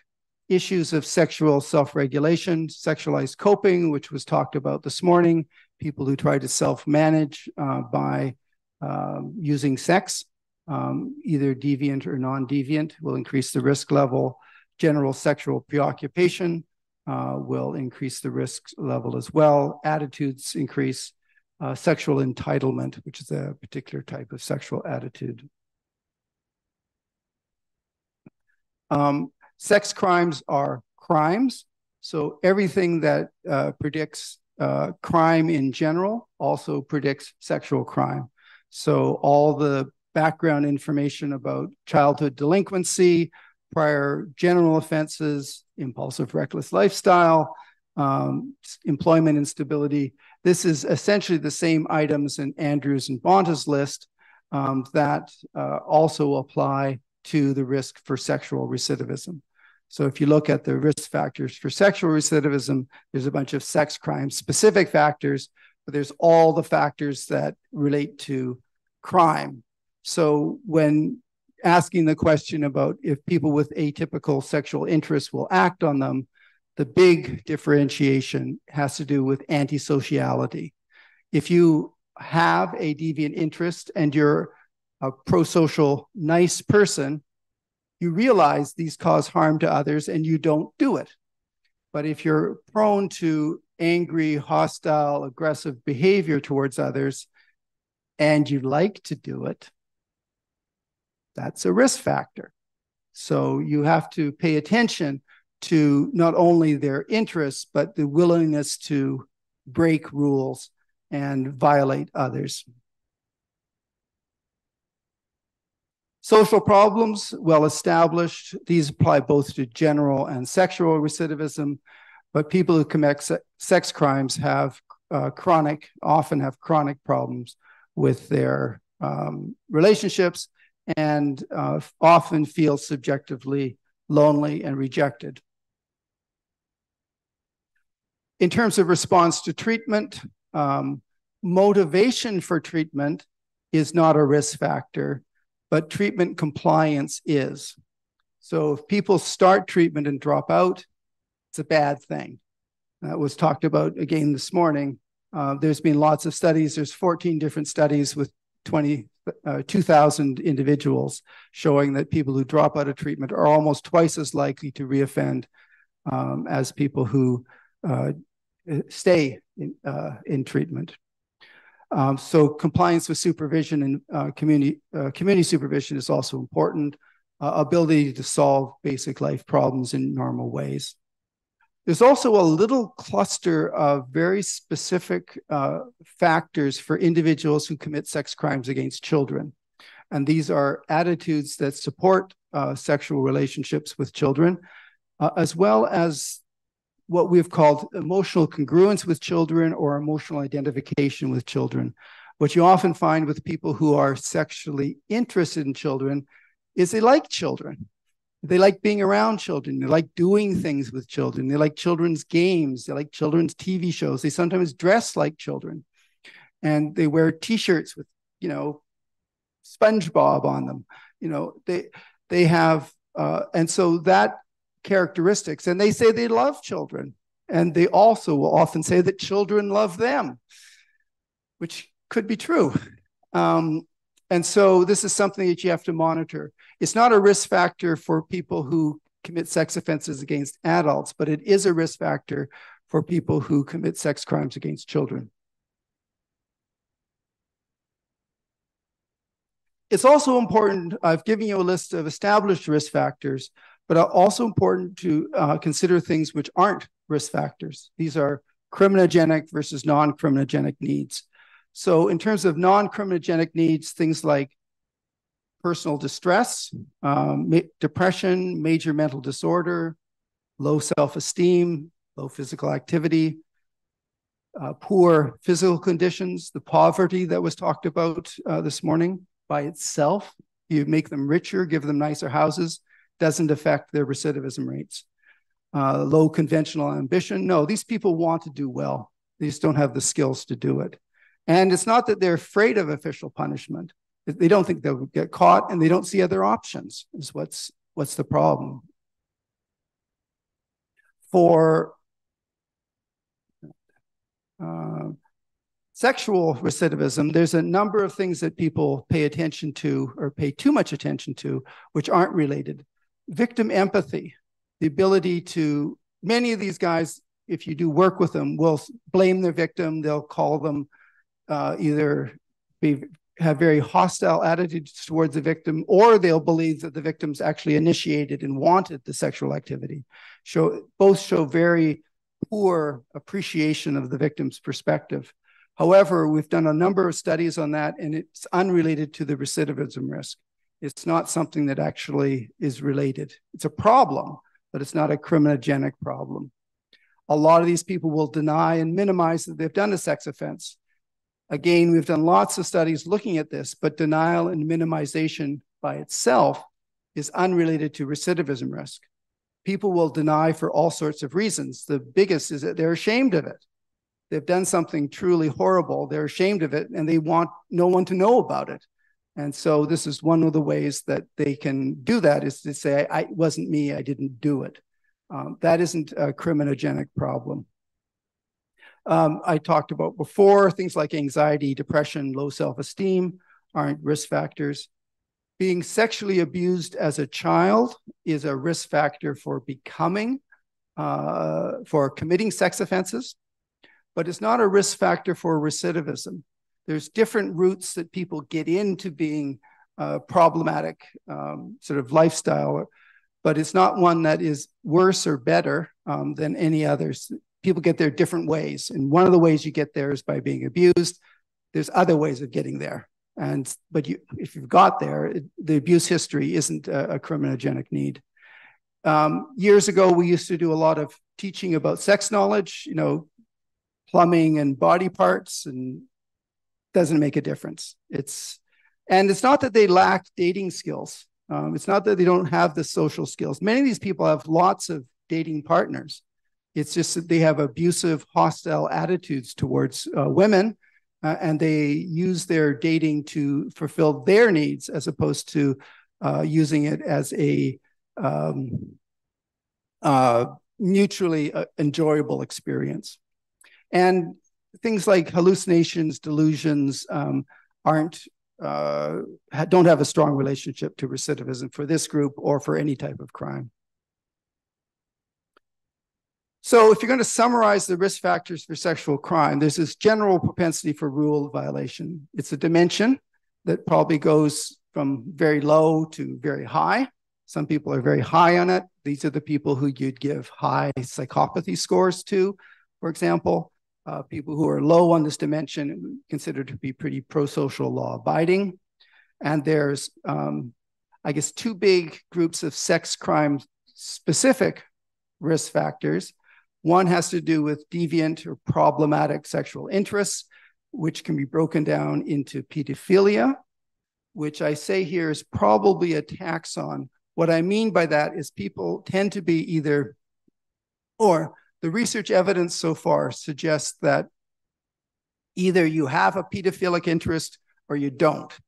It's it's sort of a division. Um, it's not like you have a like you like them young, young, younger. It's like either you like them young or you don't like them young. It's just sort of a yes or no type of thing. And it lo- looks like there's a group of people in our systems who like them young, and there's some who don't, and most don't, but there's some who do. There's also a dimension uh, which uh, is sometimes called the agonistic continuum, which has to do with the amount of force and violence involved in sexual behavior. It's not uncommon in the general population of non forensic that some people like a certain amount of you know tying up force uh, pretend sadism pretend masochism it's it's probably the most common fetish in uh, that is in the uh, population and it's quite common uh, in women. Um, but it's pretty mild in most cases. It's like a slap me type of thing. Um, whereas on the high end would be full sadism, where you like to hear people scream, you like to mutilate dead body parts. You know, so it's a, it's a dimension that goes from one end to the other, and it looks very much dimensioned. And there's a number of other paraphilias, things like exposing yourself to others and uh, looking at people who don't know that you're looking at them, voyeurism. Um, that would also be. But uh, also important is this dimension of sexual self regulation, which was again talked a bit about this morning, which is the extent to which people use sex as an emotional coping strategy and the extent to which people misuse um, sex in their overall life uh, management. They often overvalue sex as a goal um, and they put too much energy into it. Um, you know, for many people, you know, sex is something people like, but when they've done with sex, they go on to something else. They may do a presentation, a research paper, they may watch football. But what you often find with these guys is that when they have sex or want sex or they think about sex, they keep doing it until they feel satisfied, which they won't really because that's not their problem. The problem isn't they ha- don't have enough sex. The problem is some other emotional problem which they're not actually addressing. So it becomes a cycle where they can spend hours watching pornography, but and still not feel satisfied because they're not satisfied. So this is a, a type of sexual preoccupation, which is a sexual self-regulation, which is a common problem of, of this population. Okay, so if you look at dynamic uh, risk and protective factors, it should be related to the outcome, they should be changeable, and the changes should track changes uh, in the recidivism risk. And this is, I'll go over it quite quickly, some new research we've done in the last few years looking at the extent to which changes in these risk factors influence change in recidivism risk. If you summarize the research in this area over the last 20, 30 years, um, the, in the 1980s and 90s, we spent some time trying to identify risk factors. So these were mostly one time assessments. Um, and we're looking at factors that plausibly could change, but um, they where we didn't actually find like reassessments. We just measured them once, things like attitudes, and called them dynamic in the 20s and uh, uh, 2000s to 2015, there's a lot of looking for dynamic risk factors. And at this point, we have some confidence that the factors we identified, the things I've been talking to you about, things like psychopathy, pedophilia, impulsive lifestyle, are related to crime. Um, but we're uncertain about our ability to change those. In the last few years, um, myself and some of my colleagues have been looking at uh, modeling dynamic change, and we're looking at large samples, uh, frequent reassessments, and using established risk tools. And all of us consistently find that change matters, that the reassessment, how they're doing today, matters more than how they were doing six months ago or a year ago. Um, one of the innovations is a new statistical method. And if you're interested in statistics, I'm more than happy to talk to you about this. But it's a way of looking at dynamic change um, using survival analysis. Uh, it's not new in uh, statistics, but it's new to our field. And it's only been used in the last, uh, say, five years to any uh, extent. Um, here are, uh, and again, if you want, get the slides with all the references. Uh, here's 10 studies looking at dynamic change. And here's a summary of the results. That if you look at different uh, types of models, so you have repeated assessments over time, um, most studies find that the most recent assessment, like what he's doing today, gives you the best information about what he's going to do tomorrow.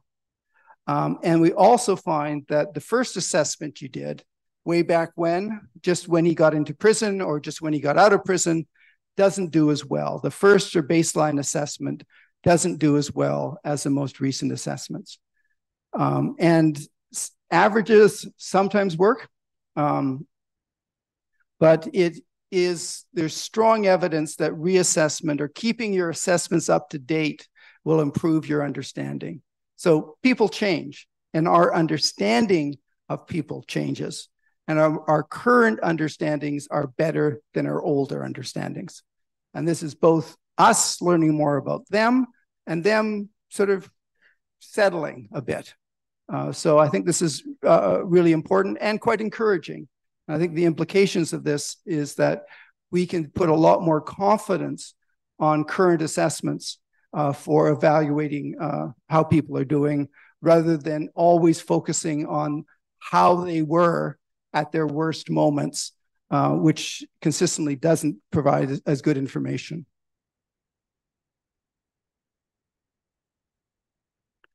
Okay, so in terms of criminogenic needs, pretty good. We've got pretty good information about what these are. We know the risk and protective factors for general and sexual recidivism. We know that change in these factors is associated with change in recidivism risk. And we know that programs generally that, uh, to, so these are the things that you should be focusing on. If you're designing a program, if you're delivering a program, if you're sitting in a session with a person, the types of things I've been talking about in the last few minutes are what you should be talking about in your sessions. So, so far, so good. What we need to know. So these are the things that we don't uh, know, um, but we really should need know about. And this is what you guys are going to figure out uh, in your projects. So one of the um, questions is what actually changes in the uh, transition to, to desistance.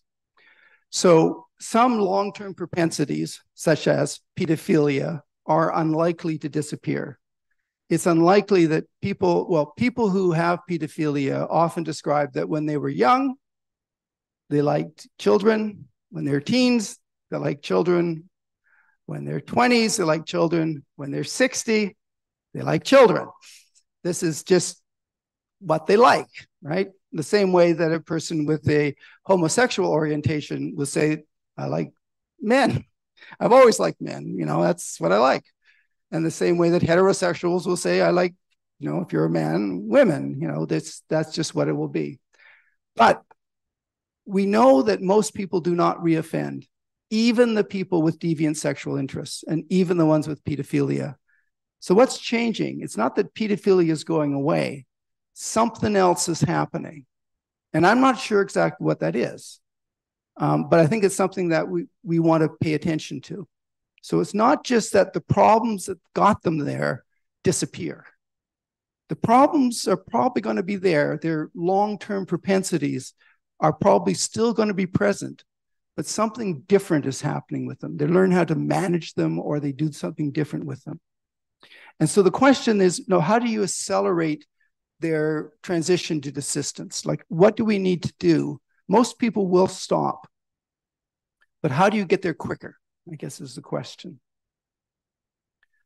So, just talking a little bit about desistance, these are um, a number of articles I've published in the last few years.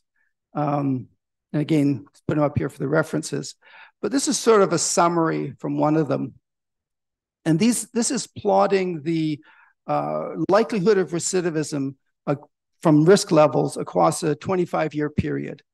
And one of the things on this line is a black line, which is the rate of uh, first time sex offending by people with a criminal history, but no history of sex offending.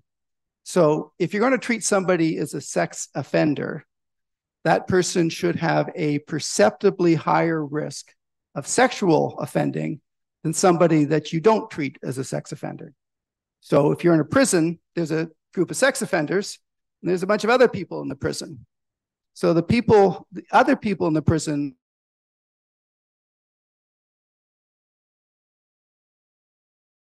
I've plotted that as the risk. It's about 2% after five years, which I've plotted as the black line in this graph. And what you see here is by risk level that some people um, who have a sex offense history are already below that risk level at time of release. Um, the sort of average risk level um, crosses what could be called this desistance threshold at about 10 years, and everybody crosses it by 20 years. If you remain 20 years um, sex offense free, your subsequent risk of sexual recidivism is no different essentially than the general population. It's basically gone to, to baseline levels. Most people with a sex offense history, that transition will happen at about 10 years um, in the community. But it happens just about for everybody, for those who don't reoffend, uh, which is most of them. And it, we've also created these tables, which you can download from you know various articles, like by initial risk level. Um, here, here are divided by Static 99 scores, and what level people have transitioned to um, very low risk um, uh, categories. But you see here, it applies to all risk levels over time. So what's happening? So one of the things that's happening is something what statisticians refer to as frailty, which is the high risk cases reoffend, and who you got left are the lower risk cases. And I think that's part of what's happening. There are a few people who are genuinely chronic high risk offenders who reoffend. You catch them, they're back in the system. You probably don't want to let them out.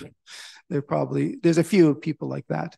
But I think there's also real change. I think people who have offended, it's usually at a point in their lives of crisis. It's usually at a point in their lives where uh, they're not functioning at their best and that they're able to uh, change a certain amount. Some of this change is in risk relevant propensities. They may become better self regulated, for example.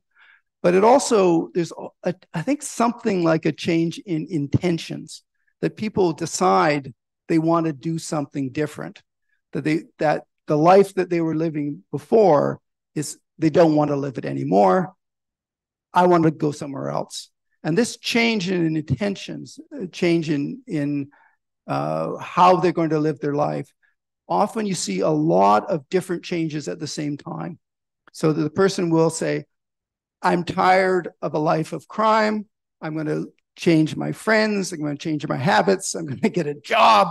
You see all these things happening at once. And it has to do with this sort of more global change. There's often relapse, but there's a sense in which they've sort of turned a corner. Um, there's also, I guess, you know, in terms of sexual offending, there's physical decline. We've take, took a, a close look at some of this and the people who persist at offending into advanced age often are exceptionally healthy. Um, you know, it's very good to be healthy, but the people, it does increase your risk for sexual crime. Um, the people tend to stop when they, their physical health declines. And, but I think also people learn, um, learn increasing rewards from pro-social life you know, if you stumble along long enough, you may get rewards from leisure activities. You have some decent friends. You have things to do that actually will make your pro-social life worth living, and it'll change the value of your criminal uh, trajectory. Okay, so in terms of policy implications, one of the policy implications is that um, um, we can't support the idea that all people with a sex offense history are inevitably going to reoffend. Most of them don't reoffend, and the longer they've not reoffended, the less likely they are to do it again. So if you have things like sex offender registries, and I don't even know if you what they are like in Italy, but they're full of people who have been on uh, who committed a sex offense in the past, but are currently are very low risk for a new offense. Many of these people are very old. Many have been you know 10, 20 years uh, without a sex crime. Um, they are not very risky. Um, and that we should expect that the people that we work with we should support them in getting back into the community and with a full expectation that they won't uh, reoffend. And I guess, how do we accelerate this transition to desistance? So if you look at this uh, specialized treatment programs, we have a, um, they tend to do better um, than non-specialized. So I'll just mention a couple of reviews about treatment. Uh, this Gannon study uh, done a few years back looked at uh, specialized programs for sex offending recidivism. Uh, they found 47 programs all of which were cognitive behavioral. That is the flavor of the month. Uh, the most effective programs involve psychologists. Some programs are run by people who are not specifically trained in um, psychology uh, or in uh, mental health, but the ones that were trained in psychology did better than those who uh, were not. They also found evidence for uh, arousal conditioning, which is a particular type of behavioral treatment uh, for uh, uh sexual self control. Not commonly used these days, but they did find evidence for that. And it's something that you probably want to consider if you're actually working with this population. Uh, another meta-analysis was done a few years back by uh, Schmucker and Lösel um, generally, they found that most programs uh, were effective, um, not all, but most. Uh, what they found better results in the community uh, versus prison. Community programs did better than, than prison programs. They found evidence of cognitive behavioral programs uh, did well. They had a few other non cognitive behavioral programs. There is something called multi-systemic therapy, which is uh, done for youth, young people who've committed uh, crimes, sexual crimes, and other types of crimes. It is a form of family systems therapy, which involves um, connecting people to diverse resources in the school, community, and family to help people integrate. And there's a couple of studies that show it worked reasonably well. And better results again if you excluded low risk people. Again treating the higher risk people is more likely to show treatment effect than if you treat low risk people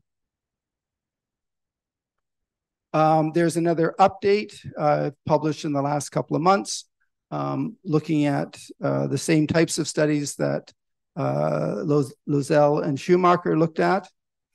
Um, they found some of the similar uh, effects to others, they did not find the difference between community and prison effects.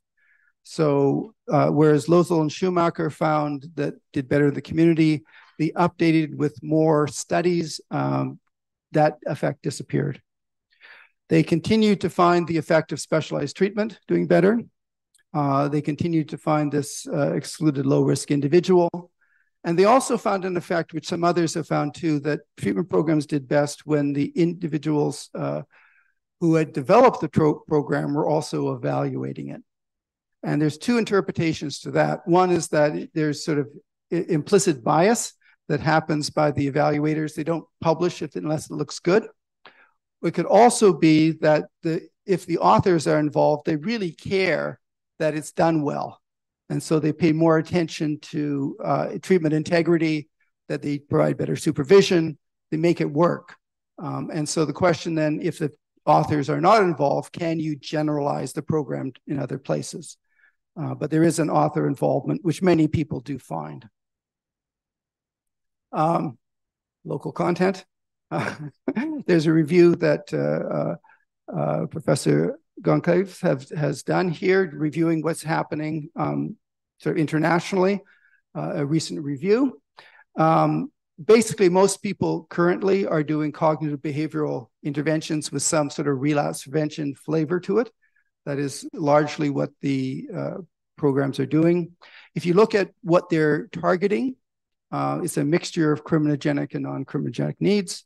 Not all of them uh, would be uh, criminogenic. Um, and as in most reviews, one of the conclusions is the, the quality of the research is, um, is low um, and it's the, the research, it's hard research to do. It's really expensive and it's not often not done well. So we're making conclusions based on a limited number of not that great studies. I think that's probably how you'd sum it. And this is where you're going to do something different, right? This is where you guys step up. You know, you may, maybe this particular project that you're working with, but it, in somebody's got to step up and actually do this and do the types of research that's necessary to find out what really works for who and when. We need, we've got hundreds, maybe even thousands of recidivism studies. I, it, I can, you know, drum up lots of them. We've got a dozen, a couple of dozen of treatment studies, um, and most of them aren't very good. Uh, so we need hundreds of treatment studies before we'll figure out what's going on. We just need to do it and do it and do it and do it. And um, you know, looking at the young people in the audience, it's something that you guys can do, right? It, it's something you you can commit to and do and actually make work. And this this is what needs to be done uh, uh, now, essentially. And so, what would this next generation of treatment studies look like? One of the things that I'm arguing, and I guess is that we don't need to look at recidivism right away. We, we care about recidivism, but it actually takes years. You know, if you have a 10% rate after five years, and you say you want to reduce it to 5%. So if you have one group of 100 people, that's 10 people in your treat, untreated group, and you want to reduce it to five. So you have numbers like five and 10 recidivists. It, these are really small numbers. They're going to bounce around. So rather than taking a look at recidivism right away, take a look at change. We've got enough evidence now that dynamic risk tools actually work in predicting recidivism. And so what you can do is you can provide treatment, you know, treatment A versus treatment B, no treatment versus another treatment, and look at the degree of change. And if one gets more change than the other, yay, that's that's something you're learning. And we have established risk tools. Stable 2007, I'm associated with uh, the VRS-SO, uh, which Mark Olver's is, which have demonstrated the ability so of reassessment indicates reduced recidivism. So if your program is showing documented changes on these dynamic risk scales, you can hold your head up high and say, this is working better than something else.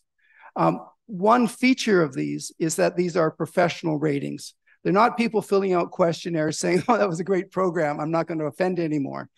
You know what they're saying. What you're doing is you're seeing behavioral changes in your clients. They're doing things differently, and if you're able to show that people do things differently across a different domains, you can. That's a program that's working. And once you see less change or no change, that isn't working you have to um, uh, I also encourage you to define thresholds of adequate and non-adequate functioning. So what you find is that people can change, but they're still bad, right? They can still they can go from really up like they may have really nasty attitudes, and now they're just sort of nasty, right? Um, you want to have some level of no, this person's sensible again. This is this is workable, not you don't want just change, you want change into an acceptable range. So what you have to do is define what the minimum standards of, of coping is or how you'd like them to be and define that. And you can do that using these risk tools. There's sort of thresholds for that.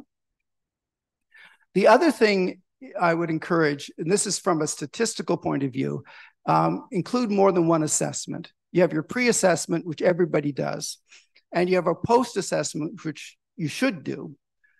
But if you have a third assessment, you can say an awful lot more. Because one of the things that happens is this weird statistical effect called regression to the mean.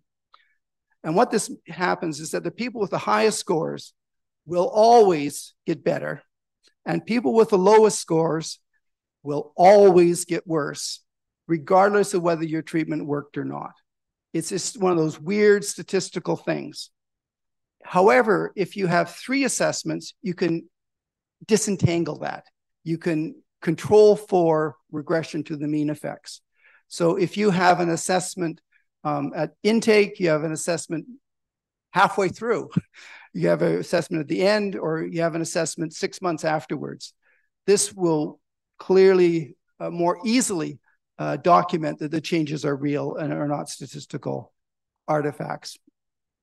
I also think we need qualitative studies of individuals who have um, who aren't offending and how they manage their risk relevant propensities.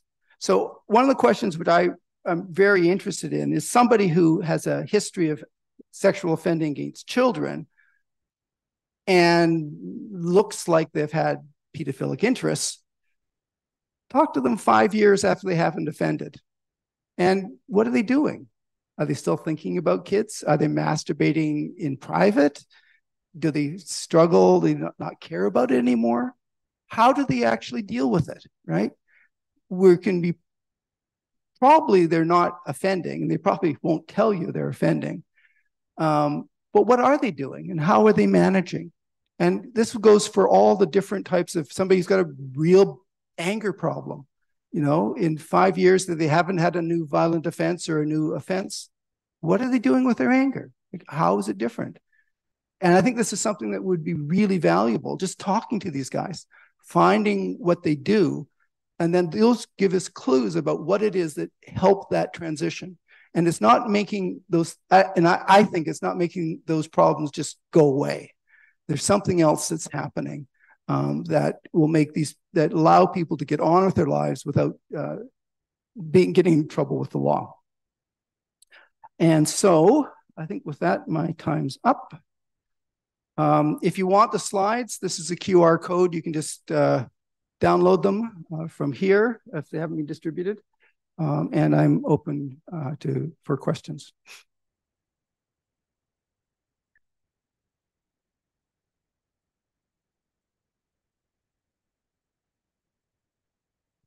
Grazie, grazie Carl, veramente molto interessante e molto utile per il nostro progetto. E um, a questo punto possiamo dare ampio spazio a domande, quesiti, sia um, qui in sala che da casa. Mi dispiace aver letto in, nella chat che gli, alcuni studenti si sono lamentati del fatto che sia in inglese, ma doveva essere tutto in inglese. Quindi, anzi, dovremmo ringraziare che una parte della conferenza sia stata svolta poi di fatto in italiano su vostra richiesta. Quindi, grazie a Mercatorum che ha permesso anche questo perché mi dispiace ecco, che gli studenti si siano lamentati di questo, ma insomma invece era tutto in inglese e abbiamo fatto lo sforzo di um, tradurre uh, per uh, chi non capisce l'italiano giustamente la parte uh, in italiano. Um, detto questo, sì, sure. Al microfono. The microphone. Yeah. Yes, please. Roy. Yes.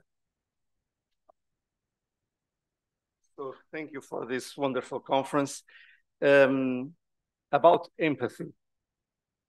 Uh, one of the things that, that, we usually know is that uh, sex offenders are um, good in cognitive empathy, but not on affective empathy.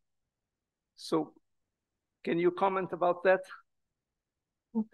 Carlo, just a moment because we can try to translate it in Italy first and then you can answer. Thank you. Would you mind to translate the question? Vabbè, traduco io? Oh, ok. In realtà la, la domanda era abbastanza semplice in questo caso, cioè chiedeva il professor Rui se eh, effettivamente, siccome molti sex offender hanno tendenzialmente una, um, un livello di empatia cognitiva abbastanza funzionante, tuttavia come mai invece sono così carenti dal punto di vista dell'empatia affettiva? Mm? Ok. Right. Yeah, there's a couple of um, things worth noting in this. One is that um, most sex offending is between people who know each other. So they have a pre existing relationship. And um, when the victim decides to tell, this is perceived as a major betrayal of their relationship. So very often they're in this dysfunctional but real relationship where the abuser and the victim are sort of together. And when the victim says, Whoa, I'm out, the offender feels betrayed. And just the same way that if you're in a relationship and your lover betrays you, the, the lovely person that you fell in love with turns into some screaming reptile, right? And this is an expression of your anger and hostility towards the victim. So, very often, what you see is the lack of a, the emotion towards the victim is an expression of anger uh, in that relationship. They're blaming the victim because they've screwed them. That's how they feel. The other thing is that, and I did mention this here, is that the ability to care for others generally is important. That the ability to recognize and have warm, tender feelings for other people, which is a type of empathy, sometimes called sympathy, is related to crime and is something we want to nurture in others. But the ability specifically to understand or to feel con- emotionally congruent with the victim is not something that is criminogenic. So there's a distinction there. So you don't want them to be blaming the victim just generally, but it's that's not the real problem. Their problem is how do you form warm, tender feelings, uh, relationships, and that is different than whatever they did with their victim.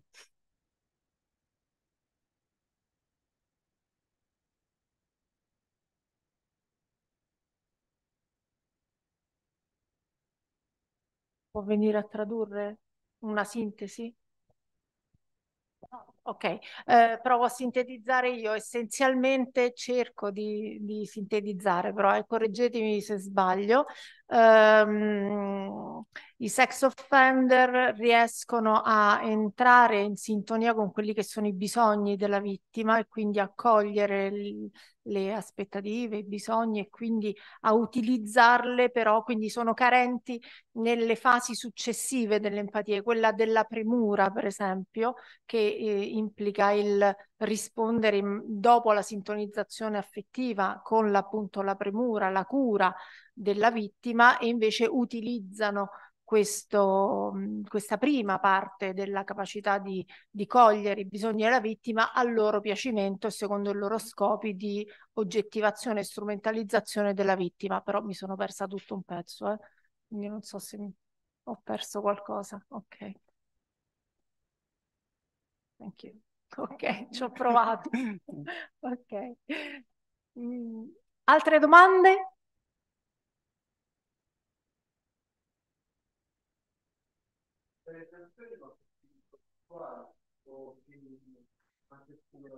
L'altro essenzialmente viene deumanizzato, no? Non è una persona, ma è un oggetto, uno strumento per raggiungere i miei obiettivi sessuali, certo, mh, mm, o anche di interesse, no? Di controllo, di potere e di dominio.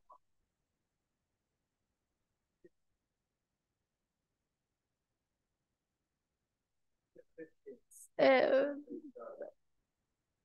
Ehm, dal mio punto di vista per un bisogno di controllo, di potere e di dominio. Uh, I don't know if Karl wants to add anything else.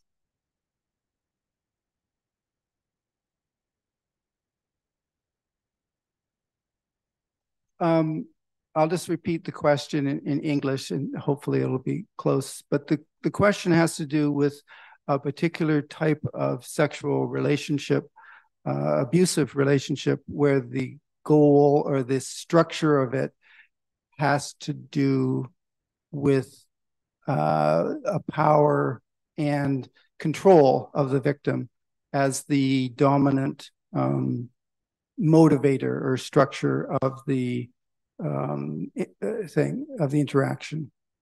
And why do people do that? Quale modo, per quale motivo una relazione sessuale abusiva il cui obiettivo è il potere o meglio il controllo della vittima eh, come diciamo una ehm, è, è, questo perché è questo il motivatore dominante di una relazione? Questa è la domanda che ha fatto? Oh, sì. Um, sex is an emotion. It is one type of emotion, but it's an emotion just like anger, sadness, happiness. Um, emotions, if you have one emotion activated, you often have another emotion which is felt more strongly. So very often, if you you can link um, anger to sadness, you can link anger to sexuality, and there are. It's not that uncommon for couples to have what's called make-up sex. They get involved in a fight, they get really angry with each other, then they have very intense sexual experiences that are motivated not only by the sex, but they're also motivated by the activation of their own anger that was just in the relationship. And for many people, oh, sorry. Quindi eh, il sesso è un tipo di, di, emozione, proprio come la rabbia, la tristezza o la felicità. Quando un'emozione viene ehm, scatenata, si sente in modo anche molto forte e le, le, emozioni possono essere collegate, ad esempio si può collegare, collegare la rabbia alla tristezza, la rabbia alla sessualità è anche comune per le coppie eh, impegnarsi nel sesso per fare pace, ovvero litigano eh, e poi eh, subito dopo si impegnano in un'attività, in un'esperienza sessuale molto intensa e questo è motivato non semplicemente dal sesso, ma anche dall'attivazione della rabbia all'interno della relazione. So for individuals who are excited or emotions or motivated to control others generally. Um, people do that. Some people uh, go into politics. Uh, some people do other types of relationships. They can, if they link that motivation for control and dominance with sexuality, you can end up with some very abusive um, types of interactions. E quindi se eh, ad esempio le persone eh, sono motivate al controllo degli altri, possono fare varie cose, impegnarsi in varie attività, alcuni ad esempio possono entrare in politica, altri possono impegnarsi in altri tipi di relazioni, ma eh, se il motivo di controllo, di, dom di, dominio è legato alla sessualità, allora si possono avere dei tipi molto ehm, basati sulla, dei tipi di relazione basati sull'abuso.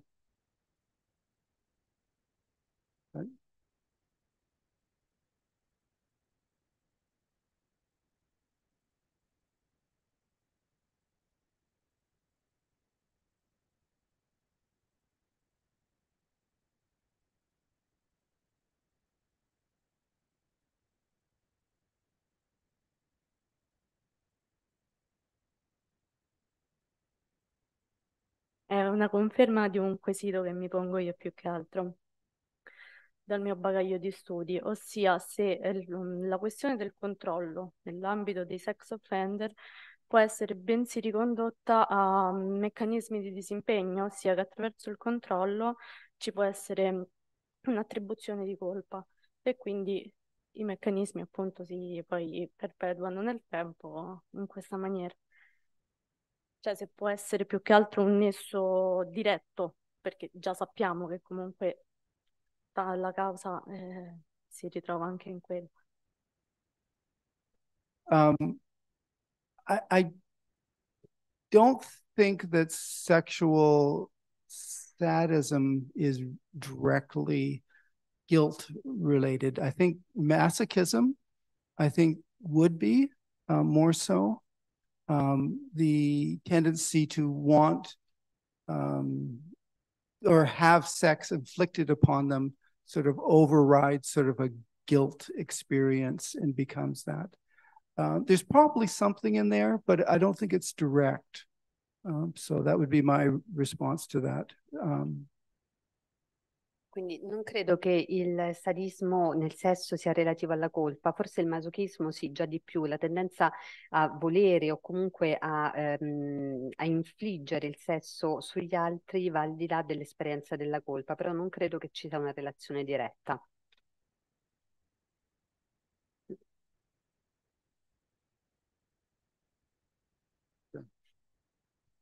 Ho chiesto questo perché alla base eh, ho messo la questione della deumanizzazione e quindi poi l'ho collegata al fatto dei meccanismi di disimpegno morale e mi sono chiesta se fosse o meno corretta una, un collegamento del genere. Grazie.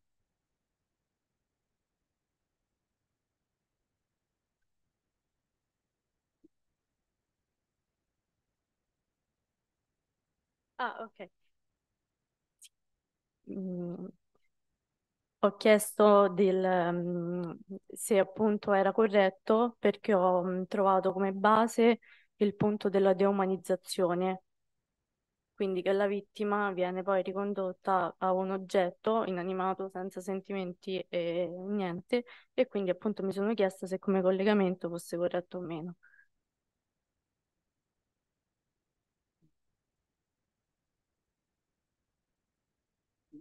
There's how people deal with their own transgressions varies. Uh, some people deal with it better or worse than others. And this is the realm of shame, guilt, uh, atonement. And there's a general pattern that people who feel intense negative self focused criticism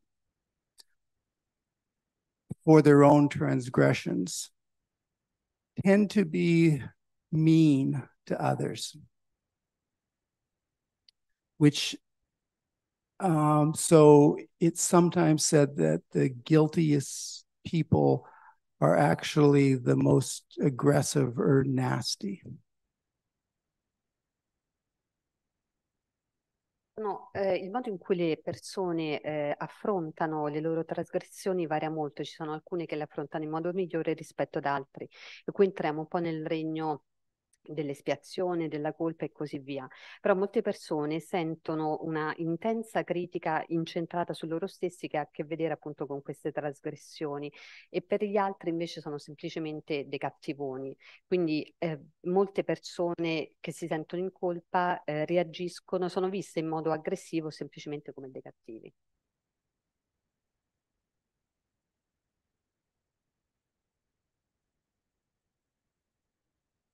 Altre domande?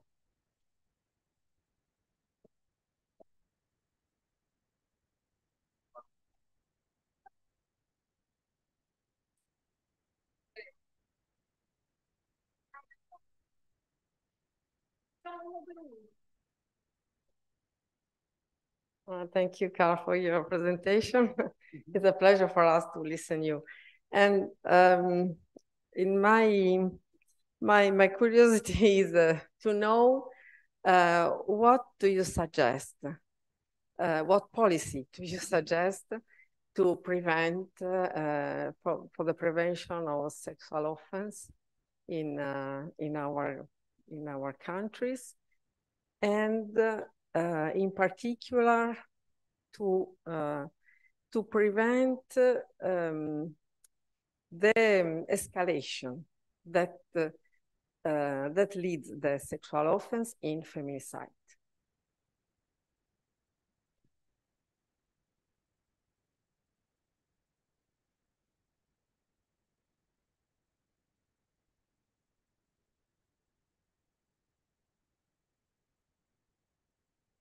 Quindi grazie per la presentazione. Eh, ci può suggerire, eh, la professoressa è curiosa di sapere quali sono le politiche che eh, appunto può indicare per prevenire i reati sessuali nei nostri paesi e soprattutto in che modo prevenire l'escalation che può portare un reato di tipo sessuale a casi di femminicidio. Uh, because sex crime is crime, one of the established prevention is to support vulnerable mothers. is creating programs and support, including financial support for mothers so that they can be better care for their children and provide supervision. A common background is kids who are involved in crime is that kids didn't get good direction for a lot of it. So creating the conditions so that parents can be parents without um, would help. That's one. Quindi eh, i crimini, i reati tipo, di tipo sessuale sono comunque dei reati. Il primo tipo di prevenzione che può essere posta, posta in essere è sostenere le madri vulnerabili, creando dei programmi specifici per sostenere appunto le madri che, in modo tale che possano prendersi cura migliore dei propri bambini, perché si sa che i eh, bambini, gli adolescenti coinvolti in, uh, nella, appunto in azioni di crimine eh, non hanno ottenuto eh, una buona cura da parte dei genitori e pertanto devono essere poste le condizioni affinché i genitori possano essere dei buoni genitori. Second big issue is sexism and the extent to which that cultures support um, the sexual freedoms and integrity of women. And cultures vary on that. And Italian culture, I'm sure, has its variation too. So, what we can do both from a public health messaging perspective as well as general socialization to teach uh, respect for um, all genders and to uh, reinforce um, people's right for sexual self-determination.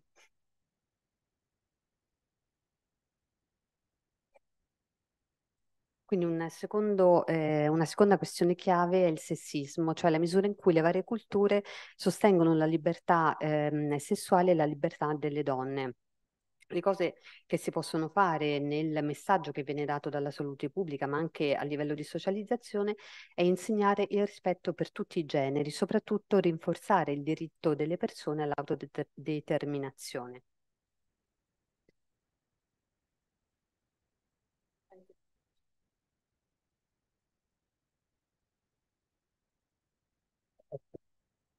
C'era un'altra domanda lì dietro. Ti tocca venire qua però. Al micro. Vabbè, dai. Dai, sentiamo, sì.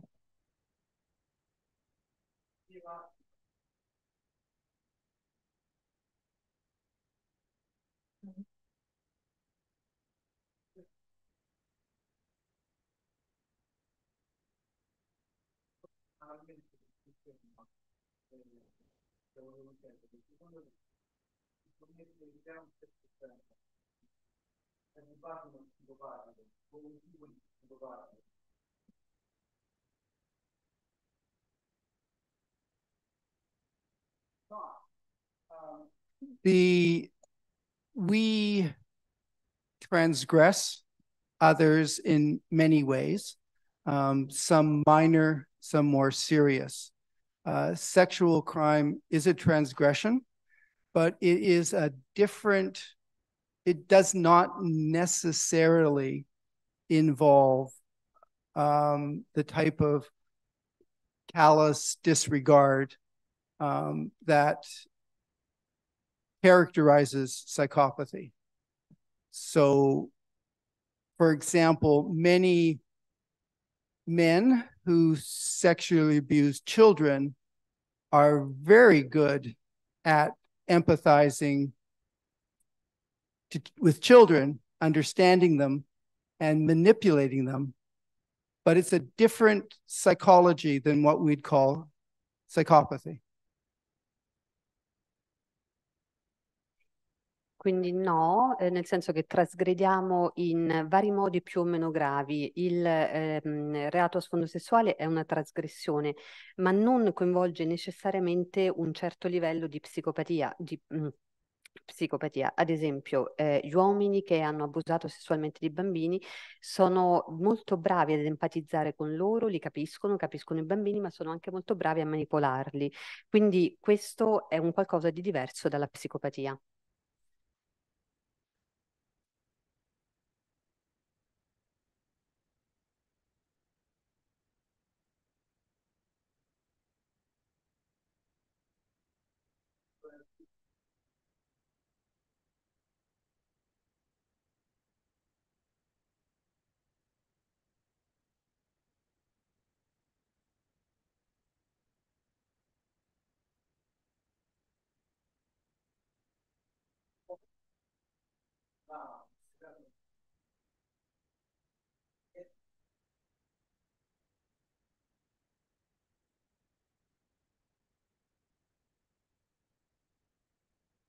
I don't think it's an all or nothing thing. I think that the people I've I've worked with a lot of these guys and in many areas of their life they're pretty normal. They do pretty normal things, they act pretty normal. But there's some situations and there's some combinations where they're horrible. Like they they'll do horrible things and then justify it. Um, so I don't think it's that there's something missing. Like there's not like fundamentally missing. It's more like there's something misplaced. Uh, it's it's it's not put together right. It's more not that they they've got a big hole in their head, but they've got sort of gaps.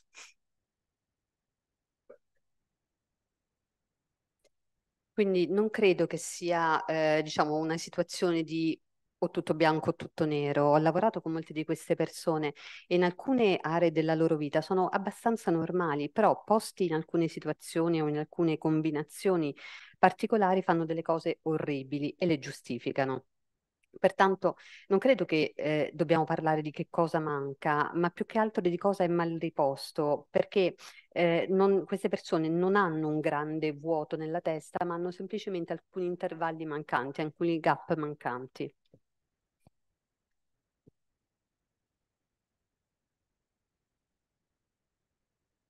Mm.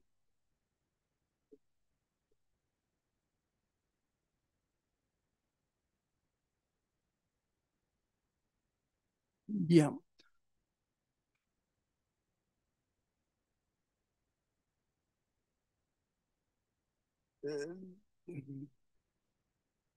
Um, here I'll use a psychoanalytic term of ego integrity, um, and that we need to form some sense of identity that includes all the bits into sort of a whole. Um, and that whole is in relationship to other people. And that involves caring for other people. Um, and you can't really form a human identity separate from caring for other people. Um, some people try. And I think that is um, one of the common um, gaps that allows people to do truly horrible things to others. The other is making the other people not human. Um, you can make women not human. You can make certain women not not human. We do this all the time. Um, think about wars, where we make the enemy not human. Um, so this is part of what we do. Um, and, but it's not a whole identity. It's not a whole human identity. Quindi uso un termine eh, appunto specifico della eh, psicoterapia, l'ego integrità, ovvero noi formiamo un senso di identità che è un tutto, che produce un tutto in relazione agli altri e che include anche il prendersi cura degli altri. E questa identità umana non può ehm, diciamo, avanzare, non può esistere senza il prendersi cura degli altri, senza la cura per gli altri. Alcuni tentano invece di creare questa identità umana senza questo aspetto ed è questo, credo, uno dei gap più comuni che fa fare ad alcune persone delle cose terribili. Un altro punto è il fatto di non rendere alcune persone umane, ad esempio possono essere eh, le donne a non essere rese umane oppure alcuni tipi di donna questo è quello che avviene normalmente con le guerre, quando il nemico non è più umano e non è quindi tutta l'identità umana.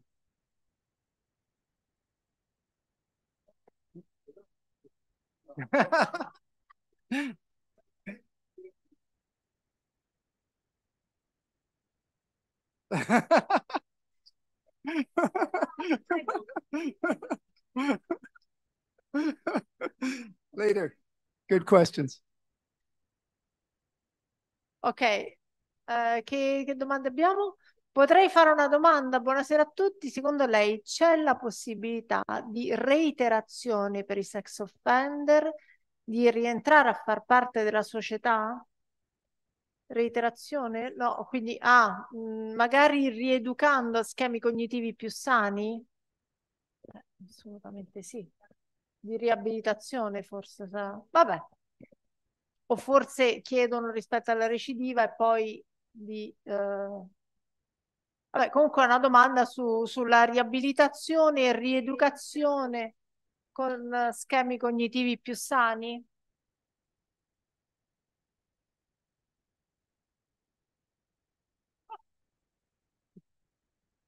Try again.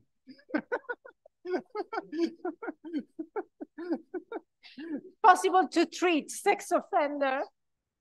Um, yes. Oh, great. and to um, ri ri uh, rieducarli a schemi cognitivi più sani? How can we translate?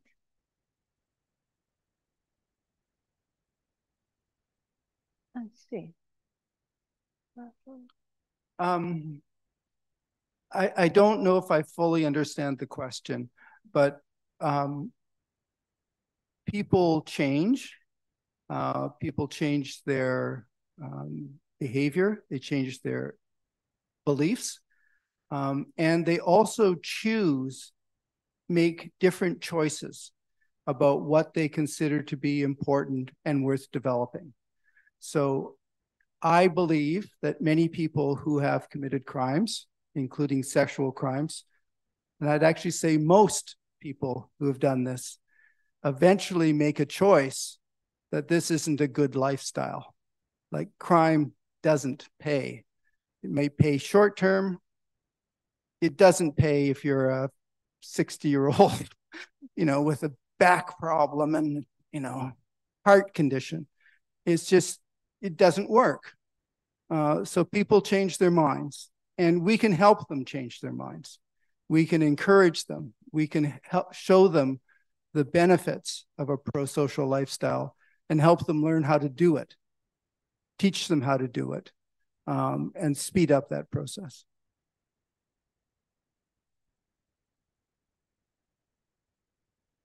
Quindi non so se ho ben capito la domanda. Eh, comunque le persone cambiano i propri comportamenti, le proprie idee e scelgono in modo diverso cosa è importante per loro e cosa c'è da sviluppare nelle loro vite. Credo che la maggior parte dei eh, criminali e eh, soprattutto anche dei, ehm, appunto delle persone che ehm, effettuano, che perpetra perpetrano crimini a sfondo sessuale, credo che la maggior parte di loro scelgano eh, di eh, capiscano che eh, questo tipo di attività criminale non è un un buon stile di vita, il crimine non paga. Immaginatevi un vecchietto di 60 anni con mal di schiena o problemi cardiaci che continua a, a impegnarsi in attività criminali, è poco, diciamo, credibile. Quindi le persone cambiano idea nel corso della loro vita. Il nostro compito è quello di aiutarle a capire appunto questi errori, mostrare loro quale può essere un buono stile di vita e soprattutto impegnarli e insegnare loro come perseguire questo stile di vita migliore, accelerando anche il processo. Eh, un- un'altra domanda. Esiste una correlazione tra livello di scolarizzazione e la commissione di reati a sfondo sessuale?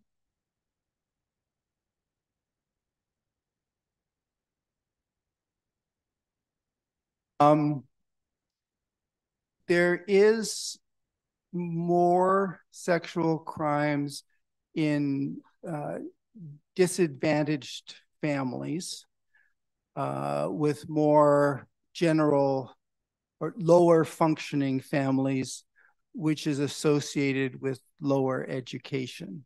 It's not the education itself that's the issue, it's the whole dysfunction of the family that is the issue. Um, but there is some association. It is not a risk factor for recidivism. So, for people who have already offended, it doesn't predict whether they're going to reoffend, um, though it may be relevant in helping them find a job. If you have no education, it's harder to find a job than if you do. Un'altra domanda? Sì, Ah, aspetta che scusate. traduco. Dunque, eh, ci sono eh, più crimini a sfondo sessuale nelle famiglie svantaggiate, soprattutto in quelle che hanno eh, un funzionamento delle disfunzioni e questo è, è associato con uno scarso livello di istruzione.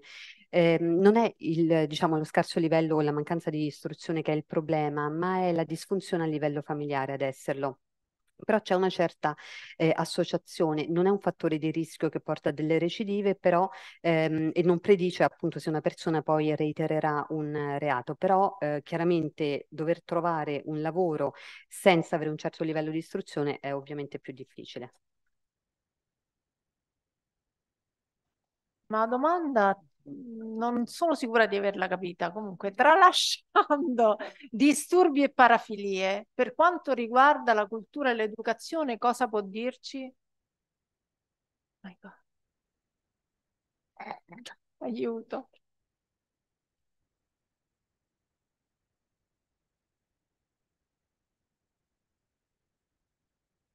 Um, yes, uh, there is a correlation between paraphilias and uh, culture. Uh, for example, um, European men um, expose themselves to others and are more likely to um, do that than um, African Americans, uh, more likely than indigenous, more likely than Maori, that people of white descent are more likely to um, have a paraphilic interest in boys um, than people of other ethnicities and races. We don't sure exactly why, um, but there clearly is some association. If you look at uh, who shows up for, for exhibitionism in Canada, it's all white men. It's not blacks, it's not indigenous, it's not Asian. Actually, not take that back. Some Asians, some Asians will do it. Um, but it, it is there is racial and ethnic groupings of these paraphilias, and I don't have a good explanation for it. Quindi c'è una correlazione tra parafilia e cultura. Eh, gli uomini europei, ad esempio, si mostrano, si espongono agli altri eh, molto di più eh, rispetto agli americani africani, ai maori o ad altri tipi. N- gli uomini di ehm, appunto ehm, eh, etnia bianca mostrano anche un, inter- un interesse parafiliaco più importante per i ragazzi, per i bambini rispetto ad altre etnie o altre razze. Non sappiamo perché questo avvenga, però c'è un'associazione. Prendiamo eh, il fenomeno dell'esibizionismo in Canada, sono soprattutto uomini bianchi, non ci sono neri, non ci sono indigeni, anche se ci sono alcuni asiatici. Ci sono dei gruppi etnici appunto che sono più esposti a questo tipo di esibizionismo, che mh, lo mettono più in pratica, ma non sappiamo il motivo.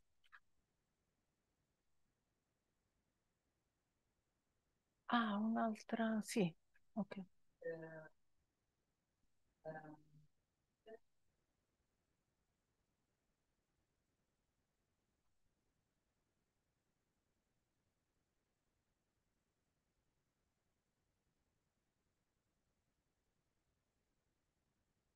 Dal punto di vista neuro, neuro, ok.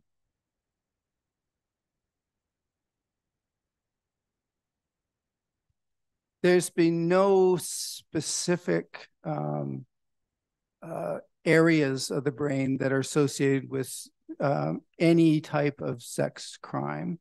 Um, the um, you would expect that the sexual areas would be activated. Um, but beyond that, there is no well defined area. There is some research on uh, pedophilia um, that a chronic interest in children is related to diverse uh, neurological problems, but I don't believe that there is a single area. It seems more related to a lack of integration um, rather than a specific area of the brain.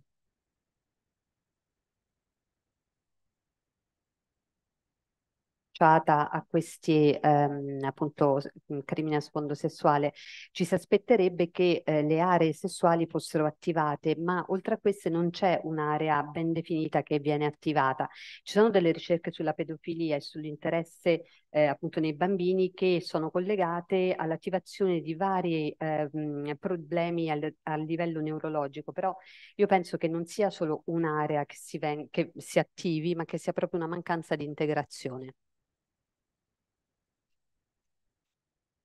Poi qui abbiamo una domanda su uh, come mai l'aumento del numero di giovani sex offender dal suo punto di vista.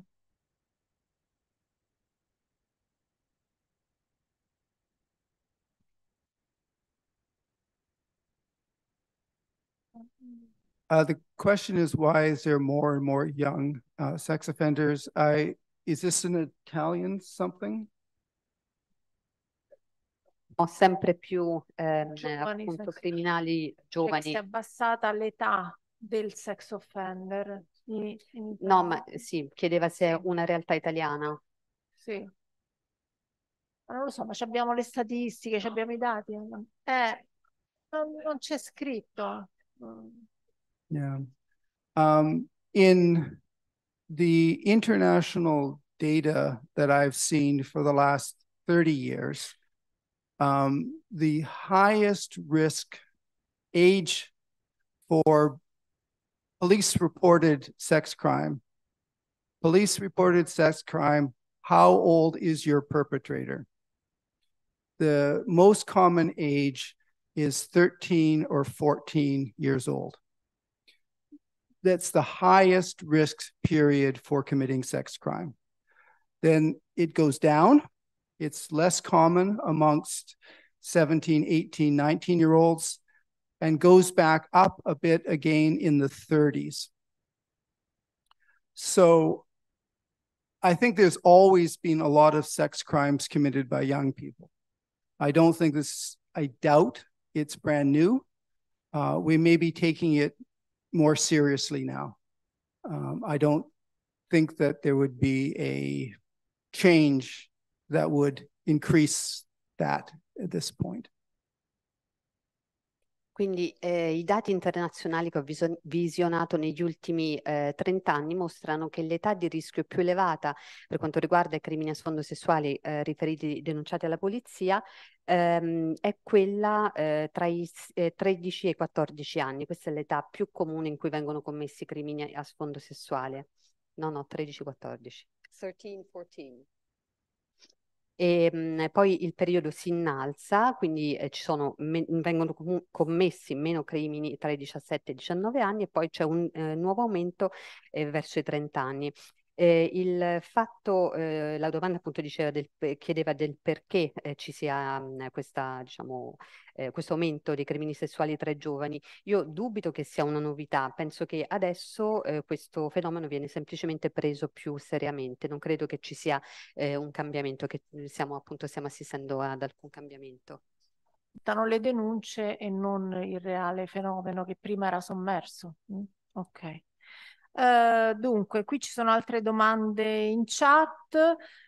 eh, in particolare cerco di riassumerle un po', eh, il reinserimento del sex offender nel contesto precedente, cioè una volta finito di scontare la pena, quali possono essere i rischi del reinserimento nel contesto precedente e ovviamente se non viene trattato il rischio è più alto, no? Lo diceva prima il professor Hanson. Quindi non so di specifico se c'è ecco, qualche specifica curiosità che avete, perché altrimenti la domanda era implicita nella sua presentazione. Ah, è più rischioso il vecchio contesto rispetto a un nuovo, un contesto diverso. Ah, ok. Non avevo capito la domanda come al solito mio. Scusate, sono stanca.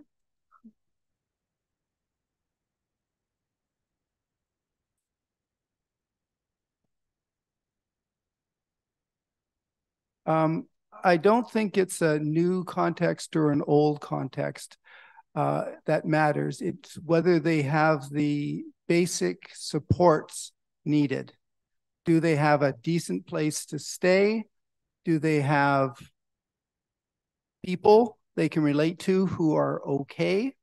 Is there some chance that they could get meaningful work or play? Those are the factors that matter most. And the question is, where are, is the person most likely to get that? Sometimes it's a new place, sometimes it's back in the old place. Credo che sia tanto una questione di contesto vecchio o nuovo che sia importante, più che altro quello che è importante è se la persona riceve i sostegni necessari, ovvero ha un buon posto dove vivere e attorno a sé delle persone che lo possono sostenere e come sono queste persone, qual è la qualità di queste persone ha la possibilità di eh, svagarsi, di trovare lavoro. Questi sono i fattori mh, importanti. Poi dove riceva tutto questo, cioè nel posto nuovo, nel posto vecchio, ha meno importanza. Uh, sì, c'era un'altra domanda che però credo fosse già anche qui implicita la risposta nella presentazione del professor Hanson sull'approccio più efficace per la relapse prevention e ci ha presentato quello cognitivo-comportamentale, se non sbaglio, come il più efficace nella prevenzione della recidiva e della ricaduta.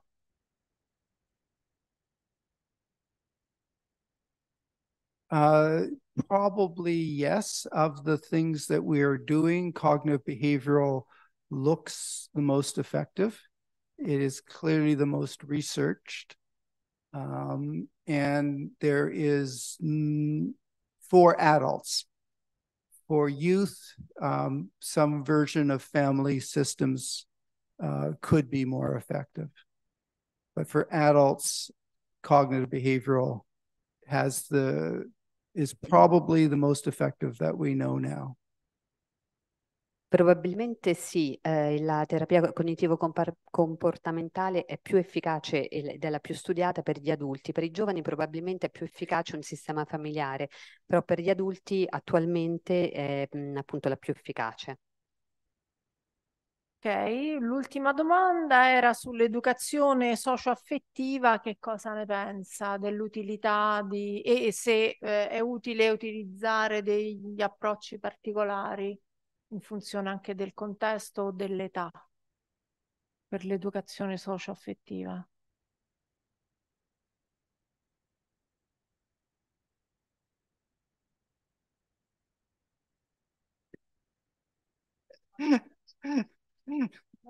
È facile, no? Perché programmi di educazione socio-affettiva, per di più in Italia eh, non abbiamo ancora, ci stanno lavorando, so, i colleghi dell'ordine eh, per delle linee guida, best practices, eh, ma eh, abbiamo da tantissimi ormai decenni tante difficoltà.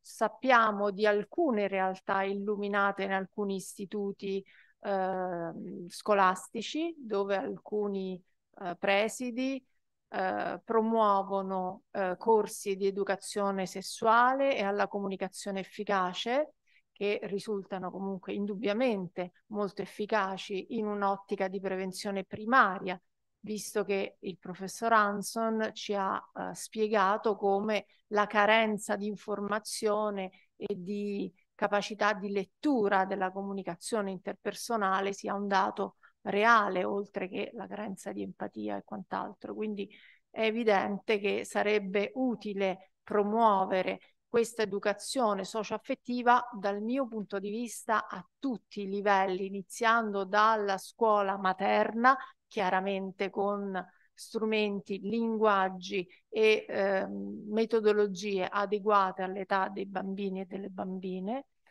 eh, fino a, perché no, anche all'università. Non è mai troppo tardi, e anche all'età adulta. Rieduchiamoci tutti.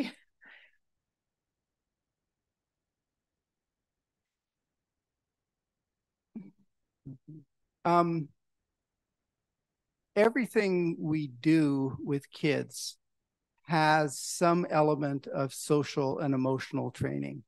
When we're teaching them to play football, when we're teaching them to do their homework, all of these tasks come with messages.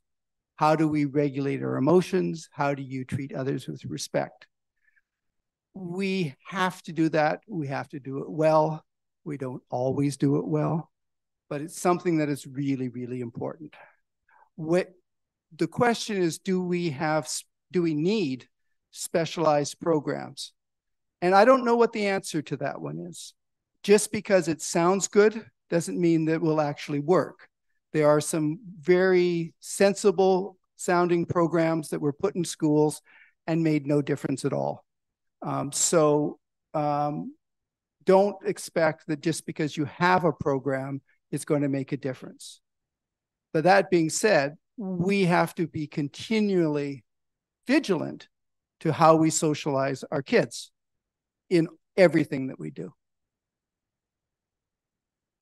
Quindi tutto quello che noi facciamo con i bambini ha un elemento di formazione emotiva e sociale che va, ad esempio, dall'insegnare ai bambini a giocare a calcio, al eh, aiutarli a fare compiti, perché in questa attività eh, impieghiamo anche delle abilità eh, in cui insegniamo ai bambini ad, auto, ad autoregolare le loro emozioni, insegniamo loro il rispetto e noi lo dobbiamo fare bene questo, anche se molto spesso non accade, ma è importantissimo. Abbiamo bisogno di programmi specializzati? Sembra una buona idea, ma funzionerà? In alcuni casi sono stati inseriti dei programmi in alcune scuole, ma non hanno funzionato. Il fatto di avere un programma non sempre fa la differenza, però è importantissimo aiutare i bambini a socializzare, insegnare loro come socializzare. Grazie. Grazie al professor Hanson. Se non ci sono altre domande. Sì.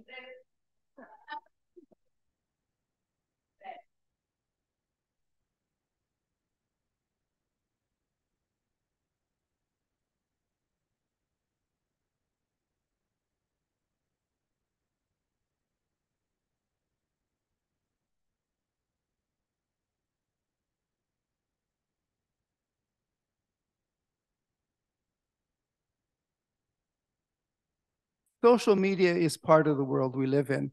I bet you as soon as I stop talking, most of you will go to your phones. Um, this is just the world we live in. So we need to talk about it. We need to socialize in that domain as well as we do in anything else. So, you know, messages of respect, of, uh, you know, fair play, uh, messages of um, self control um, are important and in in social media as anywhere else it's it's part of our world um, we just have to live in it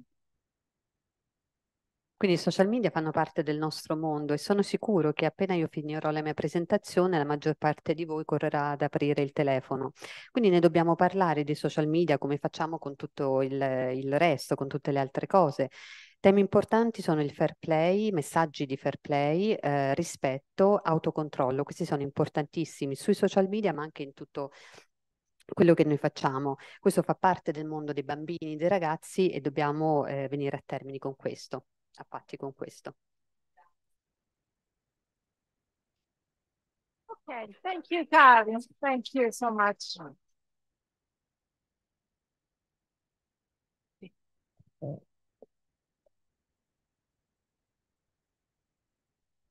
Messaggi. Ok. Allora, ringrazio tutti, thanks a lot, uh, Carl.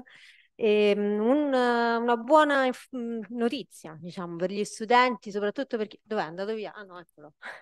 Lo studente interessato, per dirvi che eh, con la professoressa Petruccelli, con il professor Carl Hanson in realtà e con altri docenti che eh, sono qui da anni formiamo giovani studenti, futuri psicologi e psicologhe, eh, proprio in questo ambito della psicologia giuridica, della sessuologia giuridica, della criminologia. E quindi eh, ci tenevo a dirvi che eh, fra poco troverete anche sul sito della Mercatorum un corso di alta formazione eh, proprio su queste tematiche, su queste e su altre. Mm, per chi dovesse mai essere interessato potrete seguire, insomma, continuare la vostra curiosità, a coltivare la vostra curiosità eh, attraverso questo corso. In generale, insomma, eh, sia io che Irene eh, lavoriamo molto in quest'ambito e quindi probabilmente vi capiterà di vederci anche in altri contesti formativi sempre su, con questo obiettivo.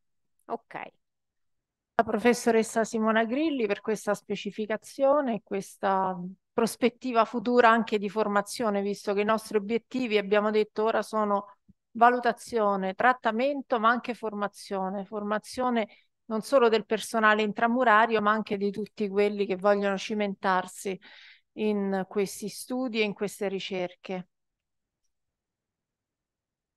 di servizio per chi ha fatto richiesta ECM vi chiedo di non abbandonare la sala perché dovete rispondere a un questionario ok? Grazie a tutti e a tutte anche da casa per la pazienza e grazie a tutti i relatori.